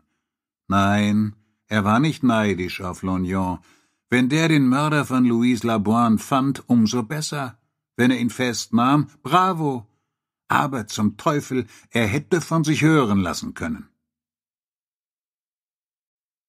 Kapitel 7 Wo ein Inspektor vorprescht und ein Mädchen dem Schicksal begegnet. Während Janvier das Haus betrat, um Erkundigungen einzuholen, blieb Maigret auf dem Gehsteig stehen, die Hände in den Taschen und sagte sich, dass die Rue de Pontieu ein wenig wie die Hinterbühne des Champs-Élysées war oder wie der Dienstboteneingang. So gehört zu jeder Pariser Schlagader eine schmale, belebte Straße, in der es kleine Bars, Lebensmittelläden, Restaurants für die Taxifahrer, billige Hotels Friseure und Kleingewerbe gab. Er wollte gerade eine Weinhandlung betreten, als Janvier wieder auftauchte. Hier ist es, Chef. Schon im ersten Haus hatten sie einen Treffer gelandet. Die Pförtnerloge war nicht heller als die meisten Logen in Paris, doch die Concierge war jung und appetitlich. Ein Baby tollte in einem Laufstall aus lackiertem Holz. Sind Sie auch von der Polizei? Warum auch? weil gestern Abend schon jemand von der Polizei da war. Ich wollte gerade schlafen gehen. Ein kleiner Mann, der so traurig aussah, dass ich erst dachte, die Frau sei ihm gestorben, aber er war bloß erkältet. Es war schwierig, bei dieser Beschreibung von Griesgram nicht zu grinsen. Um wie viel Uhr war das? Gegen zehn. Ich war im Begriff, mich hinter dem Paravent auszuziehen und musste ihn warten lassen. Kommen Sie wegen derselben Sache? Ich vermute, er hat sie wegen Mademoiselle Armenieux befragt. Und wegen ihrer Freundin, die, die man umgebracht hat. Haben Sie sie auf dem Foto in der Zeitung wiedererkannt? Ich glaube ja. War sie Ihre Mieterin? Nehmen Sie doch Platz, Monsieur. Ich muss dem Kleinen nur rasch etwas zu essen machen. Äh, wenn Ihnen zu warm ist, legen Sie einfach Ihren Mantel ab. Jetzt fragte sie, Sie gehören nicht zur selben Abteilung wie der von gestern? Ich weiß nicht, warum ich Sie das frage, geht mich ja nichts an. Wie ich Ihrem Kollegen schon gesagt habe, war die eigentliche Mieterin, auf deren Namen die Wohnung lief, Mademoiselle Armenieux. Mademoiselle Janine, wie ich sie nannte. Jetzt ist sie verheiratet, stand in den Zeitungen. Wissen Sie das? Maigret nickte. Hat sie lange bei Ihnen gewohnt? Ungefähr zwei Jahre. Als sie ankam, war sie noch blutjung und ziemlich naiv. Sie hat mich oft um Rat gefragt. Hat sie gearbeitet? Damals war sie Schreibkraft in einem Büro, nicht weit von hier. Wo genau, weiß ich nicht. Sie hat die kleine Wohnung in der dritten Etage genommen, die zum Hof hinausgeht, aber hübsch ist. Ihre Freundin hat nicht bei ihr gewohnt? Doch. Aber wie ich Ihnen gesagt habe, war sie es, die die Miete zahlte, und der Mietvertrag lief auf ihren Namen. Sie sprach begierig, was ihr umso leichter fiel, als sie diese Informationen schon am Abend zuvor weitergegeben hatte. Ich weiß schon vorher, was Sie mich fragen werden. Vor ungefähr einem halben Jahr sind Sie weggezogen. Genauer gesagt, Mademoiselle Janine war die erste. Ich dachte, die Wohnung lief auf Ihren Namen. Ja. Es war fast Monatsende, drei oder vier Tage vorher, als sich Mademoiselle Janvier eines Abends auf den Platz setzte, wo Sie jetzt sind, und verkündete, ich habe genug, Madame Marcel. Diesmal beende ich die Sache wirklich. Maigret fragte nach. Welche Sache? Das mit Ihrer Freundin Louise. Sie vertrugen sich nicht mehr? Genau das will ich Ihnen ja erklären. Mademoiselle Louise ist nie auf einem Plausch stehen geblieben, und alles, was ich von ihr weiß, habe ich von ihrer Freundin, also nur aus zweiter Hand. Am Anfang dachte ich, dass sie Schwestern sind oder Cousinen oder Schulfreundinnen. Später hat Mademoiselle Janine mir gesagt, dass sie sich erst zwei oder drei Monate vorher im Zug begegnet waren. Sie mochten sich nicht? Ja und nein, schwer zu sagen. Ich habe viele Mädchen in diesem Alter kommen und gehen sehen. Wir haben zurzeit noch zwei, die im Lido tanzen, und eine, die Maniküre im Claridge macht. Die meisten erzählen mir ihre kleinen Erlebnisse. Nach ein paar Tagen war das auch bei Mademoiselle Janine so, aber die andere, Louise, die hat sich einem nie anvertraut. Lange habe ich gedacht, dass sie hochmütig ist, aber ich glaube, sie war einfach schüchtern. Schauen Sie, wenn diese jungen Dinger nach Paris kommen und sich unter den Millionen von Menschen verloren fühlen, dann blöffen die einen, schneiden auf, reden laut, und die anderen verschließen sich. Mademoiselle Janine gehörte eher zur ersten Sorte. Nichts machte ihr Angst. Sie ging fast jeden Abend aus. Nach ein paar Wochen kam sie um zwei oder drei Uhr morgens nach Haus, da wusste sie schon, wie man sich kleidet. Und nach drei Monaten hörte ich, wie sie nachts mit einem Mann hochging. Das ging mich nichts an. Es war ja ihre eigene Wohnung. Wir sind hier keine Familienpension. Alle haben ein eigenes Zimmer? Ja, selbstverständlich. Louise musste dennoch alles mit anhören und am Morgen warten, bis der Mann weg war, bevor sie ihre Toilette machen oder in die Küche gehen konnte. Gab es deswegen Streit? Ich bin mir nicht sicher. In zwei Jahren passiert viel, und ich habe 22 Mieter im Haus. Ich konnte doch nicht vorhersehen, dass eine von ihnen umgebracht wird. Was macht Ihr Mann? Er ist Oberkellner in einem Restaurant an der Place des Ternes. Es stört Sie doch nicht, wenn ich den Kleinen füttere? Sie setzte ihn auf seinen Stuhl und fing an, ihn Löffelchen für Löffelchen zu füttern, ohne dabei den Faden zu verlieren. Ich habe das alles gestern Ihrem Kollegen erzählt, der sich Notizen gemacht hat. Wenn Sie meine Meinung hören wollen, diese Mademoiselle Janine, die wusste ganz genau, was sie wollte und tat alles dafür. Sie ging nicht mit irgendjemandem aus. Die meisten Männer, die hier zu ihr kamen, hatten ein Auto, das ich am Morgen sah, wenn ich die Mülleimer herausstellte. Sie waren nicht unbedingt jung, aber auch nicht alt. Was ich Ihnen klar machen will, da ging's nicht nur ums Vergnügen. Wenn sie mir Fragen stellte, wusste ich immer, worauf sie hinaus wollte. Wenn sich jemand zum Beispiel mit ihr in einem Restaurant verabredet hat, das sie nicht kannte, wollte sie unbedingt wissen, ob das auch ein schickes Restaurant war, was man anziehen müsse, wenn man dorthin ging und so weiter.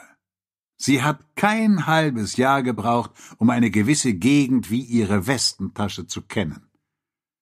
Ihre Freundin hat sie nie begleitet? Nur ins Kino. Wie hat Louise ihre Abende verbracht? Meistens ist sie oben geblieben. Manchmal hat sie eine Runde gedreht, aber nie eine große. Als ob sie Angst hätte. Sie war etwa im gleichen Alter, aber im Vergleich zu der anderen war Louise noch ein kleines Mädchen. Was Mademoiselle Janine manchmal aufbrachte. Einmal hat sie zu mir gesagt, hätte ich im Zug doch bloß geschlafen, statt mit ihr zu plaudern. Dennoch bin ich sicher, dass sie vor allem am Anfang nicht traurig darüber war, mit jemandem sprechen zu können. Vielleicht ist Ihnen aufgefallen, dass die Mädchen, die in Paris ihr Glück suchen, fast immer zu zweit unterwegs sind. Aber mit der Zeit können sie sich immer weniger ausstehen, was bei den beiden umso schneller ging, weil Mademoiselle Louise sich nicht eingewöhnte und nie mehr als ein paar Wochen an einem Arbeitsplatz blieb. Sie besaß kaum Bildung. Anscheinend machte sie Rechtschreibfehler, was es unmöglich machte, dass sie in einem Büro arbeitete. Wenn sie irgendwo als Verkäuferin angestellt war, passierten ihr ständig Missgeschicke. Oder der Chef oder ein Abteilungsleiter versuchten sie ins Bett zu kriegen. Anstatt denen zu sagen, dass sie nicht so eine war, geriet sie außer sich, ohrfeigte sie oder rauschte türenschlagend davon. Einmal gab es Diebstähle in einem der Geschäfte, und man hat sie verdächtigt, obwohl sie sicher unschuldig war. Das alles hat mir natürlich ihre Freundin erzählt. Ich für meinen Teil weiß nur, dass es Zeiten gab, in denen Mademoiselle Louise nichts arbeitete und später als üblich aus dem Haus ging, um Adressen aus den Kleinanzeigen aufzusuchen. Haben Sie auf Ihrem Zimmer gegessen? Fast immer. Außer wenn Mademoiselle Janine mit Freunden außer Haus gegessen hat. Im letzten Jahr haben beide eine Woche zusammen in Deauville verbracht. Genauer gesagt, sie sind zusammen losgefahren, aber die Kleine, ich meine Louise, ist ein paar Tage früher zurückgekommen. Ich weiß nicht, was da passiert ist. Eine Zeit lang haben sie nicht miteinander gesprochen, obwohl sie weiter in derselben Wohnung gelebt haben. Hat Louise Post bekommen? Nie persönliche Briefe. Erst habe ich sogar gedacht, dass sie ein Waisenkind ist. Ihre Freundin hat mir gesagt, dass sie eine halbverrückte Mutter hat, die im Midi lebt und sich nicht um sie kümmert. Von Zeit zu Zeit, wenn Mademoiselle Louise sich auf Anzeigen hin beworben hat, bekam sie Briefe auf Firmenbriefpapier, und ich wusste, was das bedeutete. Und Janine? Alle zwei oder drei Wochen einen Brief aus Lyon. Von ihrem Vater, der da als Witwer lebt. Und dann vor allem Rohrpostbriefe, wo es um Rendezvous ging. Ist es lange her, dass Janine Ihnen gesagt hat, dass sie Ihre Freundin loswerden will? Vor mehr als einem Jahr hat sie davon angefangen vielleicht auch schon vor anderthalb Jahren, immer wenn sie sich gerade gestritten hatten oder Louise wieder mal ihre Arbeitsstelle verloren hatte. Janine sagte dann, wenn ich daran denke, dass ich von meinem Vater weggegangen bin, um frei zu sein, und ich mir jetzt diese Zicke aufgehalst habe. Am nächsten oder übernächsten Tag war sie aber wieder glücklich, sie zu sehen. Davon bin ich überzeugt. Das ist wie in einer Ehe. Sie sind doch bestimmt auch verheiratet? Und vor einem halben Jahr hat Janine Armenieux gekündigt? Ja. Sie hatte sich zuletzt sehr verändert. Sie zog sich besser an, teurere Sachen also, verkehrte in Kreisen, die eine Klasse besser waren als früher. Sie bekam Blumen, feine Pralinen. Da war mir alles klar.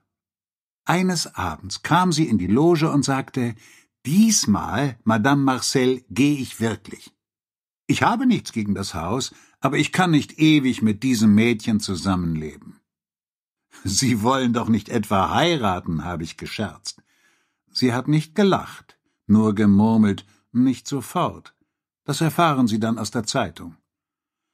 Sie muss Monsieur Santoni bereits gekannt haben. Sie war sich ihrer Sache sicher, und ihr feines Lächeln sprach Bände. Ich habe weiter gescherzt. Laden Sie mich zur Hochzeitsfeier ein? Das kann ich Ihnen nicht versprechen, aber ich werde Ihnen ein schönes Geschenk schicken.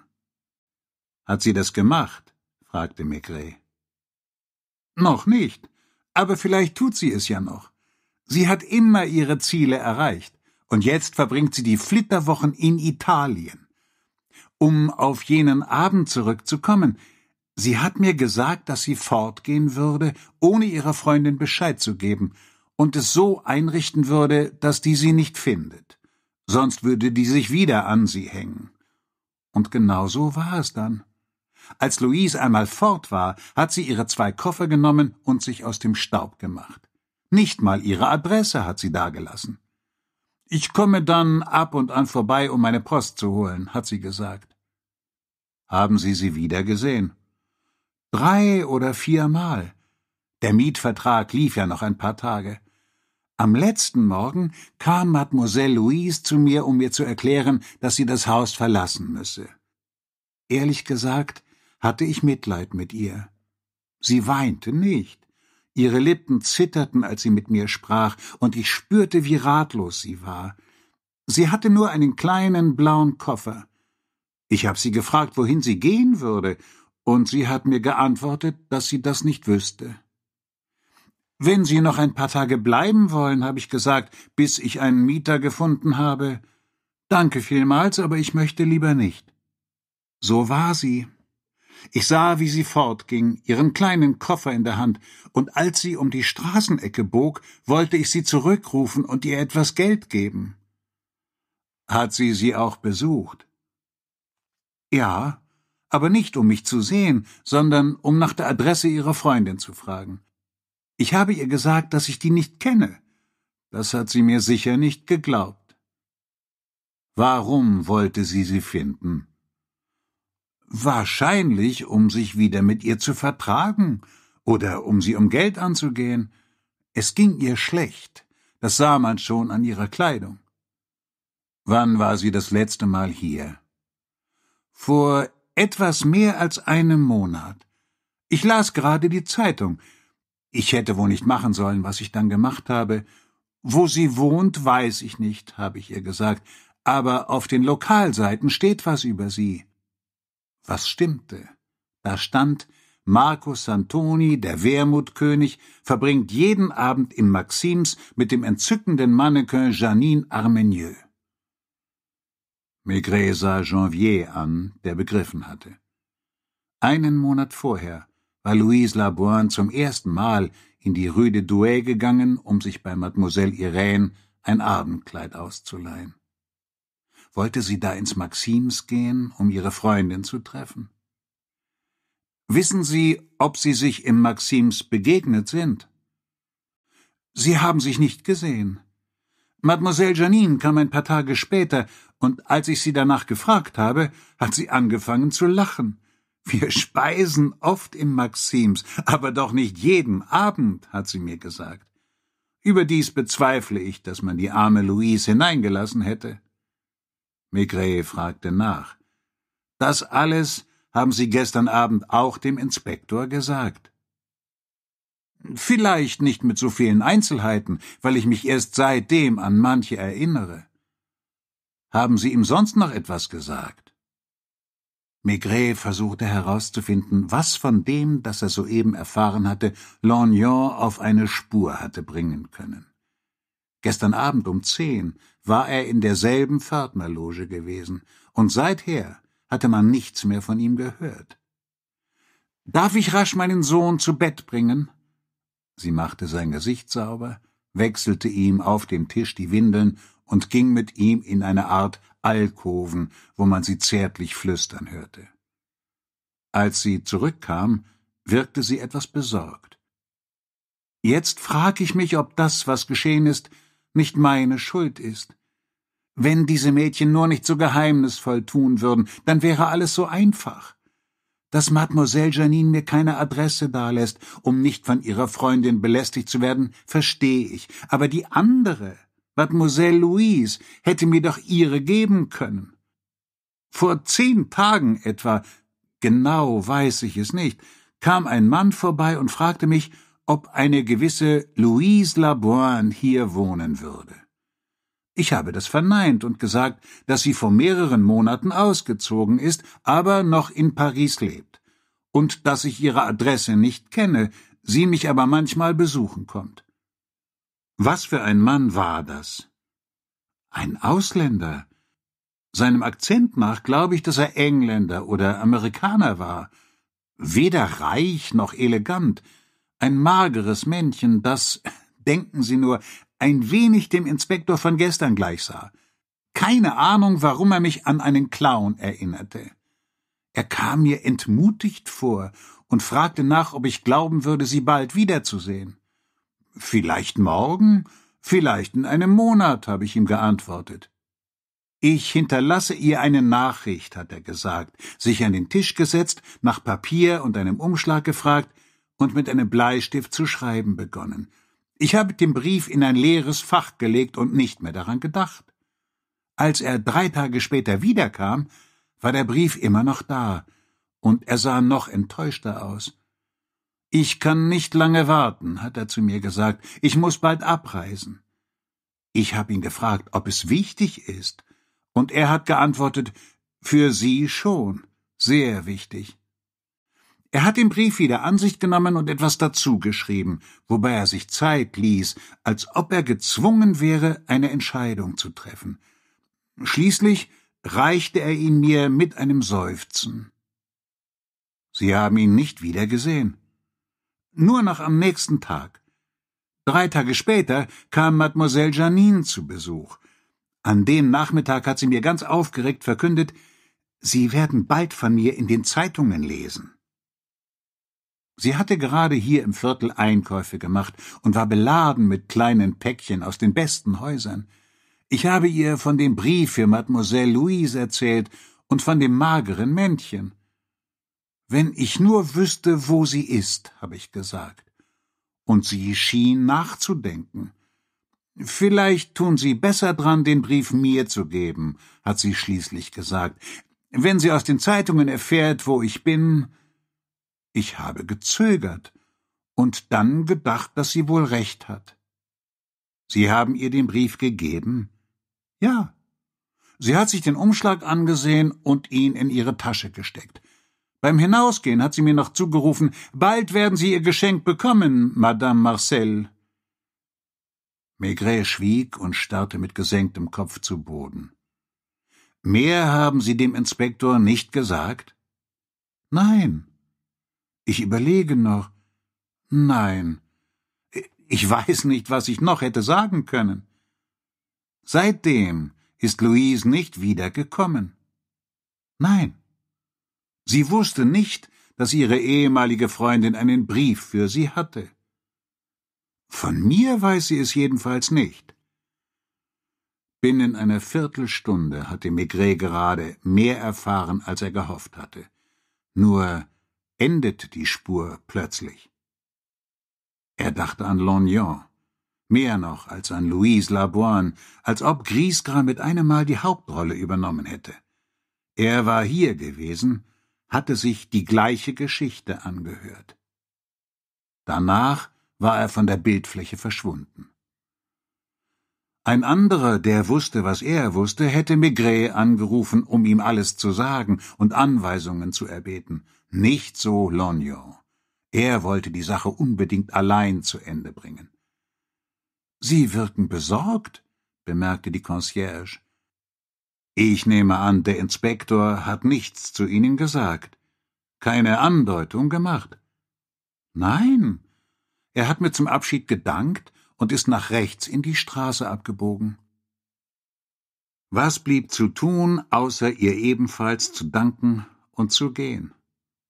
Ohne ihn zu fragen, nahm Maigret Janvier mit in das Bistro, das ihm zuvor aufgefallen war, bestellte zwei Pernod und trank seinen schweigend aus.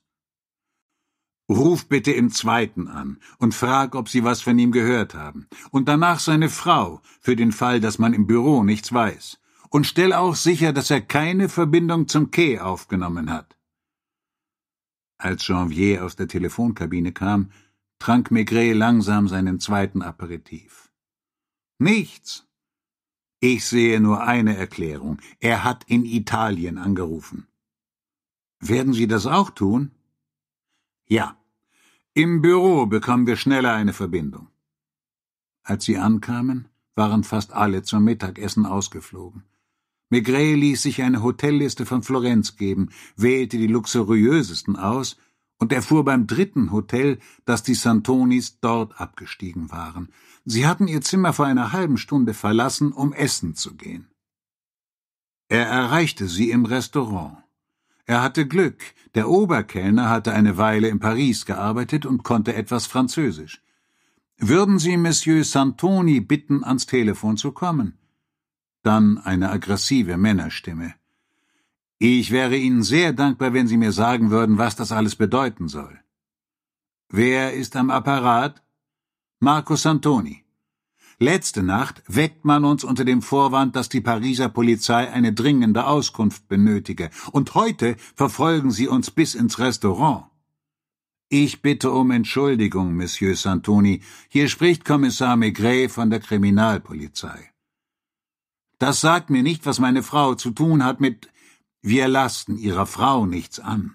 Es ist nur so, dass eine ihrer früheren Freundinnen umgebracht worden ist. Das hat uns der Typ von letzter Nacht auch erzählt. Und nun? Ist das ein Grund? Ihre Frau hat einen Brief in Verwahrung genommen. Dieser Brief würde es uns wahrscheinlich erlauben, und deswegen müssen Sie anrufen? Alles, was sie weiß, hat sie schon dem Inspektor gesagt. Der Inspektor ist verschwunden. Ach, sein Zorn verrauchte. Wenn das so ist, werde ich meine Frau rufen. Ich hoffe, dass Sie sie dann in Ruhe lassen und dafür sorgen, dass Ihr Name nicht in den Zeitungen auftaucht. Ein Flüstern war zu hören. Janine musste zusammen mit ihrem Mann in der Kabine sein. Ja, bitte, sagte sie. Entschuldigen Sie, Madame. Sie wissen bereits, worum es sich handelt. Die Concierge in der Rue de Pontieu hat Ihnen einen für Louise bestimmten Brief übergeben. Hätte ich mir den doch bloß nicht aufgehalst. Was ist aus dem Brief geworden? Stille. Einen Moment lang dachte Maigret, die Verbindung sei unterbrochen worden. Haben Sie ihn ihr am Abend Ihrer Hochzeit übergeben, als sie zu Ihnen ins Romeo kam? Natürlich nicht. Ich trage so einen Brief doch nicht an meinem Hochzeitsabend mit mir herum. Kam Louise wegen dieses Briefes zu Ihnen?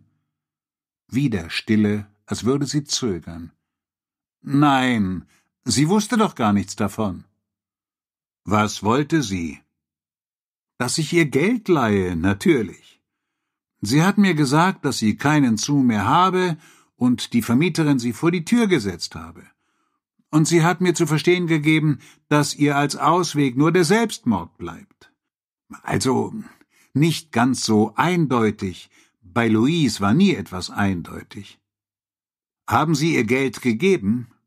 Drei oder viertausend Franscheine, ich habe sie nicht gezählt. Haben Sie ihr von dem Brief erzählt? Ja. Was haben Sie ihr genau gesagt? Was drin stand? Sie haben ihn gelesen? Ja. Wieder Stille. Glauben Sie, was Sie wollen. Es war nicht aus Neugier. Es war nicht mal ich, die ihn aufgemacht hat. Marco hat ihn in meiner Tasche gefunden. Ich habe ihm die Geschichte erzählt, und er hat mir nicht geglaubt. Ich habe zu ihm gesagt, mach ihn auf, dann wirst du ja sehen. Sie flüsterte mit ihrem Mann, der in der Kabine geblieben war. Sei still, sagte sie. Es ist besser, die Wahrheit zu sagen. Sie kommen ohnehin drauf. Erinnern Sie sich an den Inhalt? Nicht an jedes Wort. Er war schlecht geschrieben, in üblem Französisch, voller Rechtschreibfehler. Dem Sinn nach stand da, ich habe Ihnen etwas sehr Wichtiges zu sagen und wir müssen uns dringend treffen. Fragen Sie nach Fred in der Pickwicks Bar, Rue de l'Etoile. Das bin ich. Falls ich nicht da bin, wird Ihnen der Barkeeper sagen, wo Sie mich finden. Sind Sie noch dran, Herr Kommissar? Maigret machte sich Notizen und brummte Das ist alles? Ja. Haben Sie Louise diese Nachricht übermittelt? Ja. Schien sie verstanden zu haben? Nicht sofort. Dann schien ihr etwas einzufallen, und sie bedankte sich und ging fort. Im Lauf der Nacht haben Sie nichts mehr von ihr gehört? Nein. Wie auch? Erst zwei Tage später, als ich zufällig die Zeitung durchblätterte, habe ich erfahren, dass sie tot war. Glauben Sie, dass sie in die Pickwicks Bar gegangen ist?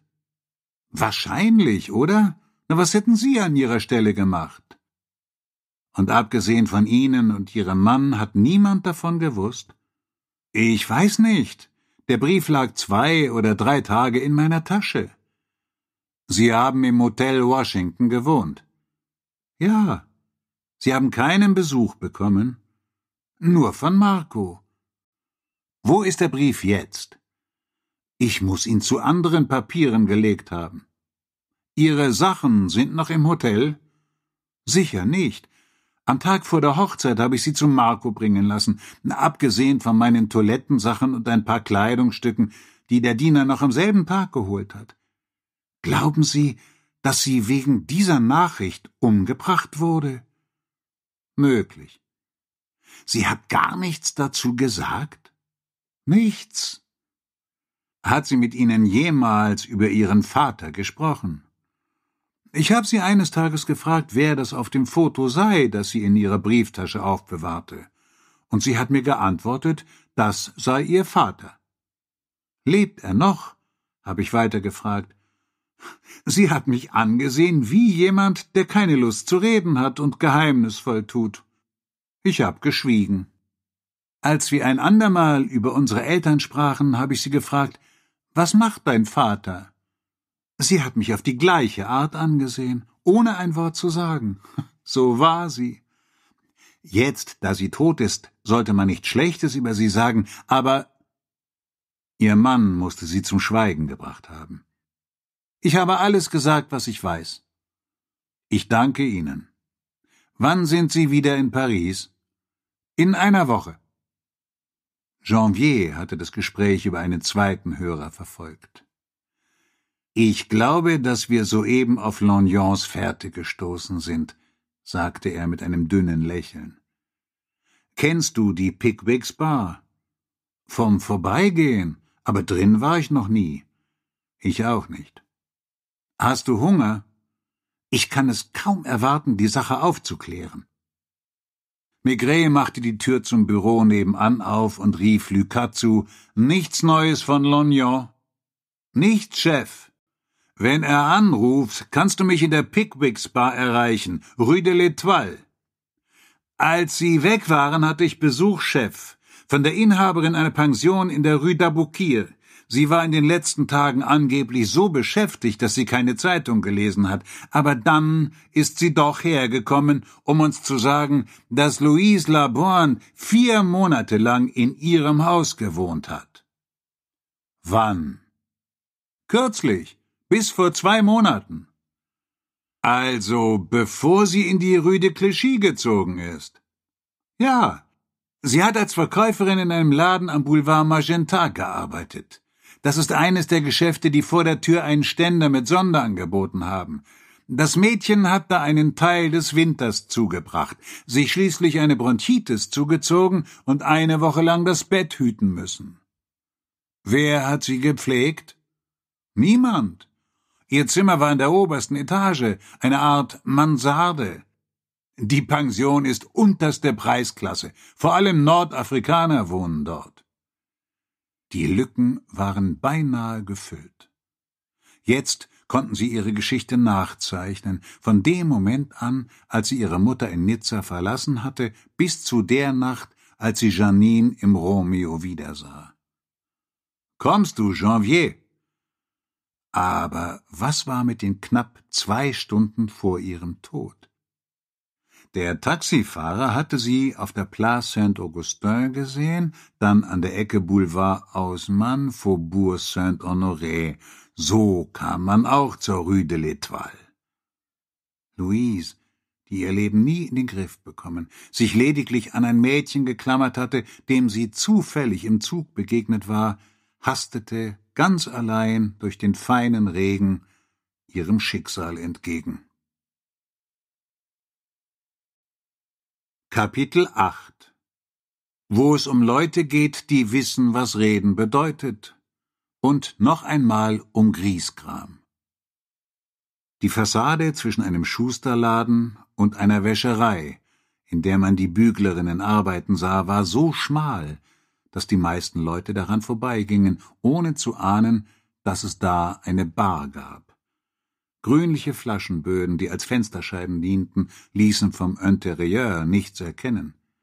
Und an einer dunkelrot verhangenen Tür hing eine auf alt gemachte Laterne, auf der in mehr oder weniger gotischen Buchstaben der Schriftzug Pickwicks Bar aufgemalt war. Kaum war Maigret über die Schwelle getreten, ging eine Verwandlung in ihm vor. Er legte einen harten, geschäftsmäßigen Ausdruck an den Tag, und in Janviers Haltung vollzog sich automatisch ein ähnlicher Wandel. Die Bar war menschenleer. Die Flaschenböden und die schmale Fassade machten den Raum düster. Auf der Holztäfelung blitzten hier und dort Lichtreflexe. Ein Mann in Hemdsärmeln, der hinter dem Tresen verborgen gewesen war, erhob sich und legte ein Sandwich hin, das er gerade aß. Mit noch vollem Mund sah er sie an, schweigend und mit undurchdringlichem Gesichtsausdruck. Er hatte schwarzes, fast blaues Haar, dichte Augenbrauen, die ihn störrisch erscheinen ließen, und ein Grübchen mitten auf dem Kinn, tief wie eine Narbe. Maigret schien ihn keines Blickes zu würdigen, doch es war klar, dass sie einander wiedererkannt hatten, sich nicht das erste Mal gegenüberstanden. Er ging langsam auf einen der hohen Barhocker zu, setzte sich, während er seinen Mantel aufknöpfte und seinen Hut nach hinten schob. Janvier tat es ihm gleich. Sie schwiegen. Dann fragte der Barkeeper, »Wollen Sie etwas trinken?« Maigret zögerte und sah Janvier an. »Und du?« Das gleiche wie Sie. Zwei Pernod, wenn du welchen hast. Albert schenkte ihnen ein, stellte eine Karaffe Eiswasser auf den Mahagonitresen und wartete. Einen Moment lang hätte man glauben können, dass sie ein Spiel spielten, wer von ihnen das Schweigen länger durchhielt. Es war der Kommissar, der es brach. Um welche Uhrzeit ist Lorgnon gekommen? Ich wusste nicht, dass er Lorgnon heißt. Ich kenne ihn nur als Griesgram. Wann? Vielleicht gegen elf. Ich habe nicht auf die Uhr geschaut. Wohin hast du ihn geschickt? Nirgendwohin. Was hast du ihm gesagt? Ich habe seine Fragen beantwortet. Maigret spießte Oliven auf, die in einer Schüssel auf dem Tresen lagen, und aß eine nach der anderen. Offenbar war er in Gedanken ganz woanders. Sobald der Barkeeper hinter seinem Tresen aufgetaucht war, hatte Maigret ihn erkannt. Ein gewisser Albert Falconi, ein Korse, den er mindestens zweimal ins Gefängnis geschickt hatte, einmal wegen illegalen Glücksspiels, ein andermal wegen Goldschmuggels nach Belgien. Ein weiteres Mal hatte man Falconi verdächtigt, am Montmartre einen Typen aus einer Marseiller Bande niedergeschossen zu haben, aber mangels Beweisen musste man ihn wieder auf freien Fuß setzen. Er musste etwa 35 Jahre sein. Beide Seiten vermieden unnötige Worte. Man war gewissermaßen unter Profis. Jeder einzelne Satz wog schwer. Als du am Dienstag die Zeitung gelesen hast, hast du da die Kleine wiedererkannt? Albert widersprach nicht, gab nichts zu und sah den Kommissar weiter mit unbewegtem Blick an. Wie viele Gäste waren in der Bar, als sie am Montagabend hereinkam? Maigret sah sich um. Es gab in Paris eine Reihe von Bars wie diese, und ein Passant, der zufällig hereinkommt, wenn niemand da ist, wundert sich vielleicht, wie sie überleben. Das liegt daran, dass die meisten Stammgäste demselben Milieu angehören und sich regelmäßig zu festen Zeiten einfinden. Morgens musste Albert nicht öffnen. Wahrscheinlich war er gerade erst gekommen und mit dem Aufräumen der Flaschen noch nicht fertig. Abends jedoch waren sicher alle Barhocker besetzt, so dass man sich an der Wand entlang schlängeln musste. Im Hintergrund zeichnete sich eine steile Treppe ab, die in den Keller führte. Auch der Barkeeper schien die Barhocker zu zählen. Es war beinahe voll, sagte er schließlich. Es war zwischen Mitternacht und ein Uhr, ja? Näher an eins als an Mitternacht. Hattest du sie schon mal gesehen? Das war das erste Mal. Jeder musste sich nach Louise umgewandt und sie neugierig in Augenschein genommen haben. Wenn Frauen solche Lokale aufsuchten, waren es Prostituierte, und so sah das Mädchen nicht aus. Das ausgebleichte Abendkleid und das schlecht sitzende Samtcape hatten bestimmt für Aufsehen gesorgt. Was hat sie gemacht? Albert runzelte die Stirn, wie ein Mann, der sich zu erinnern versucht. Sie hat sich hingesetzt. Wohin? Er betrachtete erneut die Barhocker. Dahin, wo Sie jetzt sitzen. In Türnähe war sonst kein Platz mehr frei. Was hat sie getrunken? Einen Martini. Sie hat sofort einen Martini bestellt als ich sie gefragt habe, was sie möchte. Und dann? Sie blieb eine Weile sitzen, ohne etwas zu sagen. Hatte sie eine Handtasche bei sich? Sie hat sie auf die Bar gelegt. Eine silberne Tasche. Hat dir Lognon auch diese Fragen gestellt? Nicht in derselben Reihenfolge. Erzähl weiter. Ich würde lieber Fragen beantworten. Hat sie dich gefragt, ob du einen Brief für sie hast? Er nickte. Wo war der Brief? Er drehte sich wie in Zeitlupe um und deutete auf eine Stelle zwischen zwei Flaschen, aus denen wohl nicht oft ausgeschenkt wurde. Dort steckten zwei oder drei Umschläge, die für Gäste bestimmt waren. Da, Du hast ihn ihr gegeben? Ich habe ihren Ausweis verlangt. Warum? Weil man mir das so gesagt hat. Wer? Der Typ. Albert sagte nie mehr als unbedingt nötig und versuchte in den Pausen schon die nächste Frage zu erraten. Jamie? Ja. Kennst du seinen Familiennamen? Nein. In Bars sagen die Leute den selten. Hängt von den Bars ab. Albert zuckte mit den Achseln, als wollte er sagen, dass ihm das nichts ausmache. Sprach er Französisch? Ziemlich gut für einen Amerikaner. Was für eine Art Typ war er? Das wissen Sie besser als ich, oder? Antworte trotzdem. Ich hatte den Eindruck, dass er eine Weile im Knast gehockt hat. War er klein, mager und schwächlich? Ja. War er Montag hier? Er hatte Paris fünf oder sechs Tage zuvor verlassen. Davor kam er jeden Tag? Albert gab geduldig Auskunft und griff, da die Gläser leer waren, nach der Pernodflasche. Weißt du, wo er wohnte? Vermutlich in einem Hotel hier im Viertel. Keine Ahnung in welchem. Hatte er dir da schon den Umschlag gegeben?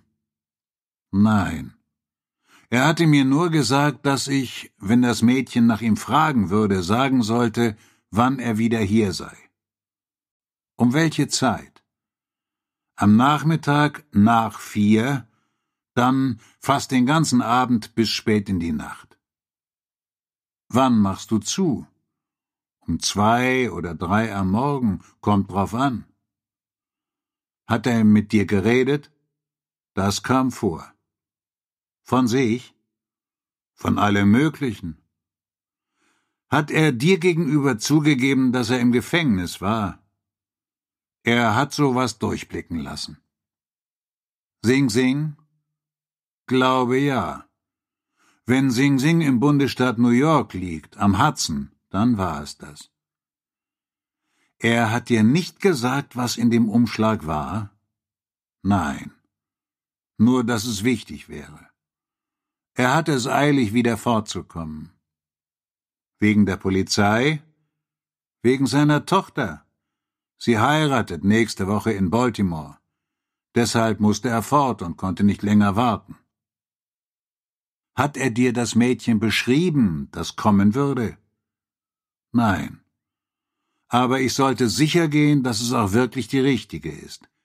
Deshalb habe ich nach ihrem Ausweis verlangt. Hat sie den Brief in der Bar gelesen? Sie ist nach unten gegangen. Was ist da? Die Toiletten und das Telefon. Glaubst du, dass sie da den Brief gelesen hat? Vermutlich. Hat sie ihre Handtasche mitgenommen? Ja. Welchen Eindruck machte sie, als sie hochkam? Weniger deprimiert als vorher. Hatte sie getrunken, bevor sie herkam? Keine Ahnung. Kann sein. Was hat sie dann gemacht? Sie hat sich wieder an die Bar gesetzt. Hat sie noch einen Martini bestellt? Nicht sie, sondern der andere Amerikaner. Welcher andere Amerikaner? Ein großer Kerl mit einem Schmiss und Blumenkohlohren. Du kennst ihn nicht. Von dem weiß ich nicht mal den Vornamen. Wann kam er zum ersten Mal in deine Bar? Etwa zur gleichen Zeit wie Jimmy kannten sie sich. Jimmy kannte ihn sicher nicht. Und der andere ihn? Mir kam's so vor, als würde er ihm folgen. Kam er immer zur gleichen Zeit wie Jimmy? Ungefähr. In einem großen Schlitten, den er vor dem Eingang geparkt hat. Hat Jimmy dich auf ihn angesprochen? Er hat mich gefragt, ob ich den kenne. Was du verneint hast? Ja. Das schien ihn zu beschäftigen. Dann hat er mir gesagt, dass der sicher vom FBI sei, das wissen will, was er hier in Frankreich macht. Glaubst du, dass das stimmt? Ich glaube schon lange nichts mehr. Als Jimmy zurück in die USA ging, kam der andere da immer noch? Regelmäßig stand auf dem Umschlag ein Name Louise Laboine mit dem Zusatz Paris. Konnten die Gäste das lesen? Sicher nicht. Du gehst nie mal für einen Augenblick von der Bar weg? Nicht, wenn Leute da sind. Ich traue niemandem. Hat er das Mädchen angesprochen? Er hat sie gefragt, ob er ihr ein Glas ausgeben darf. Sie hat angenommen? Sie hat mich angesehen, als wollte sie mich um Rat fragen. Man hat gemerkt, dass sie das nicht gewöhnt war. Hast du ihr ein Zeichen der Zustimmung gegeben? Ich habe gar kein Zeichen gegeben, sondern einfach zwei Martinis serviert. Dann bin ich ans andere Ende des Tresens gegangen, wo man mich gerufen hat, und habe nicht weiter auf die beiden geachtet. Sind das Mädchen und der Amerikaner zusammengegangen? Ich glaube ja. Mit dem Wagen. Ich habe einen Motor gehört. Ist das alles, was du Lognon erzählt hast? Nein, er hat mir noch andere Fragen gestellt. Welche? Zum Beispiel, ob der Typ telefoniert hat, was ich verneint habe. Dann, ob ich weiß, wo er wohnt. Ich habe wieder verneint. Und schließlich, ob ich eine Idee hätte, wohin er gefahren sein könnte. Albert sah Maigret in die Augen. Und? Das werde ich Ihnen sagen, wie ich es Griesgram gesagt habe. Am Tag zuvor hatte mich der Amerikaner gefragt, wie man am schnellsten nach Brüssel kommt.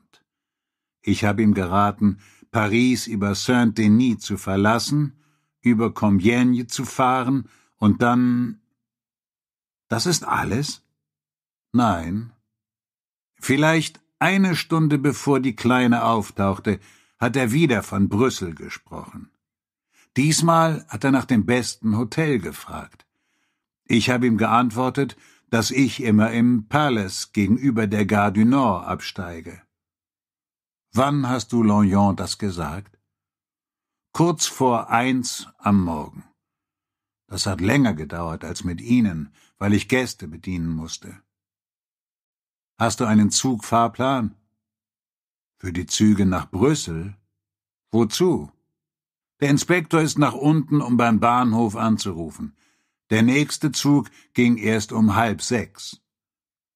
Hat er dir gesagt, dass er den nehmen würde? Das war nicht nötig. Was glaubst du, hat er bis halb sechs gemacht? Was hätten Sie gemacht? Maigret dachte nach. Es war gerade die Rede von zwei Ausländern gewesen, die offenbar beide im Viertel gewohnt hatten und die Pickwicks Bar für sich entdeckt hatten. Glaubst du, dass Lognon die Hotels in der Gegend abgeklappert hat? Sie führen die Untersuchung, oder? Ich bin für Griesgram nicht verantwortlich. Geh nach unten, Janvier, und ruf in Brüssel an. Frag im Palace, ob Sie Lognon gesehen haben. Er muss gegen halb zehn Uhr angekommen sein. Vielleicht wartet er immer noch darauf, dass der Amerikaner mit dem Auto ankommt. Während der Abwesenheit des Inspektors sagte er kein Wort. Und Albert, der das Gespräch für beendet hielt, setzte sich wieder hinter die Bar und griff nach seinem Sandwich. Maigret hatte nichts von seinem zweiten Glas getrunken, aber das Olivenschälchen geleert. Starr blickte er die Barhocke entlang zur kleinen Treppe im Hintergrund. Es schien, als wollte er die Kulisse mit all jenen bevölkern, die am Montagabend dagewesen waren, als Louise Laboine in Abendkleid und Samtcape, die silberne Tasche in der Hand, hereingekommen war. Auf seiner Stirn grub sich eine tiefe Falte ein. Zweimal machte er den Mund auf, um etwas zu sagen, ließ es dann aber bleiben. Mehr als zehn Minuten vergingen. Der Barkeeper hatte Zeit, seine Mahlzeit zu beenden, die Brotkrümel von der Ablage zu wischen und eine Tasse Kaffee zu trinken. Mit einem schmutzigen Lappen begann er die Flaschen auf dem Regal abzustauben, als Janvier wieder auftauchte. Er ist am Apparat. Wollen Sie ihn sprechen? Das hat sich erledigt. Sag ihm, dass er zurückkommen kann. Unfähig, seine Überraschung zu verheimlichen, zögerte Janvier und fragte sich, ob er richtig verstanden und ob Maigret sich das auch gut überlegt hatte. Gewöhnt daran zu gehorchen, machte er schließlich kehrt und murmelte Na gut. Albert war nicht zusammengefahren, seine Gesichtszüge hatten sich im Gegenteil verhärtet. Mechanisch fuhr er fort, eine Flasche nach der anderen abzustauben, im Spiegel hinter dem Regal konnte er den Kommissar sehen. Janvier kam zurück, und Maigret fragte, hat er protestiert? Er hat einen Satz angefangen, aber nicht beendet und sich damit begnügt zu sagen, wenn das ein Befehl ist, Maigret rutschte von seinem Barhocker, knöpfte seinen Mantel zu und setzte seinen Hut wieder auf. Zieh dir was an, Albert, sagte er schlicht. Wie? Ich habe gesagt, zieh dir was an. Wir machen einen Ausflug zum Quai des Orfèvres. Der andere schien nicht zu verstehen. Ich kann doch die Bar. Du hast einen Schlüssel, oder? Was wollen Sie eigentlich von mir? Ich habe Ihnen gesagt, was ich weiß. Soll ich dich abführen lassen? Ich komme schon, aber. Er saß allein im Fond des kleinen Wagens und sprach während der ganzen Fahrt kein Wort. Er blickte starr vor sich hin, wie ein Mann, der zu begreifen versucht. Auch Janvier sagte nichts. Maigret rauchte schweigend seine Pfeife. Geh hinauf. An der Tür zum Büro ließ er Albert den Vortritt. Erst fragte er Janvier, wie spät ist es in Washington? Es muss acht Uhr morgens sein. Bis du die Verbindung hast, selbst wenn du vorrangig behandelt wirst, wird es bald neun sein. Lass dich mit dem FBI verbinden. Frag nach Clark. Ich möchte mit ihm sprechen. Bedächtig legte er Mantel und Hut ab und verstaute beides im Wandschrank. Du kannst deinen Mantel ausziehen, es kann ein bisschen dauern. Sie haben mir noch nicht gesagt, warum. Wie viele Stunden bist du damals in diesem Büro geblieben, als wir über die Goldbarren gesprochen haben? Albert musste nicht lange in seinem Gedächtnis kramen. Vier. Ist dir in der Zeitung vom Dienstagmorgen nichts aufgefallen? Das Foto des Mädchens. Es gab noch ein Foto. Drei Typen, hartgesottene Kerle, die man die Mauerbrecher genannt hat. Um drei Uhr morgens haben sie gestanden, lange nachdem sie dieses Büro betreten hatten. Dreißig Stunden. Maigret nahm auf seinem Sessel Platz und ordnete seine Pfeifen, als suchte er nach der besten. Du hast die Sache lieber nach vier Stunden beendet. Mir persönlich ist das gleichgültig. Wir sind genug, um einander abzulösen, und die Zeit läuft für uns. Er wählte die Nummer der Brasserie Dauphine. Hier, Maigret, würden Sie mir ein paar Sandwiches und Bier rüberschicken? Äh, für wie viele? Er erinnerte sich, dass auch Janvier noch nicht zu Mittag gegessen hatte. Für zwei. Ja. Für sofort. Vier Gläser. In Ordnung. Er zündete seine Pfeife an und ging zum Fenster, wo er eine Weile stehen blieb und dem Hin und Her der Autos und der Fußgänger auf dem Pont Saint-Michel zusah. Hinter ihm zündete sich Albert eine Zigarette an, versuchte dabei ein Zittern zu unterdrücken und setzte die ernste Miene eines Mannes auf, der das Für und Wider abwägt. Was wollen Sie wissen? fragte er schließlich, immer noch zögernd. Alles. Ich hab die Wahrheit gesagt. Nein. Maigret drehte sich nicht zu ihm um. Von hinten betrachtet wirkte der Kommissar in der Tat wie jemand, der nichts anderes zu tun hat, als zu warten, während er seine Pfeife raucht und den Verkehr betrachtet. Albert schwieg wieder. Er blieb ziemlich lange stumm, bis der Kellner aus der Brasserie Zeit hatte, mit seinem Tablett zu kommen und es auf dem Schreibtisch abzustellen. Maigret öffnete die Tür zu den Inspektoren. Janvier, rief er, und der kam sofort. In zwanzig Minuten habe ich die Verbindung. Bedien dich. Das ist für uns beide. Gleichzeitig gab er ihm ein Zeichen, sein Sandwich und sein Bier mit nach nebenan zu nehmen. Maigret machte es sich bequem und fing an zu essen. Die Rollen waren vertauscht. Gerade noch in der Pickwicks Bar war es Albert, der hinter dem Tresen gesessen hatte. Der Kommissar schien Alberts Anwesenheit vergessen zu haben, und es wirkte so, als würde er an nichts denken, nur kauen und ab und zu einen Schluck Bier nehmen. Sein Blick streifte die Papiere auf dem Schreibtisch.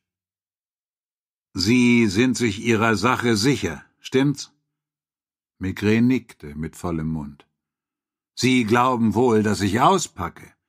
Er zuckte mit den Achseln, als wollte er sagen, dass ihm das egal sei. Warum haben Sie Griesgram zurückgerufen? Maigret lächelte. In diesem Moment riss Albert wutentbrannt die Zigarette in Stücke, verbrannte sich dabei die Finger und zischte Scheiße. Er war zu angespannt, um sitzen zu bleiben, sprang auf, ging zum Fenster, drückte die Stirn gegen die Glasscheibe und sah nun selbst dem Treiben draußen zu. Als er sich umdrehte, hatte er sich damit abgefunden. Seine Nervosität war verschwunden, seine Muskeln hatten sich entspannt. Ohne eingeladen worden zu sein, nahm er einen Schluck aus einem der beiden Gläser, die auf dem Tablett standen, wischte sich den Mund ab und setzte sich wieder auf seinen Platz. Das war seine letzte Kampfansage, um sein Gesicht zu wahren. Wie haben Sie es erraten? fragte er. Maigret antwortete in aller Ruhe Ich habe nichts erraten. Ich habe es sofort gewusst. Kapitel 9 Wo gezeigt wird, dass eine Treppe eine wichtige Rolle spielen kann und eine Handtasche eine noch wichtigere spielt. Maigret nahm ein paar Pfeifenzüge und betrachtete seinen Gesprächspartner schweigend. Man hätte denken können, dass er sich wie ein Schauspieler Zeit nähme, um dem, was er sagen würde, mehr Gewicht zu geben. Aufspielen wollte er sich aber mitnichten. Er sah das Gesicht des Barkeepers kaum. Er dachte an Louise Labourne. Die ganze Zeit, die er schweigend in der Bar an der Rue de l'Etoile verbracht hatte, als Janvier unten telefonierte, hatte er sich vorzustellen versucht, wie sie die Bar voller Gäste betrat, in ihrem ärmlichen Abendkleid und dem Samtcape, das nicht richtig saß. Weißt du, murmelte er schließlich, deine Geschichte ist auf den ersten Blick perfekt, fast zu perfekt, und ich hätte sie geglaubt, wenn ich das Mädchen nicht gekannt hätte. Albert war überrascht und fragte unwillkürlich Sie kannten sie? Ich habe sie ziemlich gut kennengelernt. Noch jetzt, während sie redeten, stellte er sie sich vor, wie sie sich bei Mademoiselle Poré unter dem Bett versteckte und sich dann später in ihrer Wohnung in der Rue de Pontier mit Janine stritt. Er folgte ihr in das schäbige, möblierte Zimmer in der Rue d'Aboukir und zum Laden am Boulevard Magenta, wo sie draußen in der Kälte arbeiten musste. Er hätte alle Sätze wiederholen können, die man ihm über sie gesagt hatte, die der Concierge und der Witwe Cremieux. Er sah, wie sie das Maxims betrat und wie sie sich einen Monat später im Romeo unter die Hochzeitsgäste mischte.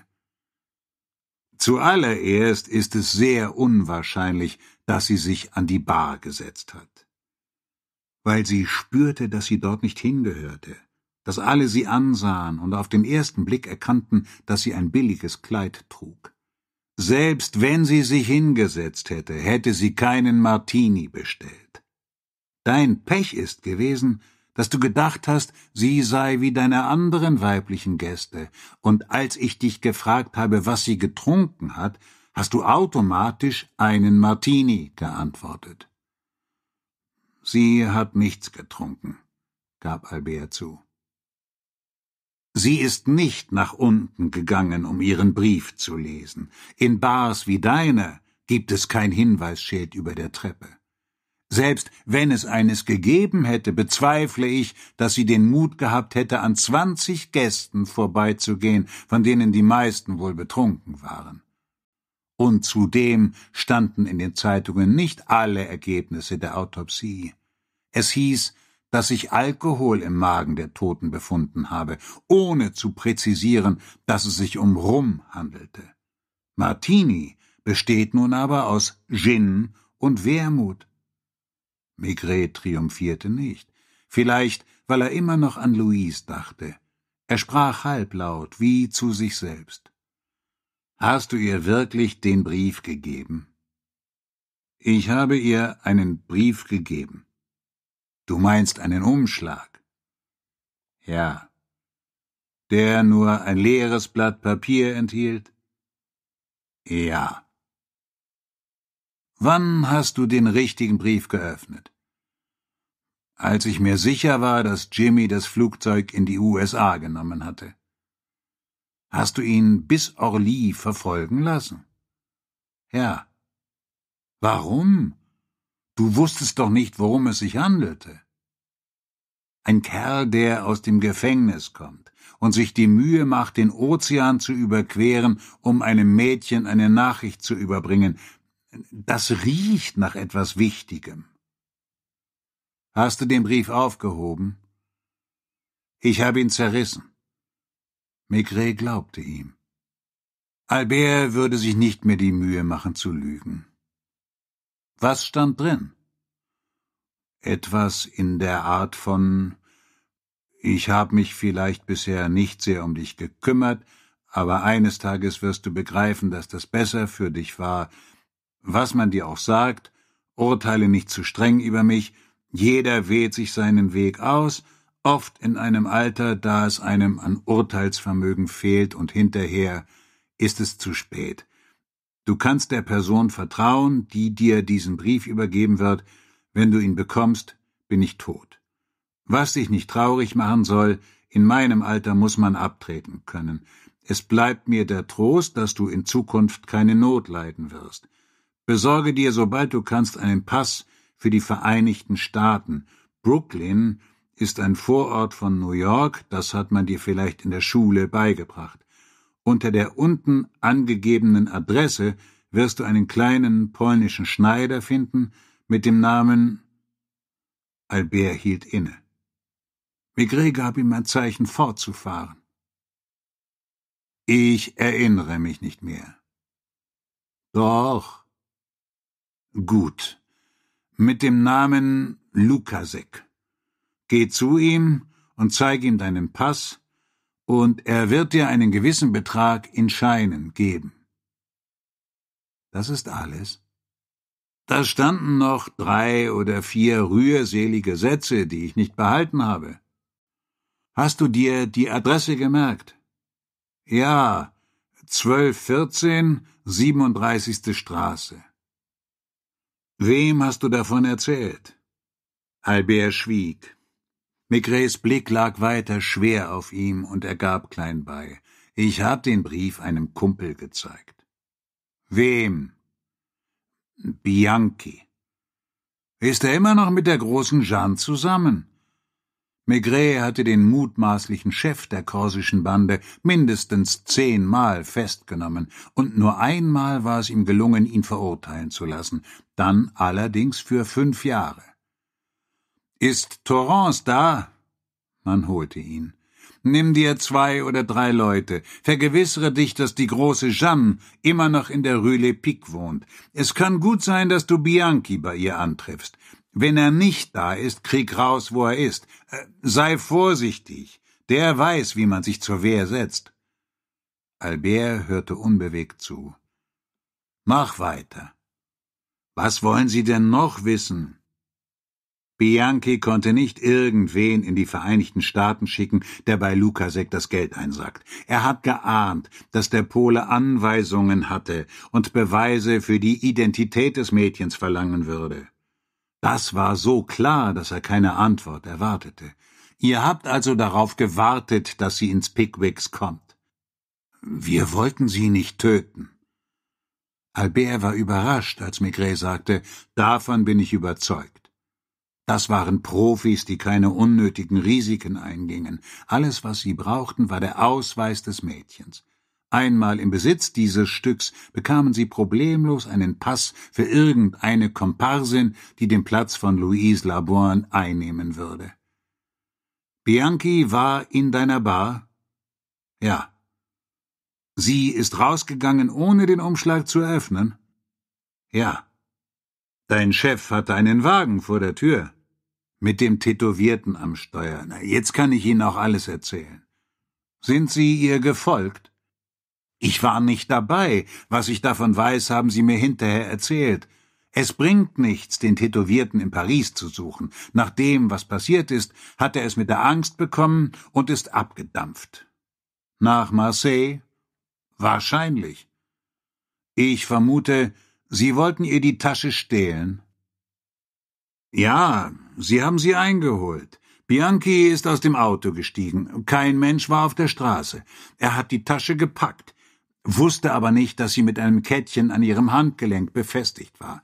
Sie ist auf die Knie gefallen. Als er sah, dass sie schreien wollte, hat er sie ins Gesicht geschlagen. Offenbar hat sie sich an ihn geklammert und versucht, um Hilfe zu rufen. Da hat er eine Art Schlagstock aus seiner Tasche geholt und sie totgeschlagen. Du hast die Geschichte mit dem zweiten Amerikaner nur erfunden, um Lorgnon loszuwerden. Na, was hätten Sie an meiner Stelle gemacht? Griesgram hatte doch keine Ahnung. Und doch war der Inspektor Ihnen fast immer einen Schritt voraus gewesen. Und wenn er sich mehr mit dem Wesen des Mädchens beschäftigt hätte, hätte er endlich seinen Triumph gehabt, auf den er schon so lange wartete, ohne noch daran zu glauben. Woran dachte er nun in dem Zug, der ihn von Brüssel zurückbrachte? Wahrscheinlich verfluchte er sein Pech und war mehr denn je davon überzeugt, dass sich die ganze Welt gegen ihn verbündet hatte. Fachlich hatte er keinen Fehler gemacht. Aber in keinem Polizeikurs lernt man, wie man sich in die Haut eines Mädchens versetzt, das in Nizza bei einer halbverrückten Mutter aufgewachsen ist. Jahrelang hatte Louise verbissen ihren Platz gesucht, ohne ihn zu finden. Verloren in einer Welt, die sie nicht verstand, hatte sie sich verzweifelt an die Erstbeste geklammert, und die hatte sie schließlich im Stich gelassen. Allein wie sie war, verhärtete sie sich in einer feindlichen Welt, deren Spielregeln sie vergebens zu lernen suchte. Wusste sie womöglich nichts von ihrem Vater? Schon als Kind musste sie sich fragen, warum ihre Mutter nicht wie alle anderen war und warum sie beide so anders als ihre Nachbarn lebten. Mit all ihrer Kraft hatte sie versucht, sich anzupassen. Sie war davongelaufen, sie hatte die Kleinanzeigen gelesen. Und während Janine Armenieux mühelos eine Stelle fand, wurde sie überall, wo sie sich vorstellte, wieder vor die Tür gesetzt hatte sie sich schließlich wie Lognon eingeredet, dass es eine Art Verschwörung gegen sie gab? Worin unterschied sie sich so von den anderen? Warum brach aller Ärger über sie herein? Selbst ihr Tod erschien wie eine Ironie des Schicksals. Wenn das Kettchen ihrer silbernen Handtasche nicht um ihr Handgelenk gewickelt gewesen wäre, hätte sich Bianchi damit begnügt, sie ihr zu entreißen, und das Auto wäre mit vollem Tempo davongerast. Hätte sie der Polizei ihre Geschichte erzählt, niemand hätte ihr geglaubt. Warum wurde ihre Leiche an die Place Ventimille gebracht? Zuerst einmal konnten sie sie nicht in der Nähe meiner Bar liegen lassen, und dann schien sie in ihrem Aufzug besser nach Montmartre zu passen. Sie haben dort den erstbesten menschenleeren Ort genommen. Haben Sie schon jemanden zum amerikanischen Konsulat geschickt? Sicher nicht. Sie warten ab. Chef, Inspektor Clark ist am Apparat. Du kannst mir das Gespräch hierher legen. Es handelte sich nur mehr um eine Bestätigung, und es war eher aus persönlicher Neugier, dass Maigret dem FBI ein paar Fragen stellte. Wie immer lief das Gespräch mit Clark halb in Maigrets schlechtem Englisch, halb im schlechten Französisch des Amerikaners ab, wobei sich jeder tapfer bemühte, die Sprache des anderen zu sprechen. Ehe Clark begreifen konnte, worum es ging, musste Maigret alle Decknamen Van Krams aufzählen. Lemke, Stieb, Ziegler, Marek, Spengler, Donley. Auf den Namen Donley war er vor einem Monat beerdigt worden, im Gefängnis Sing Sing, wo er wegen Veruntreuung eine Strafe von acht Jahren abbüßte, nachdem ihn jemand verpfiffen hatte. Hat man das Geld gefunden? Nur einen kleinen Teil. War es viel? Über hunderttausend Dollar. Hieß sein Komplize Jimmy? Jimmy O'Malley. Er hatte nur drei Jahre und wurde vor zwei Monaten freigelassen. Er hat einen Abstecher nach Frankreich gemacht. Ich glaubte, seine Tochter würde demnächst heiraten. Zur Hochzeit ist er wieder zurückgeflogen. Das Geld ist in Brooklyn, bei einem polnischen Schneider namens Lukasek. In Maigrets Worten schwang dennoch etwas wie Triumph mit. Lukasek der vielleicht gar nicht weiß, was da bei ihm lagert, hat den Auftrag, das Päckchen einem Mädchen namens Louise Labourne auszuhändigen. Wird sie kommen? Leider nein. Es war ihm herausgerutscht. Und er fügte rasch hinzu, sie ist diese Woche in Paris gestorben. Er tauschte noch ein paar Höflichkeiten, sogar ein paar Scherze mit Clark, den er seit Jahren nicht mehr gesehen hatte. Als er auflegte, schien er überrascht, dass Albert immer noch auf seinem Stuhl saß und eine Zigarette rauchte. Die FBI-Leute würden sicher die Dollars wiederfinden und sie dem Bankier ersetzen, dem sie gehörten, oder einer Versicherungsgesellschaft, denn wahrscheinlich war der Bankier gegen Diebstahl versichert. Der kleine polnische Schneider würde im Gefängnis landen. Jimmy O'Malley würde, weil er den Auftrag angenommen hatte, seinen Platz in Sing Sing wieder einnehmen, anstatt zur Hochzeit seiner Tochter nach Baltimore zu fahren. Louises Schicksal hatte an einer Kleinigkeit gehangen, an einem ums Handgelenk gewickelten Kettchen. Wenn Mademoiselle Irene aus der Rue de Douai dem Mädchen, das eines Abends gekommen war, um sich ein Kleid auszuleihen, ein anderes Täschchen gegeben hätte. Und wenn Louise rechtzeitig in die Rue de Pontieu gegangen wäre und den Brief selbst entgegengenommen hätte, wäre sie dann nach Amerika gegangen? Was hätte sie mit den hunderttausend Dollar gemacht? Maigret trank sein Bier aus. Es war schon lau.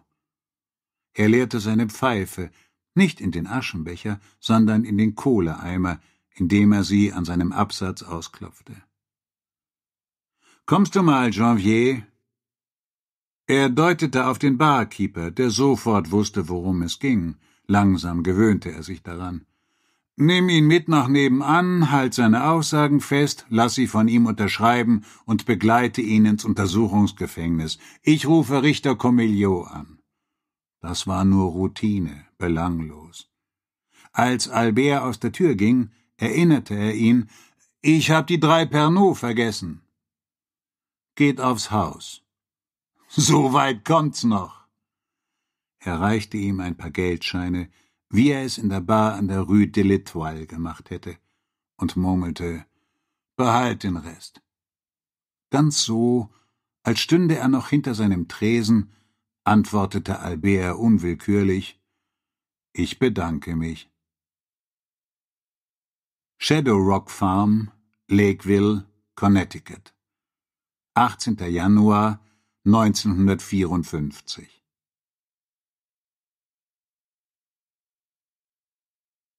Sie hörten Georges Simenon, Maigret und die junge Tote, gelesen von Walter Kreie.